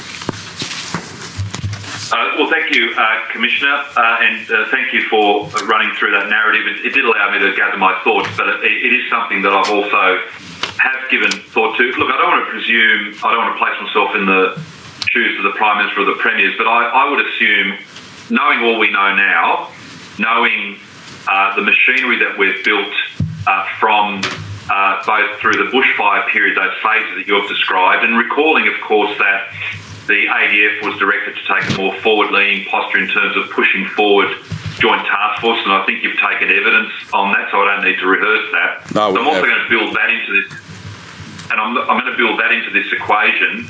If you had a time machine and in a sense went backwards to maybe roughly about now, August, September, I think, and I don't want to speak for the Prime Minister, but I would assume now that he's got this machinery in place with his colleagues, the fellow leaders of the nation, you would start with a national cabinet meeting on the um, extreme weather risks that we're facing. Um, you would have at that committee a number of, at that meeting rather, a number of feeder pieces of advice from the uh, health side, the AHPPC around uh, smoke impacts and the like, because they have a role there uh, the commissioners and chief officers, I know that you've taken advice, would be ready and primed through either through DGEMA or through the Minister for Emergency Management to give their frank views about resource, given that the fire seasons are also extending in the northern hemisphere to a greater extent. So the the traditional model of swinging aircraft between hemispheres, I know something very much on their mind. Uh, and you'd also have, in this context, we didn't know about COVID, but let's imagine if you had a concurrent other potentially catastrophic risk, you'd have that advice. So you'd walk into the National Cabinet in uh, roughly, uh, you would think, August, September. You'd have a briefing from the Director General of EMA, uh, and if I had a time machine, I'm assuming that EMA and NCM have come together for this purpose. There'd be a question in my mind, and I, I would give uh, advice uh, to this point about whether a minister or a group of ministers perhaps if not so much moderated, but were party to that because the ministers, and I know you've taken some evidence on in a Westminster system, what is the role then of the ministers in this uh, equation? Um, I think of it like this the health minister in COVID is having his own uh, networked arrangement with the state health ministers, and they they consult the AHPPC, but the AHPPC advice goes directly into the National Cabinet. So I'm going to take a little bit of a gamble here and think that the Prime Minister and the Premiers and the Chief Ministers would, would want to hear directly from the officers, not secretaries of departments, the actual officers themselves. They get a briefing and they'd say, okay, how bad could this get? How bad could it get in terms of concurrency of events, cross border? How are we going for fleets, retardant? Um, do you have enough bombers? Um, how are we placed in terms of international crews? and so on and so forth. The DG in that context with um, and again, for this purpose, Commissioner, I'm, I'm connecting the, EC, uh, the EMA and the NCM function would almost certainly get some homework out of that meeting. You and I have been in those sorts of meetings many times at the federal level, out of the National Security Committee, and there'd be comebacks about telcos, supermarkets, and so on and so forth. I think the other construct that we haven't touched on there would be some kind of institutionalisation at the national level, which I know is, is, on the government's mind about some kind of recovery and reconstruction function. I won't call it an agency; I'll just call it a function. And I think uh, Mr. Gaetjens uh, is has made some comments about that in his uh, statement, and, and no doubt he'll be willing to speak to that. I think the recovery lead will also be involved in that discussion because. Um, you've got to be both prepared to take the blow, you've got to be uh, be prepared to take the blow and stand back up, and then you've got to be uh, you've got to be prepared to build back. What would I think happen then, Commissioner, is that the National Cabinet would make a number of binding decisions because of the way the National Cabinet is working constitutionally. They are pooling their sovereignty. And so, in effect, nine sovereign governments would say, okay, we've heard about the risk, we've heard about the preparedness side, we've heard about the concurrency side, we've taken advice from our experts, the chiefs of the fire and emergency services about pooled resources. Uh, the, the PM might well say, I'll have a separate offline discussion with the premiers of New South Wales and Victoria about maybe some border issues, about, you know, if the fire gets into the snowies, for instance, how we might work together. And we would get a series of directions that would come out of the National Cabinet as actual decisions of the National Cabinet. I would then envisage that DGEMA would broker, coordinate, facilitate the implementation of those decisions. And where it had been decided, much like COVID, that a matter was purely within the remit, competence, and reach of a jurisdiction, there'd be more of a watching brief. But where it was either cross boundary, cross jurisdictional, or required the pooling of resources. Let's say we were short on bombers.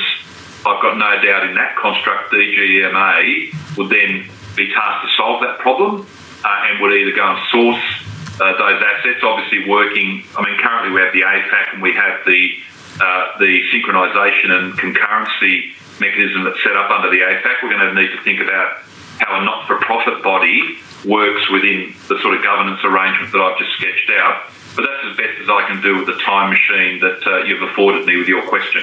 No, I appreciate that, uh, and and, I, and, it was good just to bring it all together into a into a context that uh, I think people can recognise. So I, I, appreciate that very much. I'll go to Commissioner Bennett for a uh, question. thank you, thank you, and Mr. Pezzullo, I just want to clarify one aspect of the matters that you just discussed with the chair. Um, we heard from um, Professor Murphy about how this worked from his perspective, and he, he very conveniently said you collapse five layers of bureaucracy.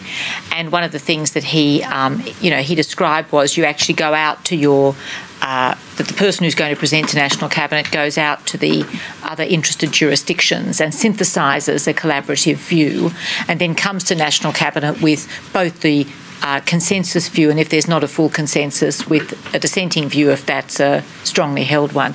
So I take it that that's the sort of thing that you're thinking about. Um, or, but I, I, it also sounds as if what you're saying is there would need to be a series of Professor Murphys. Um, both from um, preparation and perhaps operational roles, depending upon the state of the emergency and, and the actual questions being asked, not a single person who could um, do all that. Is that correct?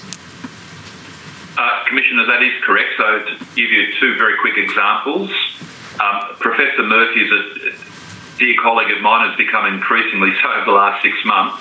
There's only one of him, but his particular expertise, and Brendan, uh, Professor Murphy would be the first to say, I have particular sectoral uh, expertise in my domain, which is the public health domain, and my vector is to use the language that I've been using through these uh, through these comments is pandemic.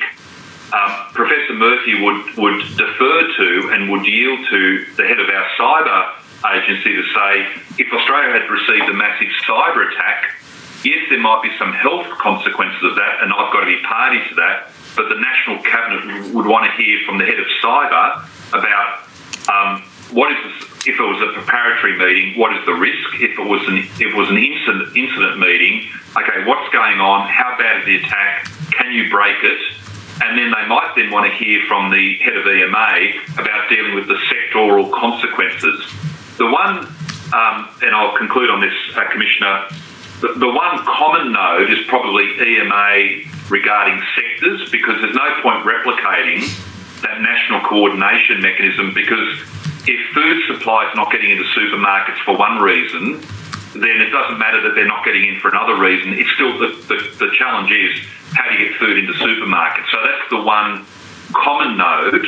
And then depending on the risk that's materialised through a vector, you then bolt on the Professor Murphy equivalent, and I'm happy to use that shorthand as well, for each of those vectors, depending on what the nature of the risk that's hit you is.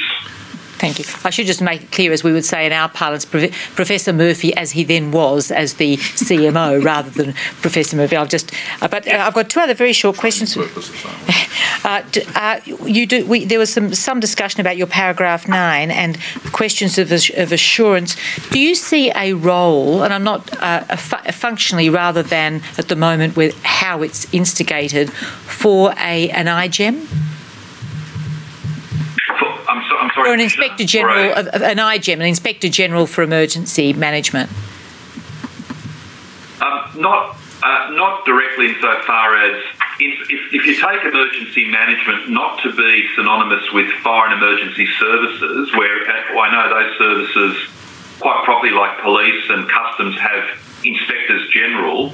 If you take the EM function in the way that I've been describing it, which is really about command control, communication, situational awareness, um, the discipline around common operating pictures, the ability to support the National Cabinet in the way that I've been describing, I'm not convinced that you need an Inspector General for that profession or that professional discipline beyond the integrity measures. And we here in Home Affairs are under a single integrity and corruption framework in any event because of the sensitive materials that we handle. I'm not sure that you need an Inspector General for that function. Whether you need an Inspector General for fire, emergency services, counter-terrorism, policing is really a matter of those functions and the statutory constructions that sit around those functions. If, if, that, and I'm sorry if that's a little bit unclear.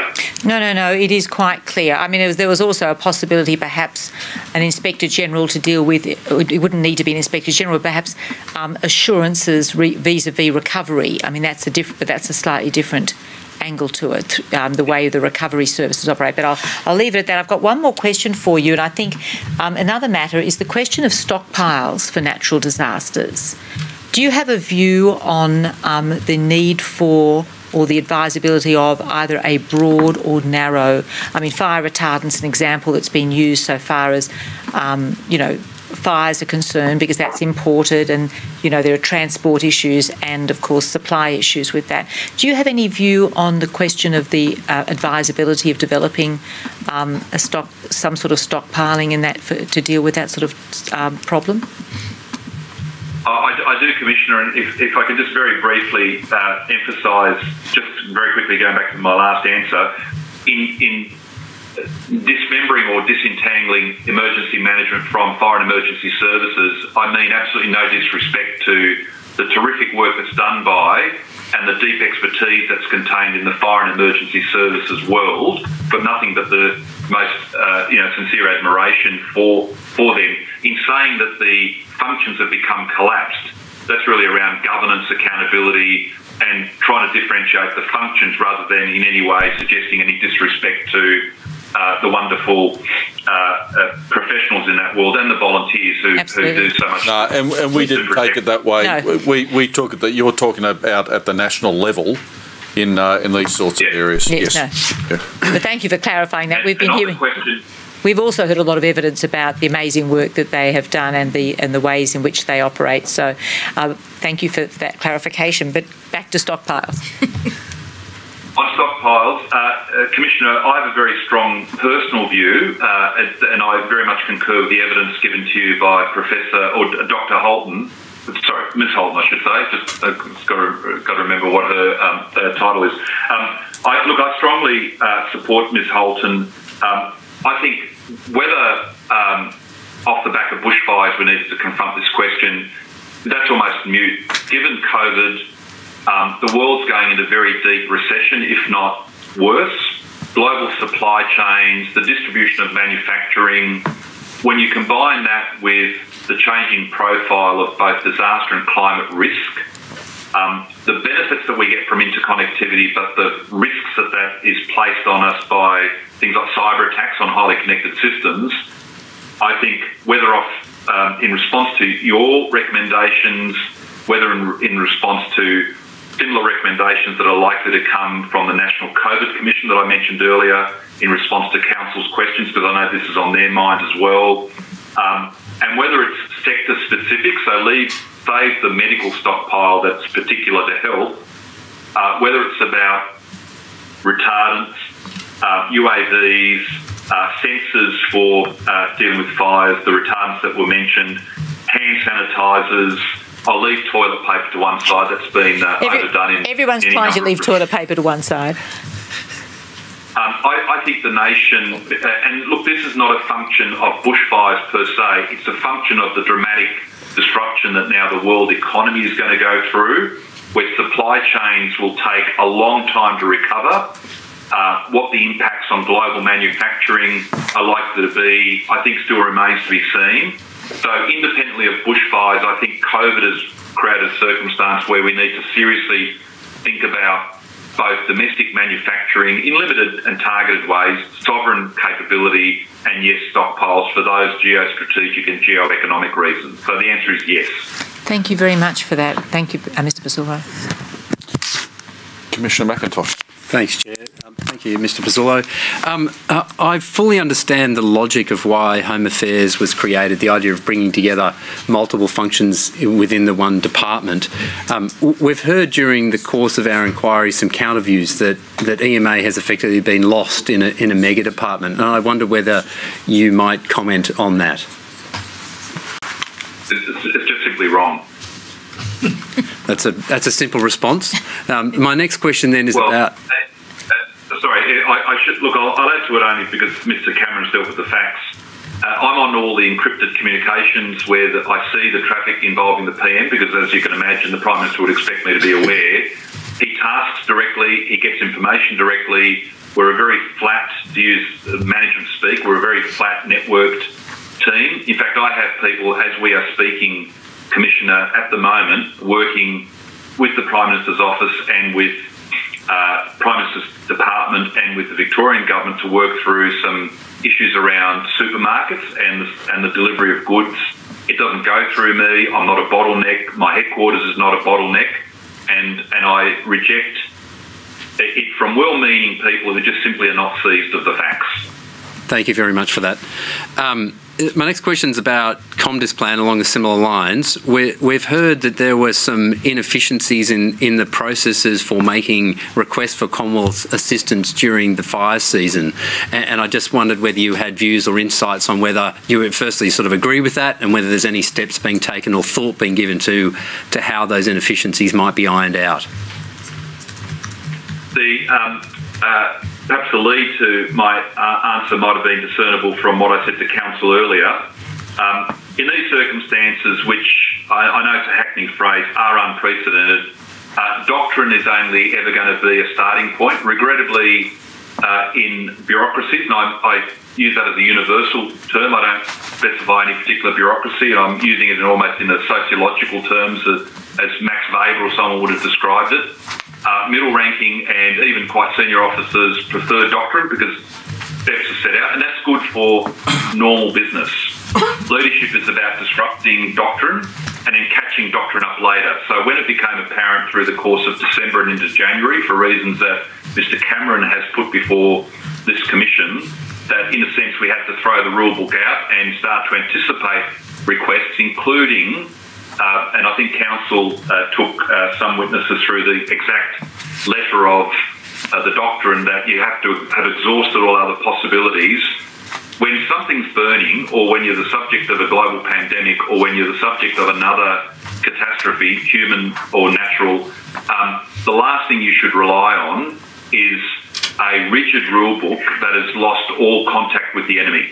So the better course is to take charge of the situation, put in place modified arrangements, which um, which Mr. Cameron did with the not only the uh, strong blessing of his departmental leadership, but at the direct at the direction of our more importantly democratically elected political leaders.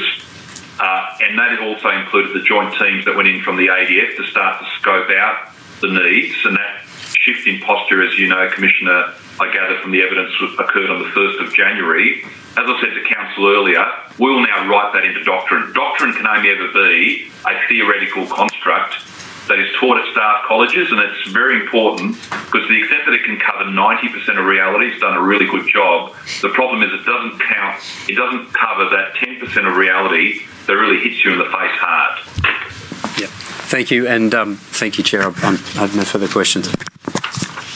Thank you, Secretary Pezzullo. I know you're a very busy person, so uh, we're finished with our questions. I'll just go back to Ms Hogan-Doran. Anything from Nothing parties? From parties with leave. Um, could um, Mr. Pezzullo, Secretary Pezzullo, be released from his summons? Thank you. Secretary Pezzullo, you can be released from your summons. We appreciate the, the insight that you've given us. Thank you very much. Thank you. The next witness is slated for 2.30. Okay, we will take an adjournment until uh, 2.30 Canberra time. Thank you. All rise.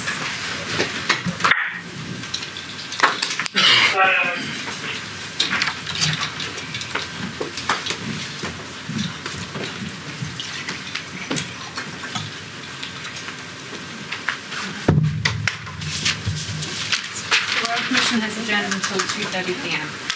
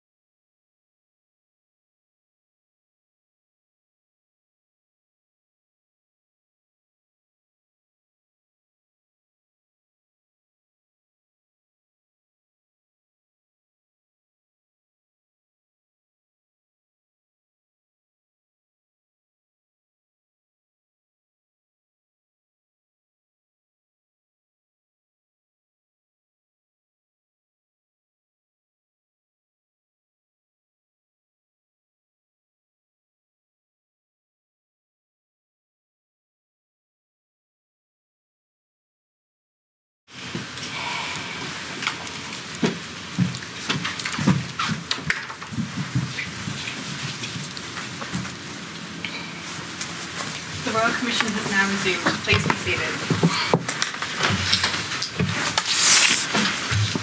Ms Hogan-Doran. Uh, yes, uh, Commissioner, um, the next witness is Mr Philip Gaetjens, uh, who is the uh, Secretary of the Department of Premier, Prime Minister and Cabinet.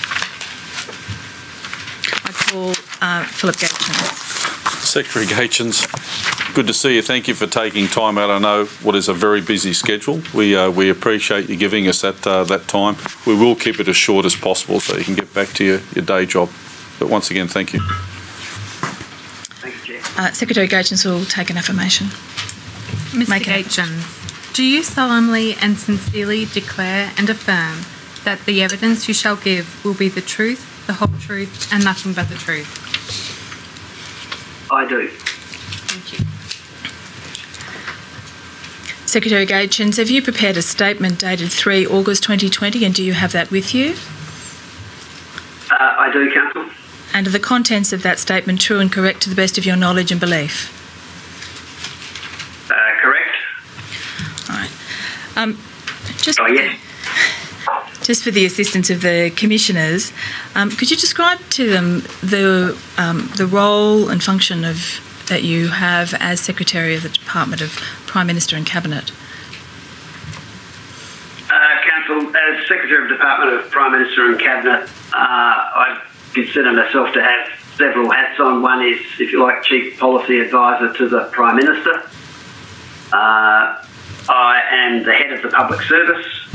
Um, I am the CEO of the Department of Prime Minister and Cabinet and also the head of the portfolio for the other agencies that exist in the portfolio other than the department. Um,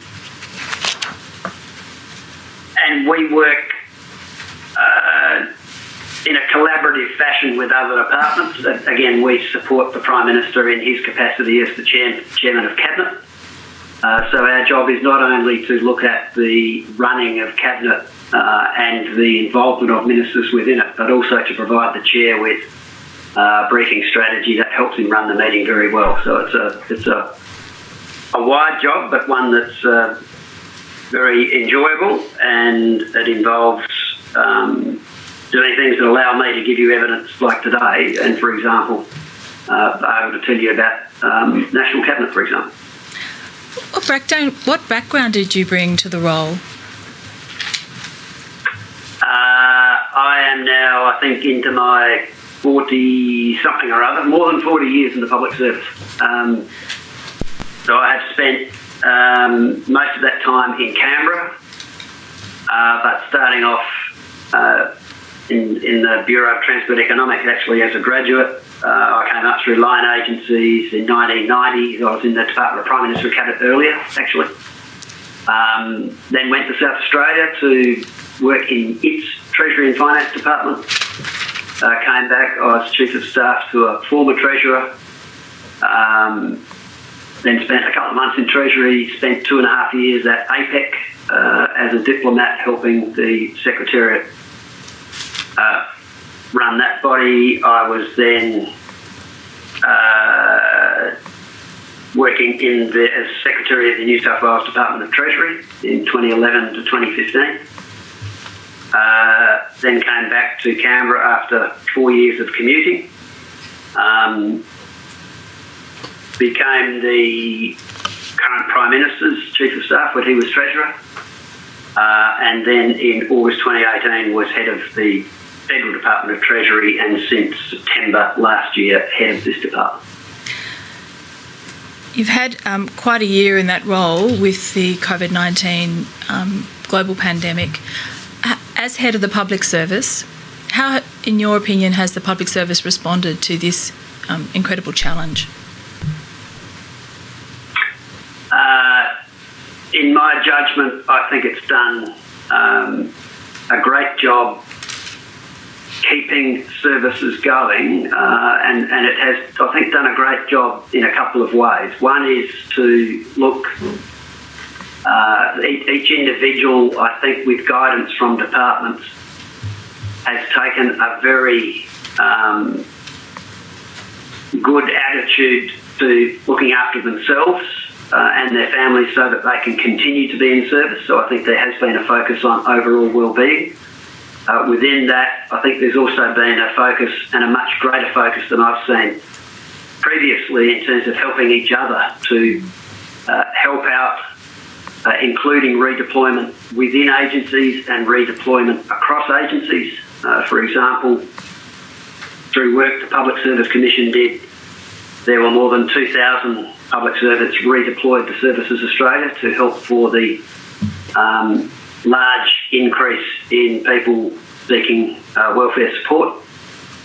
Um, we have helped staff um, bespoke functions and, and uh, purposes within departments. Uh, the National Incident Room, which is a very important crisis response role that's t- taken place in the Department of Health, has been staffed by people other than in that department uh, who have been able to bring in their own skills uh, to help uh, them. So I, I, think it's been a, an individual effort, it's been a collective effort.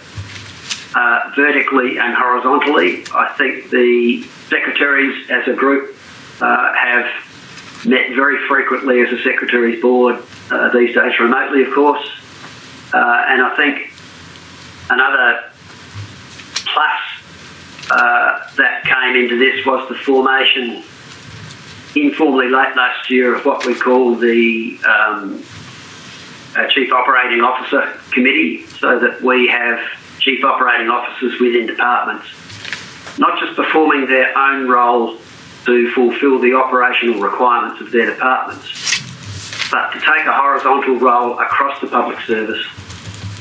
The secretaries as a group um, have really come to the realisation that we want to run the public service as an APS enterprise so that we are not only acting as individual departments but we are acting as subsidiaries of an overall group, if you like. And I think that approach is making us think and act a lot more to help each other and to use the scale and scope of the public service to do things better.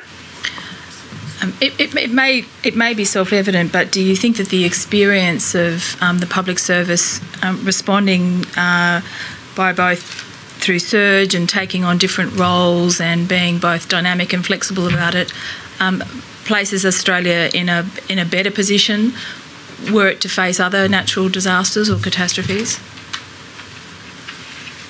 I think every learning uh, and experience we can take adds to the benefits for future possible events. Uh, so I think one thing that helped us in response to COVID 19 was, in fact, what happened in the bushfires, uh, where there are, um, again, responses within levels of government to provide support and resources where those resources are needed. Um, and, and, I think those exercises and, and real events, not just exercises, but um, provide ongoing examples of where we must and have acted, um, how that action works, how it could be improved, uh, and that can then lead into the handling and management of future events. Um, I have an, a couple of questions which I might be, you may be assisted in the commissioners as well if I have uh, shown paragraph 17 of your of your statement. Um, We've touched on one already, which is the um, the public service response to the COVID nineteen uh, uh, pandemic and how that might inform a national approach uh, for the future. Um, one of the matters that uh, we heard some evidence of just a moment a moment ago from uh, Secretary Pezzullo was that he and you have. Uh, joined the National COVID Coordination Coordination Commission, uh, so um, I'd just like to get some sense from you, if I may, to understand how that um, uh, economic, social policy, government response uh, has. Uh, how, how, has that um, performed in your view, and what um, uh, lesson is there from that for a future national disaster response? Counsel, I think the National COVID Coordination Commission, now called the National COVID Commission, uh, and, and the board has recently been added to uh, with the breadth of their experience uh, broadened. Um, the commission was set up, I think, to actually provide to the Prime Minister the ability to connect directly with a group of uh, business people who had actually willingly given up their time uh, to contribute. And it provided them to do two things. One, I think, was to use their networks to provide practical advice. Uh, for example, we have people like Paul Little, who's been very much involved in logistics uh, and freight. So we've got people with real hands on experience that can provide us with, again, a hands on and a practical approach to how to solve things. Uh, in an experience like COVID, and in fact, um, I would relate the same thing to the bushfires in disaster. You, you, need to actually transport people to where the event is happening. You need to get people in and out. You need to get goods in and out. Uh, and, and people who actually do this for a living can actually provide governments with very useful advice uh, about that. And what they do is then add and supplement to the advice that the public service require, uh, provides as well uh, this is not to say one is better than the other and one should replace each other, but they are in fact complementary and they add to each other. Um, and you can speak to some very, some people with very sharp knowledge and practice and experience uh, that can actually relate an event or a circumstance to something that they've handled before. Um, the end. Uh, well, the Coordination Commission uh, was involved with the um, handling the outbreak in the, uh, I think it was the Coles Laverton Distribution Centre, and, and people actually had knowledge of how those things work. I see. Um, so it, it provides another avenue, not only for direct advice to the Prime Minister, but for the Prime Minister to use the Commission to go out to use their own networks and experience to help solve a problem. Now, what I think the, the advisory board's been tasked to do now, and why it's expanded, is, is to go a bit more into recovery mode. Mm-hmm. Uh, because, yes, we have Victoria going through a situation at the moment, but the rest of Australia needs to keep on continuing with the recovery. Uh, so that that's part of the reason, and I think it, it's it's worked very very well. And the Prime Minister, I know, has appreciated the input he's received from those people. Um, it sounds like what has been constructed is a is a holistic, not just whole of government, but a whole of society approach to informing the situational awareness and thus the, the improving the decision making to respond to the pandemic. Is that a, a fair assessment of, of what has occurred? I think that's correct, Counsel, and I, and I, I, I wouldn't. So I would not just say it's the COVID Commission. Um, well, not just the COVID Commission, but the whole society is constructed by the aggregate impact of many parts. And I think so the public service can provide the work with the policy stuff they do. Ministers, I think, again, are widely connected within the community. They can bring community perspective as well as official advice that they receive from their departments uh, to actually bring in business people that have lots of experience in particular areas also helps for direct advice and the Prime Minister can use them as a, as a sounding board and, a, and, a, and to bounce off ideas, issues. Um, so I, I think through the aggregate combination of policy, business experience, um, operational responses and using the architecture that already exists within government, uh, both within levels of government and between levels of government. The combination of those things I think does add up to, again, not just a public service response, but a, a response that takes into account community, business, other views. We heard uh, earlier this morning uh, some evidence from uh, Mr. Mark Crosweller, who's the former Director General of EMA and was head of the National uh, Resilience Task Force about involvement of the private sector in the implementation of the natural disaster risk reduction framework. Is there, is there, do you think, in light of the experience of COVID, um, an appetite for establishing a dialogue with the private sector as a, as in a sense, in partnership to help implement, to ensure the implementation of that framework? Uh, the answer is yes, and I think for several reasons. One is um, I think in events like bushfires and COVID 19, Australians do want to help each other. Uh, there is support, again, using some of the supply chain issues and that Coles Laverton one, other competing um, uh, businesses were helping. Um, to, to say if we if that centre doesn't work, we can do things ourselves, or we can change operations interstate to actually help states that are are in trouble. So there is a willingness to support, and I, and I think that can be used uh, to be of great value.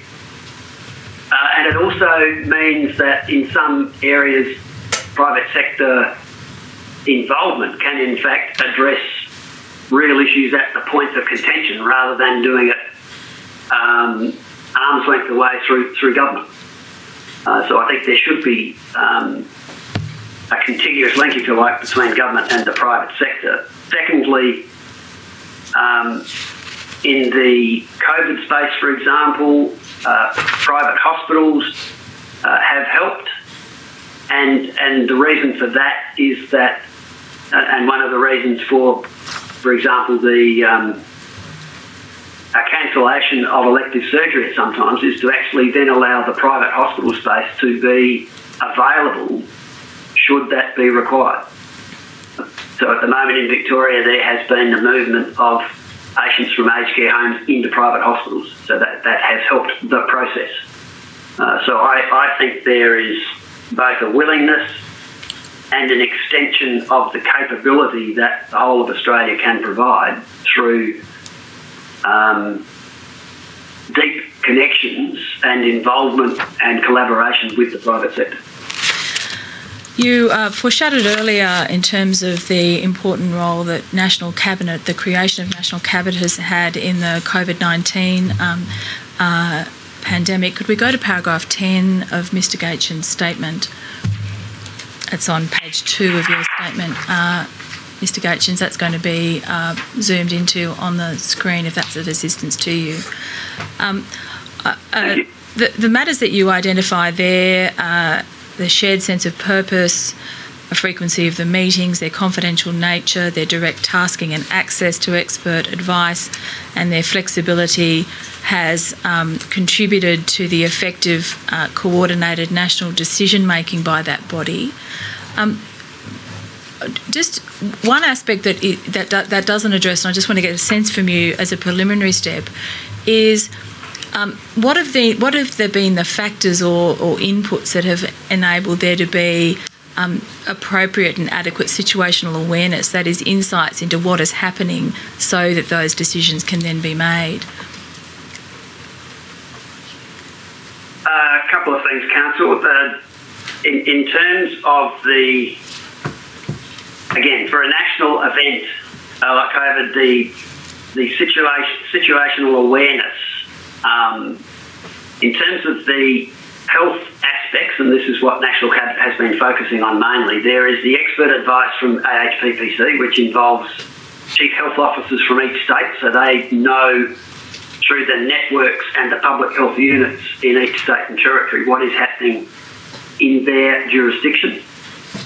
Um, by having the premiers and chief ministers there, they not only take into account that advice, but all the other advices that they receive yes. either from their ministers or from their health departments, um, other departments with respect to, yes, the object or subject of the matter is health, but the impacts of the health situation uh, uh, transfer out to many, many areas of society so they get that feedback loop uh, in terms of cause of problem versus impact of problem and how to handle it. Um, they were able, uh, in terms of situational awareness, then by being able to meet together and have expert advice they could compare and contrast what was happening in their own jurisdiction to others, which allowed, if you like, a pretty quick comparison uh, of what they were doing, what others were doing, and if there was a difference, why that difference occurred. And that could obviously be explained by either different case numbers or the geography and context of, of their own jurisdiction. Um, so I think they were some of the things that, that came in, and again, if there were any gaps in knowledge that they had, this goes to the direct tasking point. Uh, the leaders themselves, um, and I emphasise as well that the, the leaders don't just have you know a, a, portfolio position; they are the leaders of the jurisdiction. Um, so they take that very high level view. Uh, they and I th- again, I think being leaders, they can themselves assemble priorities uh, that goes to both health and then beyond health matters. And tasking can arise from those meetings directly. Um, and, and another thing I'd say, frankly, was the, I think I made this point to the Senate, the, the transparency of National Cabinet outcomes has probably been uh, the most transparent I have seen in the time I've been a public service at state and Commonwealth level uh, of information being made public to the community uh, within hours of that meeting, and that basically happens through the Prime Minister's press conferences after Cabinet and then the Premier's and Chief Minister's press conferences as well. Um, in your observation, how important, um, you've spoken of transparency, how important has the um, confidential nature of the discussions been to facilitating those outcomes? Uh, critical. Um, I think the, the, the, the nature of um, the six, um, six states, two territories, uh, the Prime Minister meeting in a room, um, and, and I think they have said this publicly, but the fact that they're in that room, uh, there has been no leaking from that room, there has been no breach of confidentiality to actually then take the confidence of that to know that they can talk on practically anything and it, and it remains in confidence. Mm. Uh, but it leads to outcomes that occur and again, I think um, I think it was Kitchener, wasn't it? Who said, you know, you don't necessarily need to look at the sausage making; it's the outcome that matters. Uh, and I think that's that combined with it's the confidentiality and the solidarity of discussions in the room um, makes it very important. Uh, well, it did make it very important on every occasion, actually, for each of the members of National Cabinet to have confidence in the Prime Minister going out and announcing pretty clearly what happened in those, the outcomes of the discussions in those meetings without going into the detail of those discussions. Could we go to paragraph 11, please, operator? Um, in paragraph 11, uh, Mr. Gaetjens, you, uh, you speak to the issue of um, if and when governments are faced with responding to a large scale natural disaster, particularly those which affect multiple jurisdictions. Um, you say in your opinion that National Cabinet could play a very beneficial role in supporting national leadership and coordinated decision making. Um, it's the next proposition that I wanted to ask you some questions about. Direct access to expert advice relevant to the unfolding disaster would be essential. Um, you gave some. You gave. Uh, the example earlier of the expert medical health, public health advice that has been conveyed to National Cabinet by the Chief Medical Officer. Uh, and we heard from Professor uh, Murphy yesterday. Um, uh, one question that has emerged uh, in the course of this, of course, is in when translating that to circumstances which consider um, broader national emergencies involving natural disasters, involving bushfires and or other kinds of natural hazards, um, there's a range of experts that might be available um, to inform national cabinet. Do you have any thoughts on how that might be? Um, is, is, that an impediment to um, to adopting uh, that structure for the future of, in national natural disasters, or are there ways to streamline that to enable it to nonetheless proceed? I, I, don't think it necessarily needs to be an impediment, but care needs to be taken in selecting that the right people are there. Um, so again, I and I'm not expert in this either, by the way, but but I am sure that there would be people who would be experts uh, in drought versus experts in flood, uh, or, or be experts in infectious diseases versus uh, other diseases. Um, in, in the case of the Australian Health Protection Principal Committee, the AHPPC, um, they in fact are the um, lead group uh, which uh, sorry, who who are supported, I think, by five other groups who, in fact, look at more focused ideas that come up to AHPPC. And, and as much as you could have an emergency expert committee, I'm sure that beneath that there would be groups who would deal with a particular type of emergency. So I think we just have to be very, very careful about who to select. Um, I would take a fair bit of confidence in the fact that premiers, chief ministers, and the prime minister would have a fair idea of who they would want in the room uh, for a particular event. Um, in the case of the AHPPC, there is only one member of that group, and that's the chair of AHPPC who attends the meeting.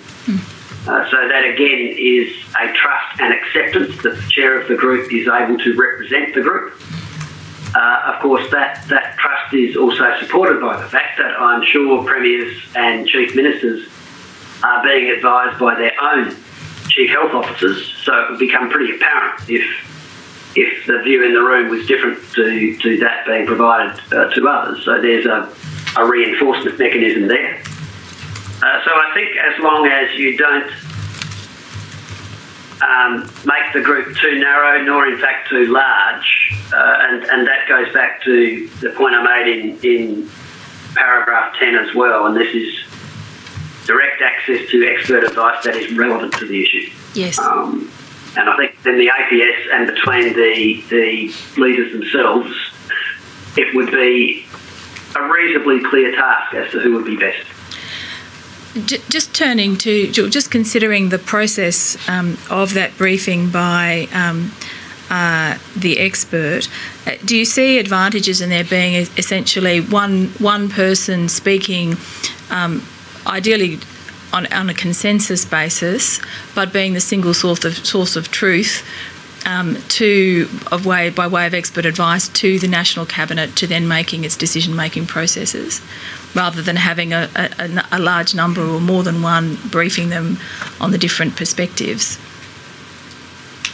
I think that's right, Councillor. As I said, it's the chair of AHPPC who does that. Um, that person is trusted uh, obviously, the same arrangement did not apply at um, during the time of the bushfire, but certainly from the Commonwealth's own advice, uh, Director EMA um, was basically the single point of truth who, again, brought into the meeting of um, federal discussions on these issues input from a lot of people, and that again could be tasked back to him to get further advice if required. But um, I think that's that's uh, a good example. And I said I think the the architecture, once once first ministers know what they want, I think the so that says you have got a pretty clear objective and mission, then you can arrange things around that as long as you're clear about those two things in the first place. If this architecture was to be uh, adopted or embraced again for future national uh, natural disasters, um, do you have any insights as to how uh, national cabinet, its its its lead first ministers, and, and even the prime minister um, can can stop from themselves from descending into the detail and, and, and ensuring they stay above the tactical level.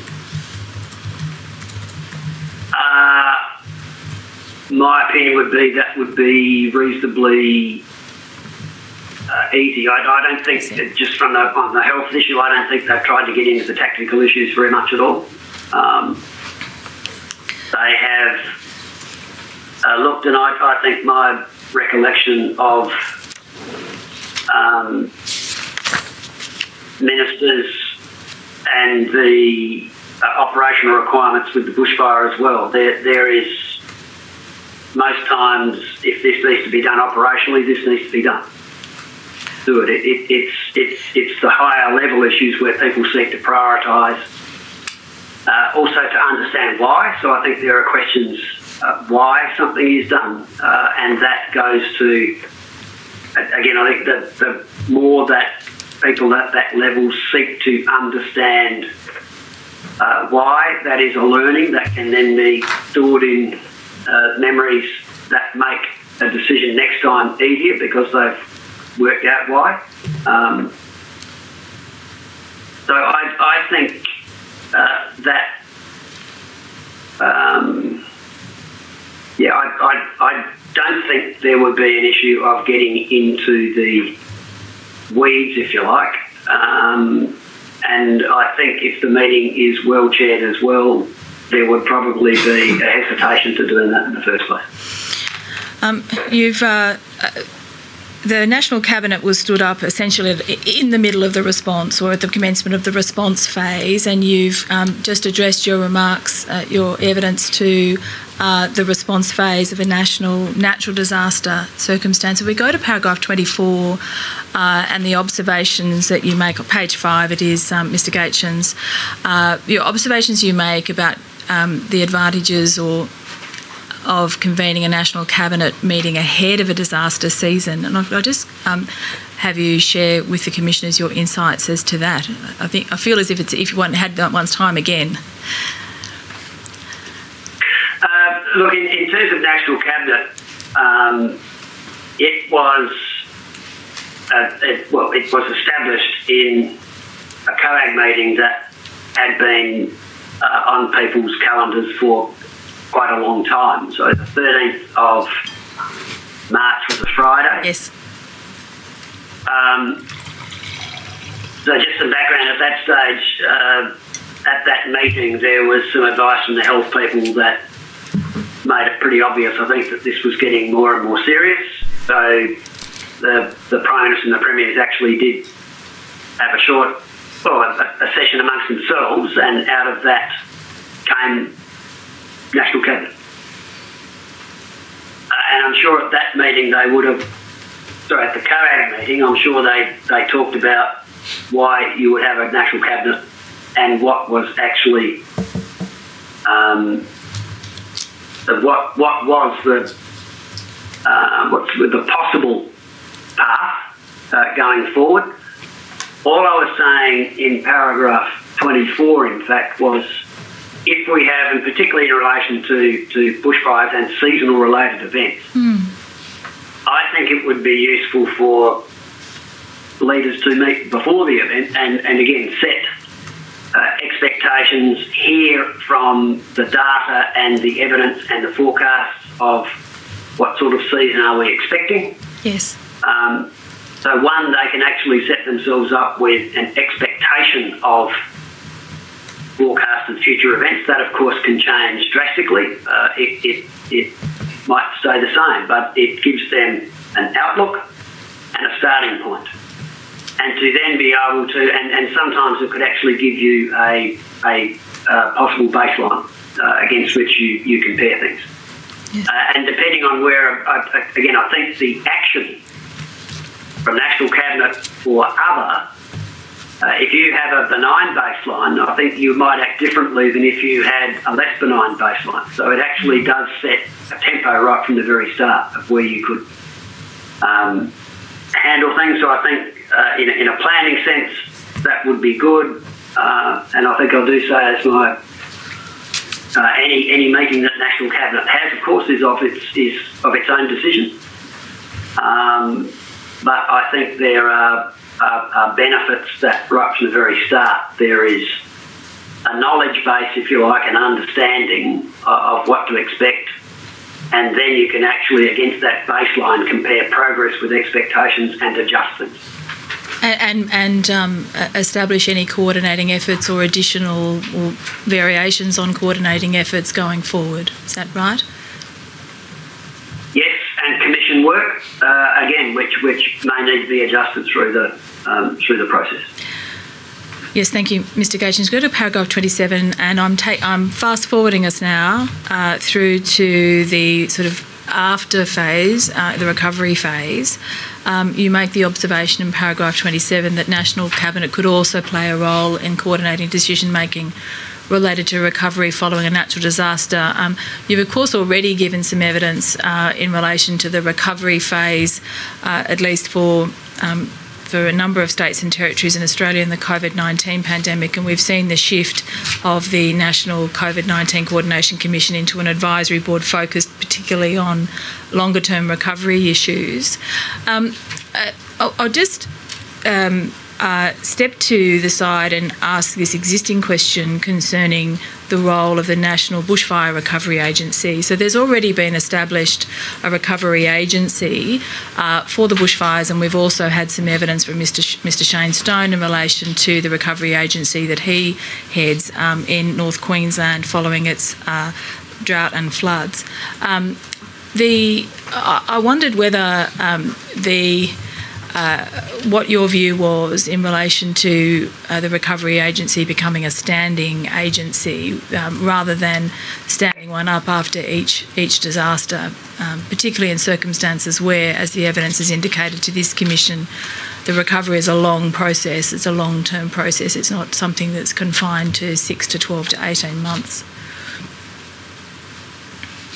Um, Counsel, I think I think that's a very empirical question, actually, because the you, you if you had, let's say, five or six years in, with benign circumstances, then then you, you have an agency that um, might not have much to do, mm-hmm. and and I think the reason I mentioned that is not, not just the efficiency aspect, but in fact one of the things in the, the NBRA and indeed the, um, uh, the, the COVID events is, is well, with National Cabinet, if, if you have a, a recovery agency that deals with ongoing recovery, there, again, you get that sense of purpose and mission.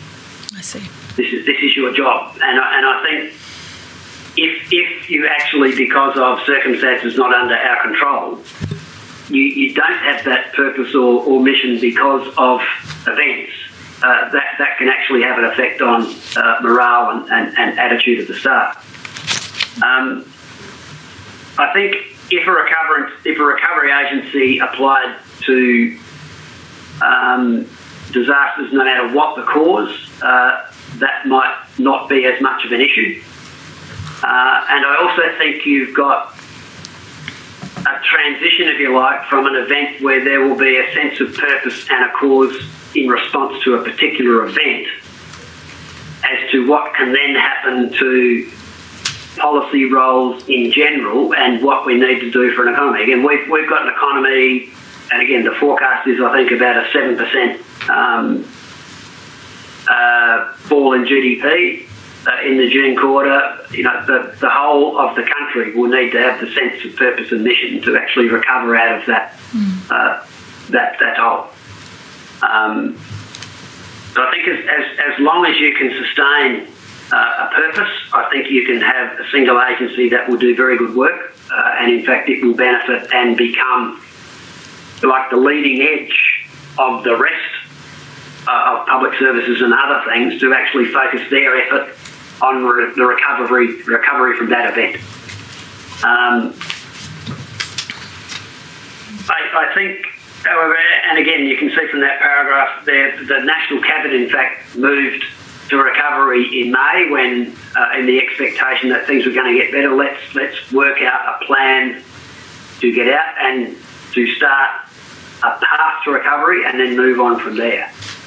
Uh, so I think, and, and, and the empiricism and, and the, my reluctance to provide a firm answer is that if you set something up and then circumstances depart from the reason you set it up for, what what will be the effectiveness? And, and again, I, I, I, repeat, this is not just an efficiency argument; it's an effectiveness argument.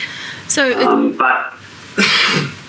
So it, sounds from what you've just said that um, it, it, you wouldn't recommend uh, that, for example, the NBRA be um, folded into a broader national recovery agency.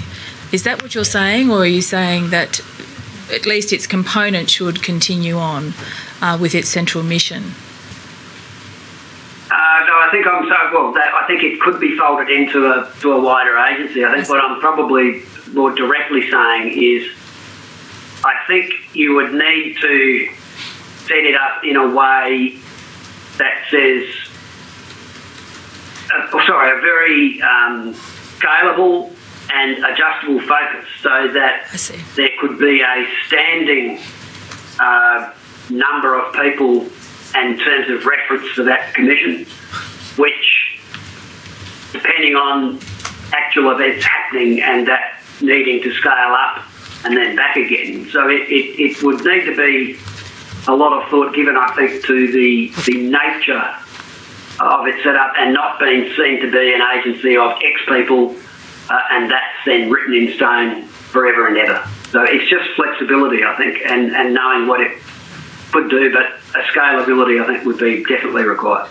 Right, we go to paragraph 28. 28, um, you've, you've broadened uh, your view to a national cabinet playing a role in building national resilience. Um, there's some overlap between recovery, building back better, and thus establishing greater resilience. But I, I think when you speak here, because you've referred to the National Disaster Risk Reduction Framework, you're speaking of resilience in a much, much more, much broader sense. Is that right? Correct. Um, uh, in terms of uh, this role, how, how would you see this role operating for National Cabinet? Um, it seems to be one that would uh, seems to be more policy driven as opposed to reacting to the circumstances that uh, are, um, are confronting it, and seems to be hark more back to um, the way in which COAG had been established uh, and operating in, in times past. Is that right? Uh, it would not be right in that outlook because National Cabinet does not want to go back to the way COAG works. uh, but it, I, I, think what you can imagine here is, and I, would go back to the to the framework of National Cabinet as well as National Cabinet. Um, there has been formed the National Federation um, Reform Council. Council, I think. Uh, is it, so that, that's the group that actually includes local government. Uh, it's probably going to meet once a year. I see. And, and I think if you looked at resilience, which, as I say, could involve local governments, the private sector, and communities, it, it could just be a check-in. Um, so not not in terms of constant meeting to check out progress on what's happening in an event, but as this is a greater process, I could in fact uh, use a comparison of closing the gap. So closing the gap is still intended to be considered by that committee in terms of progress. I see. So in terms of the risk reduction framework, this, and again, if National Cabinet decided it was necessary, because I think they are also going to be quite disciplined about what they take on and what they don't, just to keep that sense of purpose. Um, it would then go from uh, an update or a check-in to see how things are going, and if things go up, are, are off track, then again, um, review, make decisions, pass back out to get things going. So it, it's a case of uh, how frequent and, and what it would do uh, rather than actually manage an ongoing event where things are changing very quickly. Um, the last topic I want to uh, take uh, you to, and I'm mindful of the time, and the commissioners will, of course, have their own questions. Um, you were asked some questions, uh, question four and five. So, question four in your statement on paragraph on page six and seven, uh, as to what role could national cabinet play in the making of a declaration of a state of national emergency uh, and what might be the consequences of a making of that declaration.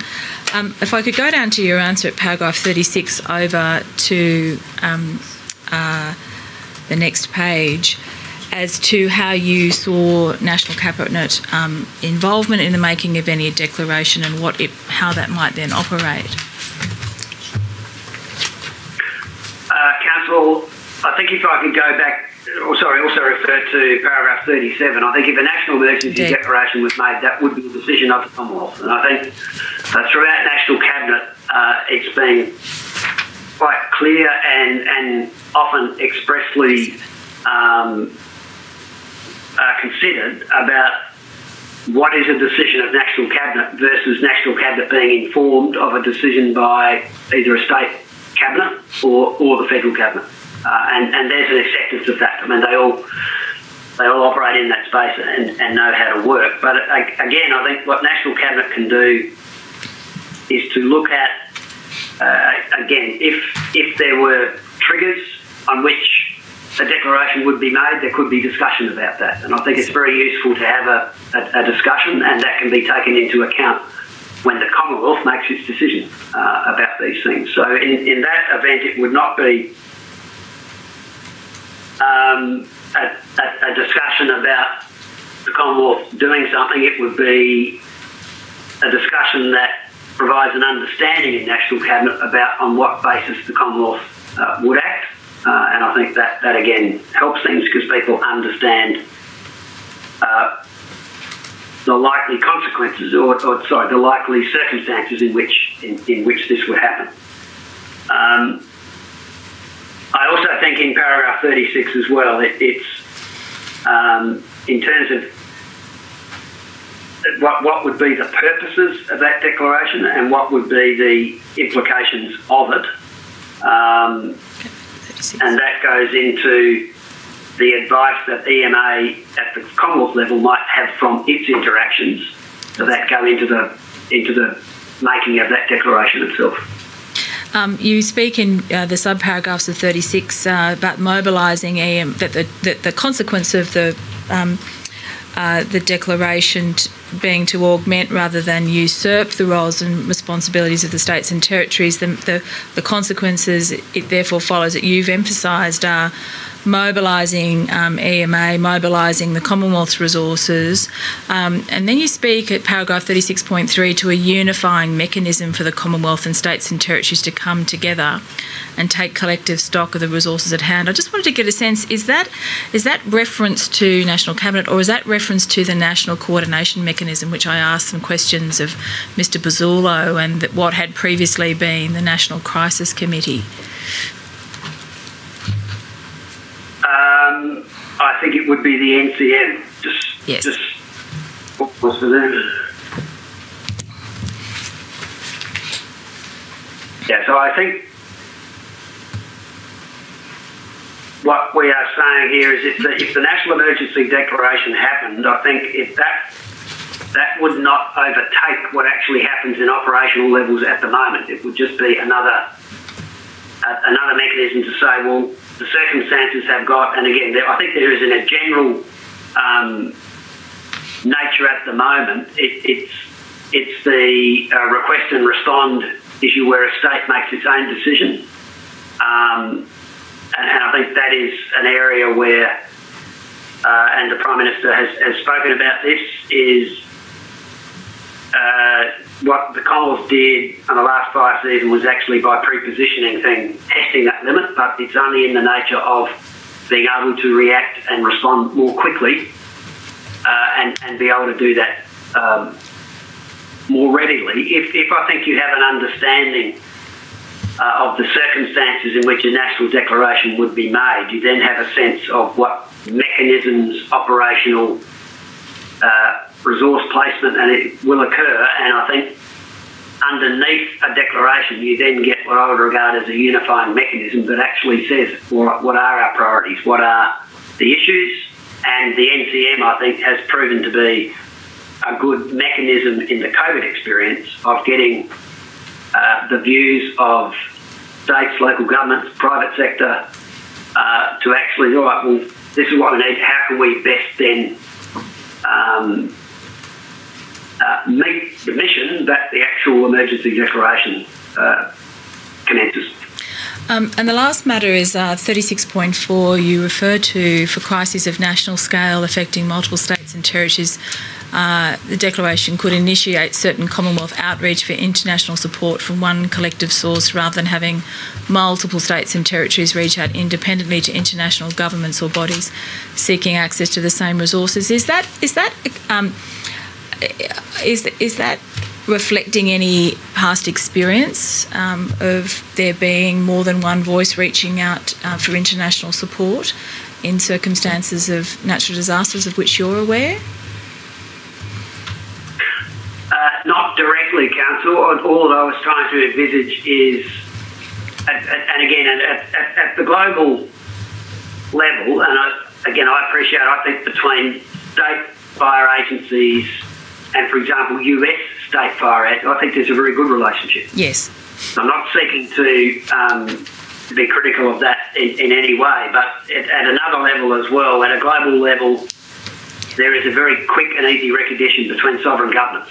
Um, and, and for some instances, I think for, for sub-sovereigns to deal with sovereigns, uh, it can cause delays just because of lack of knowledge and things like that.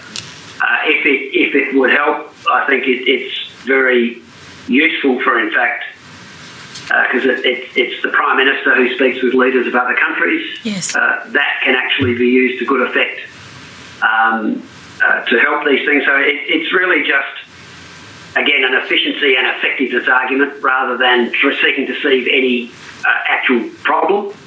Uh, but it's just something that adds to the adds to the mix and, and hopefully makes things again much quicker. Thank you, thank you so much, uh, Mr. Gaetjens, for that clarification. Uh, I note the time, uh, commissioners. I'm going to um, pass back to them. Thank you, Mr. Gaetjens. Thank you, Mr. Gaetjens. Um, you gave us a very concise statement, and uh, and actually, as you went through that, that's answered my questions. But I'll go to Commissioner Bennett. Thanks, Chair. Mr. Gaetjens, I just have one uh, matter. Can paragraph 29 come up, please?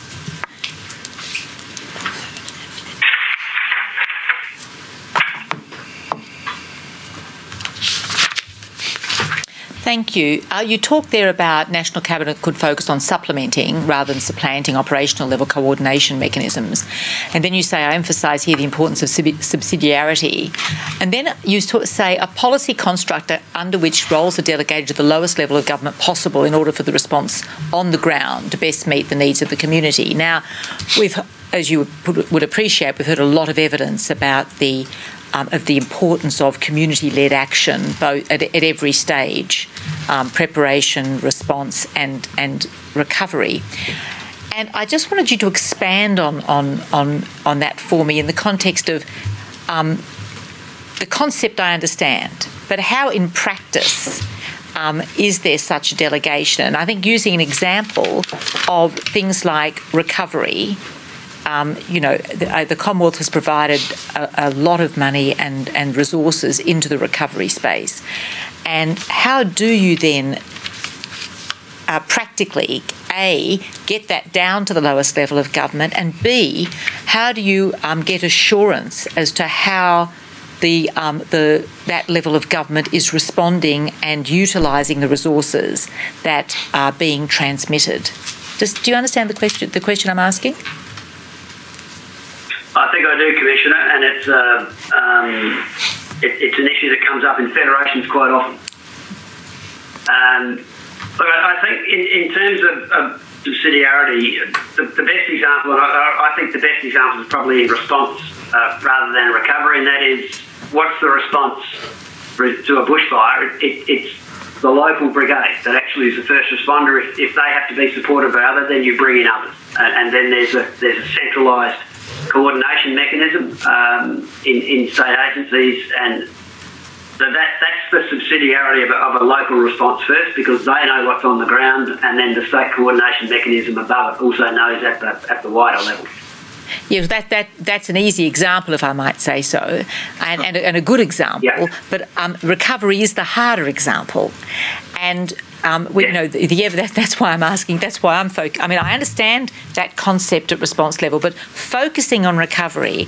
And one of the things I'm looking at, because we know that there are inspectors general in the in some of the states that look at assurance questions to um, I mean the question at one stage was is that audit? But I mean it, it isn't. It's you know it's broader than that. So I'm just trying to work out um, how the policy construct works when uh, let's just put hypothetically, the, um, the National Cabinet decides and the Commonwealth funds a very large recovery program to be implemented by local governments throughout the country or the affected areas for a particular national disaster.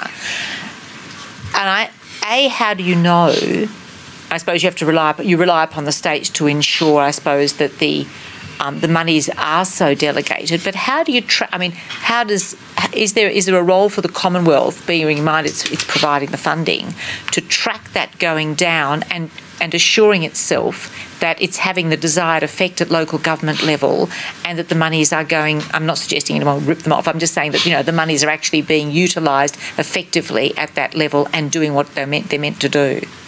I suppose I mean you've got the you might have a national recovery agency that might have people in there. I'm just you know to, that, that actually have um, people uh, seconded or um, what's the word I want? Put in into the hmm? seconded. seconded will do into into um, some sort of a state monitoring system. I just want to get a feel from you as to how that uh, how that works as a matter of policy and practice. Uh, a, a, couple of levels, Commissioner. I think um, the principles of subsidiarity, I think, apply in recovery very easily through through the financial transfers that occur. So again, for an event that is small in nature and again, DRFA has actually worked on this base. The first responder is the state, so they do the immediate income support. Uh, if you if, if you had large events, let's say COVID, um, and the economic response is unemployment goes up, then in fact the Commonwealth pays unemployment benefits, so the financial burden of that goes up to the Commonwealth level of government. Um, in the health aspects, there are increased calls on hospitals. Uh, again, the Commonwealth State Agreement on the Hospitals Agreement basically says the Commonwealth and the states share uh, the um, uh, they, they share and take risks with respect to growth, and the Commonwealth acts in a lot of cases, I think, as a bit of a reinsurer, if you like, or second second level support mechanism for that.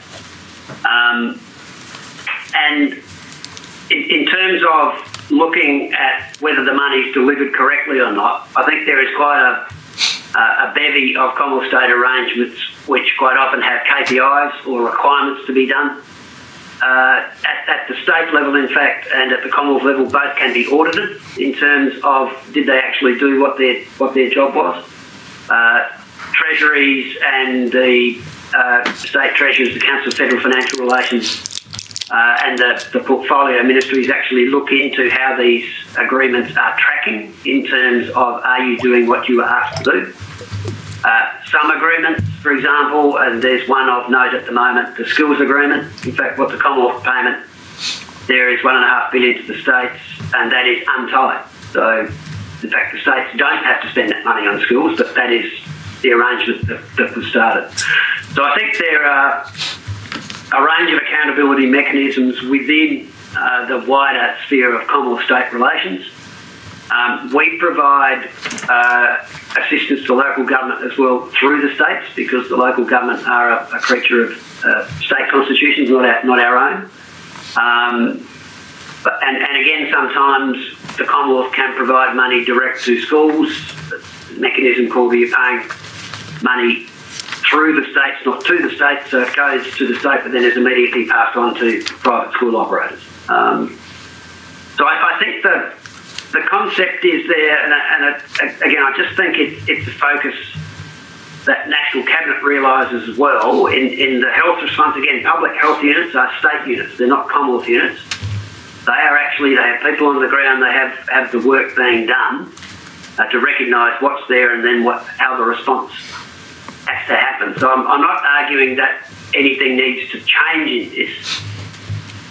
I would acknowledge, however, Commissioner, that one of the aspects that plays into this is, and I think I detected this more from community views than government views, is I think there is a view sometimes that the public expectation is the Commonwealth gets involved earlier than what it does. Uh, and that's, that's because of um, uh, a view, and, and again, not not necessarily a great a great understanding of federal relationships and processes. They just want things fixed. Uh, so I can understand the need for resources to get things uh, fixed more quickly. Uh, and in that respect, I think I, I, mentioned, I think in my, my statement that sometimes we have to be careful because there is a little bit of, of you know, moral hazard, if you like, in people coming in too quickly, and then that being um, upsetting either the usual arrangements or what might normally happen. Um, I don't know whether that's answered your question.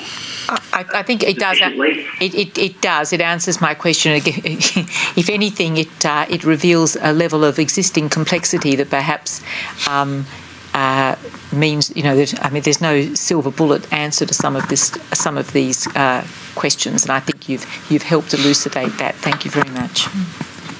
Thank you. Commissioner Macintosh. Thanks, Chair. Thanks, Mr. Gaetjens. Can I pull up paragraph 34, please, operator? Um, Mr. Gaetjens, this is a, a, a, one of your paragraphs about the National Emergency Declaration, and in it, in that, I think it's the second sentence there, you say there is some moral hazard in this and it may lead to calls for Commonwealth involvement even when first responder capacity is sufficient. The way I interpreted that was effectively to say um, be careful attaching any mandatory Commonwealth assistance to a declaration lest you create incentives to constantly pressure the Commonwealth to make such a declaration. Have I interpreted that correctly? Um, I think this was the question about, again, a, a, declaration of a state of national emergency. I think this is a follow on, I think, from the previous question, Commissioner, which says basically if um, there was a sense, again, that public opinion actually might have been in advance or greater than state government opinion about the Commonwealth being involved. And, and this does, that does again go to the subsidiarity point. If, if the state and local government has the resources to do things. Again, it's a question of roles here. Again, I, I think circumstances have been, I don't want to make this a point, in both bushfires and COVID, I think each government has helped each other almost immediately. So there's been no, um, you know, harsh negotiations about doing things. But if if you have an environment where Commonwealth so if circumstances which keep accreting so that the Commonwealth becomes involved, then you ask the question, why do you have the other levels of government? Yes, yes. Uh, um, my interest is really about the reference to moral hazard. Just uh, I'm very aware of the fact that if you create uh, a guarantee of Commonwealth assistance, then you potentially create that incentive for constant pressure on the Commonwealth. Please declare a state of emergency because therefore we'll get assistance. And that's how I interpreted that sentence. Um, that's, that's one part of it, Commissioner. Yep, thank you. Can, can I pull up um, paragraph 41, operator? And I, I do reiterate, Commissioner, I, I do come from a Treasury background as well. so we've noted that. Thanks. And this is almost on a, on a very similar point, um, where you make some very salient remarks about the balance between Commonwealth assistance and uh, and it's a, an issue that we've been grappling with amongst the commissioners, amongst the commission more broadly. At the moment, um, there seems to be three options the Commonwealth can take to the handing out of assistance for, for recovery. Um, there's one where the Commonwealth simply gives a set amount to, to victims, and that ensures that Commonwealth assistance is consistent across the country, yet the outcome for the victim then depends upon state assistance. The, the second one is where the Commonwealth matches the state assistance, in, in which case you can have differences of, of treatment between jurisdictions and you can also have different outcomes for victims. Then the third one is um, the Commonwealth can calibrate its assistance depending on how much the states give. So the victims get the same amount, but the negative that is that it creates a disincentive for the states to give or, or, creates an incentive for the states to cost shifts on the Commonwealth. And, and I, given that you raised that issue in paragraph 41, I, I wonder whether you had any advice for us on which of the uh, the suboptimal outcomes that someone should choose in this in, in this space when trying to design um, optimal recovery policy. Noting we only have 30 minutes. Yeah. yeah. I'm trawling for PhD students, obviously. I think the um, look, this, this, is an issue that, that does come up, but I, I wouldn't also overemphasise it. I think because a person who is living in northern New South Wales, for example, do they Do they really care what happens to someone in South Australia? In fact, do they really know? Um, I think as long as they are satisfied that they've been treated well, uh, it's good. That that addresses total quantum. It doesn't necessarily address split between different levels of government as to who provides it.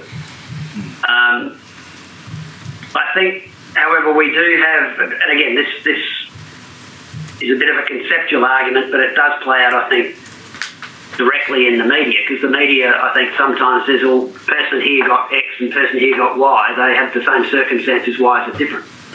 And the point here is just to say it's not just because there can be different Commonwealth treatment.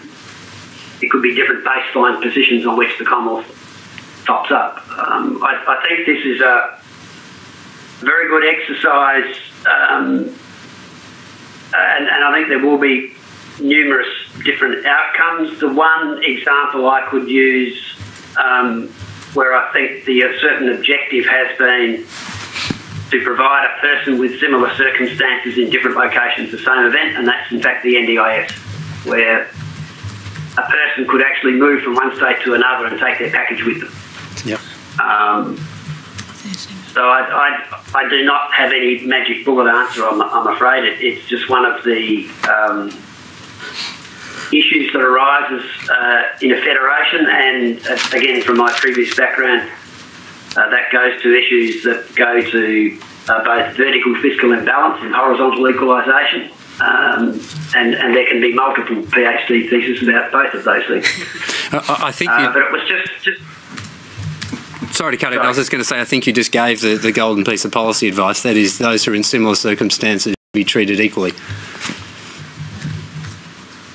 Yeah, and then and then it's a case of, of again the, the composition of that that what quantum of is equal. Um, I think that that's the sense, uh, and and I would also add to that. I, I think there is an issue which uh, did play, I think, both in bushfires and COVID, and that is when when the community see governments acting together to achieve outcome.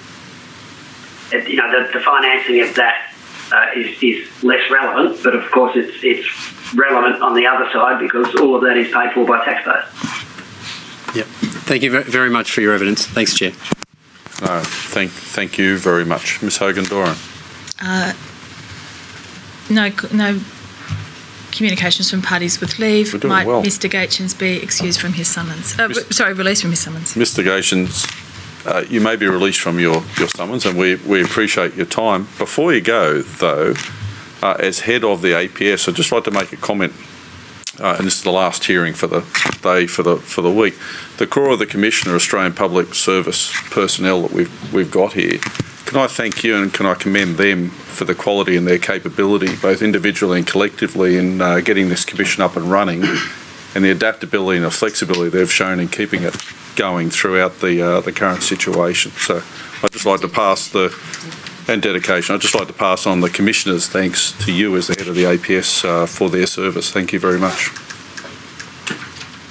Thank you, Jack, and I just uh, thank you for that acknowledgement, and I will make sure I pass that on. Thank you. Appreciate it. Good luck with uh, with the rest of the day and uh, the rest of the year with the way it's going. Thank you. Thank you, Commissioner. Ms Hogan-Doran. Uh, Chair, just some uh, conclusionary remarks and some housekeeping. I need to tender documents that had been omitted from the tender this morning, Mhm. which are documents at tab 30.16 of the amended declarations tender list as notified to the parties with leave to appear. These are the materials provided or relevant to the Australian Capital Territory. Yes, that's 30.16. 30.16. 0.16. We'll take that uh, as marked as an exhibit. Thank you. Uh, Thank you, Chair. And there's also a bundle of additional materials which we'll seek to approach you to have uh, tendered in chambers, which are materials that were gathered in the course of earlier hearings which had not made their way through to the tender list. Okay, no, I'll do that in chambers. Um, Commissioners, this concludes the block of hearings on national coordin- this block of hearings on national coordination and decision making. There is a lot of material to digest. Uh, we would like to thank those who have assisted us in um, collating the evidence and uh, providing it to you. Uh, I anticipate that the Royal Commission will shortly advise parties with leave to appear and the public on the plan for future hearings of the Royal Commission. Uh, and finally, I'd also like to take this opportunity to express our gratitude for the work of um, Emma Costello, Jasmine Ford, Rebecca Smith, Emily Lobban, Rowan McPhee, and Georgia Sullivan of the uh, Queensland office of our instructing solicitors of King and Wood Mallesons, who are returning home to Queensland, which of course has just closed or is about to close its borders with the Australian Capital Territory. Uh, and could I just record again that our thoughts are with our Victorian colleagues, who I mentioned on Monday, who have returned to lockdown, and we wish them all well. Uh, we do wish our Victorian colleagues well, and I wish the best for the Queensland team as well. I'm not sure whether it's COVID lockdown or this is the coldest day in Canberra that's causing the decision, but uh, I appreciate the support that they've given us. I do hope before we finish that we do get a chance to get everyone back together again and, uh, and tie this all up, but uh, I wish them all the very best. Thank you. Thank you, Chair. And with that, we will uh, adjourn. Thank you. All rise.